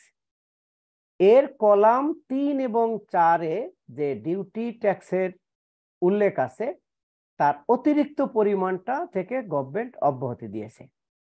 তার মানে আপনার এই সুবিধাটা এখন পেতে হলে এই এসআরও শর্ত পূরণ করতে হবে আর চেক করে দেখতে হবে যে কার কার ক্ষেত্রে এই সুবিধাটা আছে। ধরুন আমি যদি একটা এক্সাম্পল এখান থেকে দেখি যে crude palm oil and its fractions imported by industrial IRC holder VAT compliant edible oil refinery industries তার মানে এখানে একটা নির্দিষ্ট এইচএস কোড এবং বর্ণনার পণ্যকে টেবিল ওয়ানের মাধ্যমে গভর্নমেন্ট এই সুবিধাটা দিয়েছে। সুবিধাটা কি? বলা হয়েছে এই টেবিলের কলাম তিন এবং চারে উল্লেখিত আপনার কাস্টমস ডিউটি এবং সম্পূরক শুল্কের অতিরিক্তটা থেকে সে অব্যাহতি পাবে। তার মানে এই কলাম তিনে যে শুল্ক কর উল্লেখ আছে, সেইটুকু তাকে দিতে হবে, তার অতিরিক্তটা দিতে হবে না। একইভাবে কলাম চারে যে রেটটা উল্লেখ আছে এসডি রেট সাপ্লিমেন্টারি ডিউটি সেইটুকু তাকে দিতে হবে, তার অতিরিক্তটা থেকে সে অব্যাহতি পাবে। তাহলে দেখুন, এখানে অব্যাহতি দেওয়া হয়েছে কাস্টমস ডিউটি এবং সাপ্লিমেন্টারি ডিউটি থেকে। তার মানে ভ্যাট থেকে অব্যাহতি দেয়া হয়নি। এই পণ্য যারা আমদানি করবে তাদেরকে ভ্যাট দিতে হবে। এখন আসুন যে ভ্যাট আর আমরা জানি অ্যাডভান্স ট্যাক্স যদি আদারওয়াইজ তার ভ্যাট ও অব্যাহতি না থাকে। ধরুন, ভ্যাটের আলাদা অব্যাহতি শিডিউল আছে, অব্যাহতি এসআরও আছে, তো সেই এসআরওর মাধ্যমে যদি কোনো প্রতিষ্ঠান ভ্যাট অব্যাহতি পেয়ে থাকে, তাহলে সেটা তার জন্য অ্যাপ্লিকেবল হবে। আর যদি অব্যাহতি না পায়, এই এসআরওর আওতায় সে ভ্যাটের অব্যাহতি পাচ্ছে না। আরেকটি বেসিক প্রিন্সিপাল হলো, যেহেতু এটা ইন্ডাস্ট্রিয়াল র মেটেরিয়াল শিল্পের কাঁচামাল, সে কারণে গভর্নমেন্ট পলিসি হলো যে শিল্পের কাঁচামাল যারা আমদানি করবেন তারা আমদানি পর্যায়ে ভ্যাট পরিশোধ করবেন। আর আমদানি পর্যায়ে কাঁচামালের উপরে যে ভ্যাটটা পরিশোধ করছেন অথবা লোকাল লেভেলে যে ভ্যাটটা পরিশোধ করেছেন ভ্যাট আইনের বিধান অনুসারে এই ভ্যাটটাকে আমরা কি বলি? জানা আছে কারও? ইনপুট ইনপুট ইনপুট না না। ইনপুট ইনপুট ট্যাক্স ভ্যাট আইনের বিধান অনুসারে আমদানি পর্যায়ে কোনো পণ্যের উপরে পরিশোধিত ভ্যাট বা স্থানীয় ক্রয়ের উপরে পরিশোধিত ভ্যাটকে আমরা বলি উপকরণ কর তাই না? ইনপুট ট্যাক্স উপকরণ কর। আর এই উপকরণ করটা কি পাওয়া যায়? রেয়াত পাওয়া যায়। যেহেতু একজন না রেয়াত পাওয়া যায়। রেয়াত ডিক্রিজিং অ্যাডজাস্টমেন্ট না। ডিক্রিজিং অ্যাডজাস্টমেন্ট না রিবেট পাওয়া যায় not decreasing adjustment right rebate rebate পাওয়া যায় এটা ডিক্রিজিং অ্যাডজাস্টমেন্ট না রিটার্ন ফর্মে দেখবেন এটা হলো পার্চেজের এগেনস্টে একটা রেয়াতের ভ্যাটের কলাম আছে ওখানে যে পরিমাণে ভ্যাট ওই পুরো টাকাটাই আপনার নেট পেয়াবল ট্যাক্স থেকে মাইনাস হয় সেই কারণে হ্যাঁ অ্যাডভান্স ট্যাক্স নিতে পারবেন ডিক্রিজিং অ্যাডজাস্টমেন্টে হলো আপনার অ্যাডভান্স ট্যাক্স ভ্যাট না। ভ্যাট হলো রেয়াত। এটা আপনার রিটার্ন ফর্মের পার্ট তিন। পার্ট তিন। সেখানে দেখবেন পারচেজ পারচেজের এগেনস্টে দেখবেন ভ্যাটের একটা কলাম আছে। ওই ওখানে পারচেজের এগেনস্টে ধরুন আপনি একশো টাকার কাঁচামাল কিনলেন ফিফটিন পার্সেন্ট ভ্যাট পনেরো টাকা ভ্যাটের ঘরে যাবে। ওই টাকাটা আপনি আপনার প্রদেয় কর থেকে মাইনাস হবে। যেহেতু রেয়াত মাইনাস হয়ে আপনি ফেরত পাচ্ছেন রাইট মাইনাস হয়ে ফেরত পাচ্ছেন আর এই ফেরত পাওয়াটা হলো রেয়াত নট ডিক্রিজিং অ্যাডজাস্টমেন্ট এই বিবেচনায় এই শিল্প প্রতিষ্ঠানের ক্ষেত্রে দেখবেন সরকার এই ভ্যাটের টাকাটা মৌকুব করে না। যেহেতু আপনি রেয়াত হিসাবে এটা ফেরত নিতে পারবেন। তাহলে এখানে কি করল গভর্নমেন্ট শুধু কাস্টম ডিউটি এবং এসডি কে বিভিন্ন পণ্যের ক্ষেত্রে অব্যাহতি দিল। আপনি যদি এই এসআরওটার এসআরও নাম্বার হলো একশো উনিশ, একটু নোট রাখেন। একশো উনিশ, এই একশো উনিশ নম্বর এসআরওর যদি টেবিল ওয়ান দেখেন, তাহলে দেখবেন অধিকাংশ পণ্যের বিপরীতে সিডি এবং আরডি রেট হলো শূন্য। তার মানে এই ধরনের পণ্য বা এই ধরনের কাঁচামাল যারা আমদানি করবেন, তাদেরকে কোনো কাস্টমস ডিউটিও দিতে হবে না। কোনো সাপ্লিমেন্টারি ডিউটি দিতে হবে না। যেহেতু বলা হয়েছে, কলাম তিন ও চারে উল্লেখিত হারের অতিরিক্ত থেকে অব্যাহতি দিল। তাহলে হারটা আছে কত? শূন্য পার্সেন্ট তার মানে আপনার শূন্য পার্সেন্টের অতিরিক্ত যা সবই মাপ। টেবিল টু যদি দেখেন, সেখানে দেখবেন কাস্টমস ডিউটি হলো ফাইভ পার্সেন্ট আর সাপ্লিমেন্টারি ডিউটির হার হলো শূন্য। তার মানে টেবিল টু ভুক্ত পণ্য যদি কেউ আমদানি করে, তাকে কাস্টমস ডিউটি দিতে হবে শুধু ফাইভ পার্সেন্ট আর কোনো এসডি দিতে হবে না। টেবিল তিনে যদি যান, সেখানে দেখবেন আপনার টেবিল তিন, একটু যাই। এটা অনেক বড় স্যার অনেক বড়। কারণ কয়েকশো আইটেমকে হ্যাঁ টেবিল তিনের ক্ষেত্রে দেখুন টেবিল তিনের ক্ষেত্রে বলা হয়েছে এগুলো কিন্তু হাই ডিউটিয়েবল আইটেম এখানে কাস্টমস ডিউটি রেট হলো ten percent SD rate zero তার মানে টেবিল তিন ভুক্ত কোনো পণ্য যদি কেউ আমদানি করে, তাহলে সে কাস্টমস ডিউটি দিবে ten percent fifteen percent VAT দিবে এসডি রেট হলো জিরো তাকে কোনো এসডি দিতে হবে না। আর অ্যাডভান্স ট্যাক্স কত দিবে? জানা আছে? আপনাদের কাছে প্রশ্ন এই শিল্পের কাঁচামাল যারা বাইরে থেকে আমদানি করবেন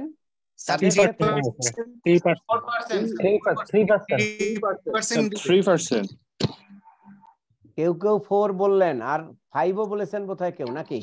Three percent sir five five হচ্ছে ইন্ডাস্ট্রিয়াল ইম্পোর্টার যারা তাদের ক্ষেত্রে।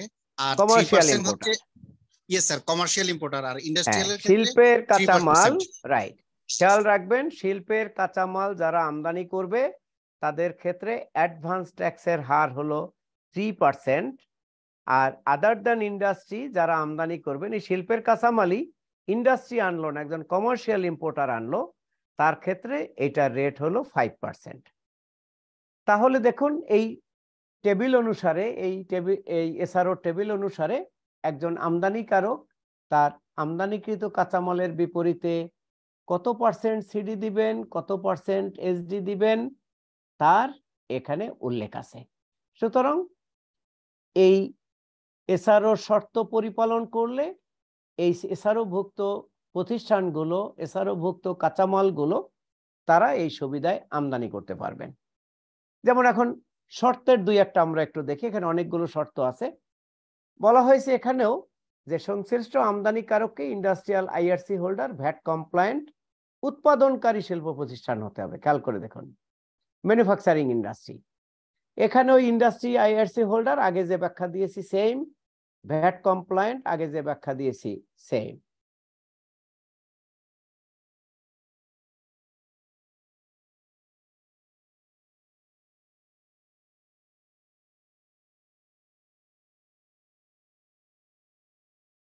এখানে আপনার অন্যান্য শর্তের ভিতরে যেটা আছে, সেটার ক্ষেত্রে ছয় নম্বর শর্তটা যদি আমরা দেখি, আর উপরে অন্যান্য শর্তের ক্ষেত্রে ওই যে সে ভ্যাট কমপ্লায়েন্ট কিনা সেটা কীভাবে যাচাই করবেন, সেটার ক্ষেত্রে বলা হয়েছে যে ভ্যাট অনলাইন সিস্টেম অথবা জাতীয় রাষ্ট্র বোর্ডের ওয়েবসাইট অথবা ভ্যাট কমিশনারেটের ওয়েবসাইট চেক করে দেখে নিতে হবে যে তিনি নিয়মিত রিটার্ন দাখিল করেন কিনা, অর্থাৎ ভ্যাট কমপ্লায়েন্ট কিনা। আর বলা হয়েছে প্রত্যেক মূসক কমিশনার কাস্টম হাউস বা কাস্টম স্টেশন কর্তৃপক্ষ অথবা জাতীয় রহস্য বোর্ডের কাস্টমস ইনফরমেশন সিস্টেম এর সাথে নিয়মিত যোগাযোগ করে প্রশাসনিক এলাকাধীন রেয়াতি সুবিধা ভোগকারী যত আমদানিকারক উৎপাদক আছে, তাদের একটা হালনাগাদ তালিকা করবেন এবং তাদের এই আমদানি তথ্য এগুলো সংগ্রহ এবং যাচাই করবেন। যাচাইটা কি? যে তারা যেহেতু শিল্পের কাঁচামাল, শিল্প প্রতিষ্ঠানে ব্যবহারের জন্য এই কাঁচামালটা আমদানি করেছে, তার মানে তারা আমদানিকৃত কাঁচামালটা তাদের শিল্পের প্রোডাক্ট উৎপাদনে ব্যবহার করেছে কিনা, সেই বিষয়টা তাদেরকে মনিটর করতে হবে, যাচাই করতে হবে।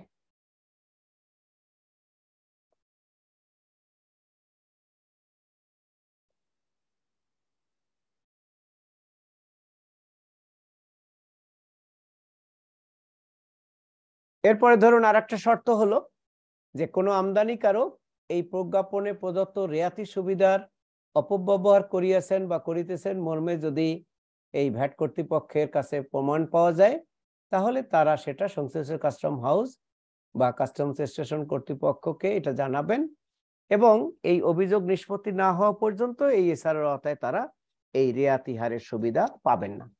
সুতরাং প্রত্যেকটা এসআরওর ক্ষেত্রেই দেখবেন যে নির্দিষ্ট কিছু শর্তের অধীনে গভর্নমেন্ট বিভিন্ন সেক্টরকে এই ধরনের সুবিধা প্রদান করে থাকে। এরপরে ধরুন আরও কিছু প্রজ্ঞাপন এছাড়াও আমি বেসিক এরিয়া হিসাবে অল্প কয়েকটা এখানে নিয়েছি। যেমন ক্যাপিটাল মেশিনারির ক্ষেত্রে এবং র মেটেরিয়ালের ক্ষেত্রে। একইভাবে ধরুন এই যে যারা মোটরসাইকেল বা মোবাইল ফোন বা এই ধরনের প্রোডাক্ট যারা লোকালি অ্যাসেম্বল করে বা ম্যানুফ্যাকচার করে, তাদের ক্ষেত্রেও দেখবেন ইন জেনারেল এ ধরনের অব্যাহতি দেয়া আছে এবং সেই অব্যাহতির ক্ষেত্রে একই ধরনের পদ্ধতি সেখানে নির্দিষ্ট কিছু আইটেম গভর্নমেন্ট চিহ্নিত করে দিয়েছে যে কোন কোন আইটেম তারা এই সুবিধায় আমদানি করতে পারবেন। এবং শর্তের ক্ষেত্রে এই সুবিধা পাওয়ার জন্য দেখবেন কোথাও কোথাও বলা আছে যে ধরুন মোটরসাইকেল এবং মোবাইল ম্যানুফ্যাকচারার যারা বা অ্যাসেম্বলার যারা, তাদের ক্ষেত্রে বলা হয়েছে যে গুরুত্বপূর্ণ আপনার দুই তিনটি গুরুত্বপূর্ণ দুই তিনটি পার্টস তাদেরকে লোকালি বানাতে হবে। এবং সেই গুরুত্বপূর্ণ দুই তিনটি পার্টসের ধরুন তিনটি বা পাঁচটি পার্টসের নাম দেয়া আছে, সেখান থেকে যে কোনো তিনটা তাদের লোকালি বানাতে হবে। এইগুলো যদি তারা লোকালি বানায়, তাহলে বাকি যত পার্টস আছে তাদের এই মোটরসাইকেল তৈরির জন্য, অথবা ধরুন আপনার এই মোবাইল অ্যাসেম্বলিং এর জন্য, সেগুলো তারা এই রেয়াতি হারে আমদানি করতে পারবেন। আবার ধরুন মোটরসাইকেল ম্যানুফ্যাকচারারের ক্ষেত্রে বা মোবাইল অ্যাসেম্বলার ক্ষেত্রে তাদের ক্ষেত্রে ক্যাটাগরি করা আছে। ধরুন A category B category B category হলো যারা কিছু পার্টস লোকালি বানায় আর অধিকাংশ বাইরে থেকে আমদানি করে, তারা আবার বেনিফিট কম পায়। আবার এ ক্যাটাগরির প্রতিষ্ঠান যারা, তারা দেখা যায় যে লোকালি তারা অধিক সংখ্যক পার্টস তৈরি করে মেজর পার্টস আর বাকিগুলো বাইরে থেকে ইম্পোর্ট করে অথবা বেসিক র মেটেরিয়াল ইম্পোর্ট করে ওইগুলো তৈরি করে। যেহেতু তারা মেজর অংশটা বা বি ক্যাটাগরি থেকে এ ক্যাটাগরির প্রতিষ্ঠান অধিক সংখ্যক পার্টস লোকালি তৈরি করে, সে কারণে তাদের ক্ষেত্রে আবার সরকারের দেয়া বেনিফিট তুলনামূলক বেশি। মূল উদ্দেশ্য হলো এই এসআরও গুলোর মাধ্যমে যে বেনিফিট দিয়েছে, সেটা হলো যে যাতে আমাদের লোকালি বিভিন্ন প্রোডাক্টের ম্যানুফ্যাকচারিং সেক্টর ডেভেলপ করে। যাতে আমরা এই বাণিজ্যিক ভিত্তিতে আমদানি না করে লোকালি এই ধরনের শিল্প প্রতিষ্ঠান গড়ে ওঠে। এর ফলে হবে যেটা লোকালি প্রচুর শিল্প প্রতিষ্ঠান হবে লোকালি প্রচুর ইনভেস্টমেন্ট হবে, সেখানে হিউজ লোকের এমপ্লয়মেন্ট জেনারেশন হবে। এর ফলে আমাদের economy day by day flourish করবে। ইকোনমিক অ্যাক্টিভিটি বাড়বে, মানুষের আর্নিং ক্যাপাসিটি বাড়বে। এই উদ্দেশ্যকে সামনে রেখেই মূলত সরকার বিভিন্ন সেক্টরকে এ ধরনের আপনার ট্যাক্স ভ্যাটে প্রণোদনা দিয়ে থাকে। তো এই ছিল আপনাদের সাথে আমার আজকের ভ্যালু কাস্টমস ভ্যালুয়েশন এবং আপনার এক্সামশন রিলেটেড আলোচনা। যদি কারও কোনো প্রশ্ন থাকে। আর এসআরও গুলো আপনাদের ম্যানুয়ালে দেয়া আছে। আমি যে আপনাদেরকে ইয়া পাঠিয়েছি সেটা হয়তো আপনাদের ওখানে সরাসরি ওপেন হবে না। কারণ ওটা লিঙ্ক ফাইলটা আপনাদের কম্পিউটারে থাকতে হয় বোধহয় থাকলে ওপেন হয়। কারণ আমার এখানে হ্যাঁ আমার এখানে কিন্তু প্রথম এসআরওটা ওপেন হলো কীভাবে? একই সমস্যা যদি হয় তাহলে প্রথমটা তো কোনভাবে স্যার ওটা আলাদা করে ওপেন করে আপনি শেয়ার করেছেন? হয়তো বা সে কারণে না আমি আপনার এই ইয়া থেকেই নিয়েছি কি বলে? আপনার এই আপনার কি এই পাওয়ার পয়েন্টের লিঙ্ক থেকে নিয়েছি। যাই হোক ওখান থেকে আপনারা একটু দেখে নেবেন। ছিল হ্যাঁ? প্রথমটায় মেবি হাইপারলিংক করা ছিল পরেরগুলো মনে নেই। না সবগুলোই হাইপার লিঙ্ক করা। আমি সবগুলো নিজে চেক করি। আমার এখানে তো আমি ওপেন হয়েছে। আমার হাইপার লিঙ্ক না থাকলে তো আমার কম্পিউটারে ওপেন হতো না। আমার এখানে তো সবগুলো ওপেন হচ্ছে। একটা কোশ্চেন ছিল প্রথমটা স্যার ছোট তো তাই মনে আসছিল। সেখানে ডিউটি এক্সামটেড এর ক্ষেত্রে স্যার কাস্টমস ডিউটি এবং এসডি এর কথা বলছিলেন স্যার আরডি এর ক্ষেত্রে এখানে কি স্যার বিধান স্যার আরডির ক্ষেত্রে ওই একই বিধান। গভর্নমেন্ট যদি কোনো পণ্যের ক্ষেত্রে আরডিও মৌকুব করতে চায় ধরুন আরডি তো সব পণ্যের উপরে নেই। অধিকাংশ পণ্যের উপরে কিন্তু আরডি নেই। লিমিটেড কিছু পণ্যের উপরে এবং আরডি আরোপের ক্ষেত্রে দেখবেন সরকারের একটা আলাদা এসআরও আছে আরডি এসআরও এবং আরডির ক্ষেত্রে আরডি তো আহ, স্যার এমনি একটা যৌক্তিকতা আরডিটা ইম্পোজ হয়েছে। তো হ্যাঁ? সুতরাং ওই যৌক্তিকতা স্যারকে বলতে আরডি তো স্যার একটা যৌক্তিকতার উপরে ইম্পোজ হয়েছে। জি। তো যতক্ষণ পর্যন্ত ওই যৌক্তিকতা রিমুভ না হবে ততক্ষণ পর্যন্ত সরকারের সম্ভাবনা খুবই কম আরডি মকুব করার। রাইট না আরডি মৌকুফ যে কারণে ইম্পোজ হয়েছে ধরুন এটা জাস্ট টেরিফ রেশনালাইজেশনের জন্য। আরডি আরব যেটা হয়েছে দেখবেন অধিকাংশ পণ্যের উপরে এর আগে ছিল আরডি আরবের ক্ষেত্রে একটা পলিসি হলো গভর্নমেন্টের যে সকল পণ্যের ক্ষেত্রে হাইয়েস্ট ডিউটি চার্জ আছে। আমাদের হাইয়েস্ট ডিউটি রেট কত? কাস্টমস আইনে হাইয়েস্ট ডিউটি কত? পাঁচশো স্যার পাঁচশো নো কাস্টমস ডিউটির হাইয়েস্ট রেট হলো টোয়েন্টি ফাইভ টোয়েন্টি ফাইভ আর পাঁচশো যেটা বলছেন ওটা হলো সাপ্লিমেন্টারি ডিউটি রাইট সম্পূরক শুল্ক হলো হাইয়েস্ট পাঁচশো পার্সেন্ট পর্যন্ত। আর সাপ্লিমেন্টারি ডিউটি কিন্তু কাস্টমস আইন না ওইটা ইম্পোজ হয়েছে ভ্যাট আইনের বিধান অনুসারে। তো আরডির রেটের মানে জেনারেল যে ইয়াটা প্রিন্সিপাল সেটা হলো যে সকল পণ্যের উপরে হাইয়েস্ট ডিউটি আছে কাস্টমস ডিউটি আছে টোয়েন্টি ফাইভ পার্সেন্ট সেগুলোর উপরই নর্মালি গভর্নমেন্ট ওই ডিউটি কাঠামোটা ঠিক করার জন্য কোথাও কোথাও এটা আরোপ করে। এর আগে ধরুন এটা ছিল ফাইভ পার্সেন্ট তারপর একটা পর্যায়ে গভর্নমেন্ট সেটা কমিয়ে থ্রি পার্সেন্ট পর্যন্ত নামালো, এরপর এটা উইথড্র হওয়ার কথা ছিল। কিন্তু পরবর্তীতে গভর্নমেন্ট ওই সাপ্লিমেন্টারি ডিউটি অ্যাডজাস্ট করতে গিয়ে আবার দেখবেন এখন বিভিন্ন পণ্যের উপর বিভিন্ন হারে কিন্তু আরডি আছে। কোথাও দেখবেন তিন পার্সেন্ট কোথাও পাঁচ পার্সেন্ট কোথাও দশ পার্সেন্ট কোথাও বিশ পার্সেন্ট এভাবে ভিন্ন ভিন্ন হারে এইটা যা টোটাল ট্যাক্স ইনসিডেন্স কোনো একটা পণ্যের উপরে টোটাল কর ভারকে আপনার অ্যাডজাস্ট করার জন্য এই আরডিটাকে যেখানে যেটুকু প্রয়োজন সেটা আপনার ইম্পোজ করা আছে। আর আরডির ক্ষেত্রে আইনের বিধান হলো যে গভর্নমেন্ট বছরের কোনো এক সময় যদি আরডি ইম্পোজ করে, তাহলে এটা তিরিশে জুনের পরে গিয়ে এটা আপনার ইনভ্যালিড হয়ে যায়। অকার্যকর হয়ে যায়। তার মানে ধরুন দুহাজার বাইশ সালের যে আরডি এসআরও সেই এসআরওটি তিরিশে জুনে গিয়ে বাতিল অটোমেটিক বাতিল হয়ে যাবে। সরকারের আলাদা বাতিল করার দরকার নেই। তার মানে আগামী বছরে আপনার তেইশ সালের পহেলা জুলাই থেকে যদি আবার আপনি কোনো পণ্যের উপরে আরডি আরোপ করতে চান, তাহলে আপনাকে নতুন করে আরডি এসআরও জারি করতে হবে। তো এইটা হলো আপনার মূল আপনার প্রিন্সিপাল এই আরডি আরোপের ক্ষেত্রে। এখন আপনারা যেটা বলেন আরডি অব্যাহতি। আরডি অব্যাহতি একই। ওই কাস্টম ডিউটি যেভাবে অব্যাহতি দেয়া হয়, উনিশ এবং বিশ ধারার আওতায়, এই ধারার ক্ষমতা বলে আপনার আরডিও অব্যাহতি দিতে পারে সরকার। এবং অনেক এসআরওতে দেখবেন আরডির অব্যাহতির বিষয়টা উল্লেখ আছে।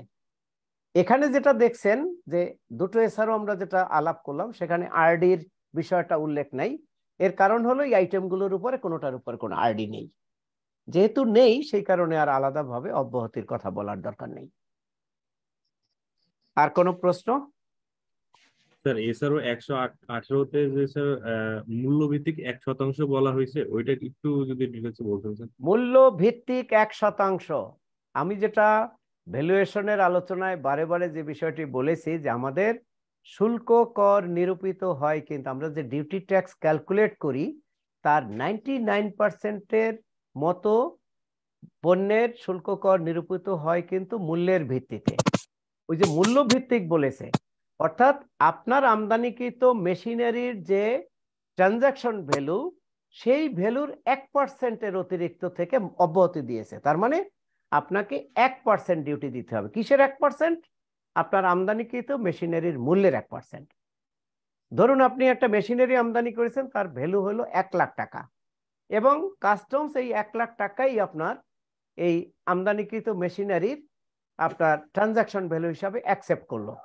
তাহলে আপনি এই মেশিনারির উপর মাত্র এক হাজার টাকা ডিউটি ট্যাক্স দিবেন কাস্টমস ডিউটি এক পার্সেন্ট এক লাখ টাকার এক পার্সেন্ট হলো এক হাজার টাকা।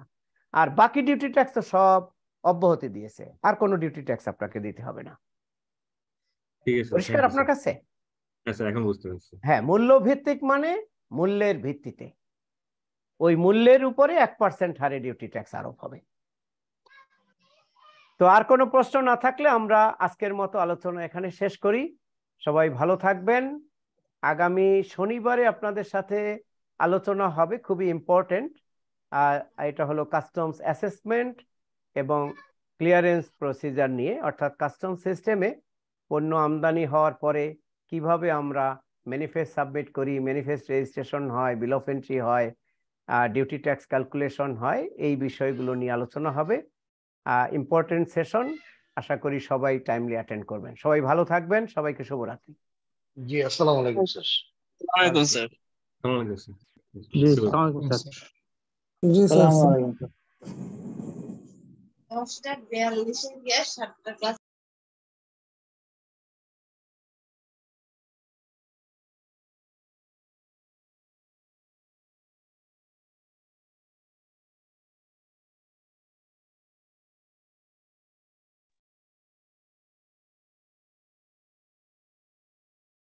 কেউ যদি একটু ফাইলটা শেয়ার করতেন রোল নাম্বার টু হান্ড্রেড কে বলছি প্লিজ কেউ একটু ফাইলটা শেয়ার করতেন ভাই সব ফাইল দেওয়া আছে দেখেন। দুইটা জিপ ফাইল দেওয়া আছে উপরে। হ্যাঁ ওই আমি হচ্ছে পরবর্তীতে হচ্ছে ইন করেছি তো তাই এখানে ফাইলটা শো করতেছে না।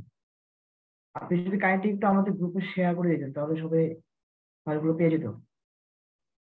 কি ব্রেকের এখানে পরে চ্যাটে দেখেন এখানে চ্যাটেও শেয়ার করা আছে। চ্যাট বক্সে আছে তো? হ্যালো হ্যাঁ বলো চ্যাট বক্সে আছে আপনি উপরে স্ক্রল করে দেখেন। এই যে গ্রুপ তো এখনও মানে এখনও ক্লোজ হয় নাই তো এখানে চ্যাটে ঢুকেন আপনি এখানে আছে শেয়ার করা।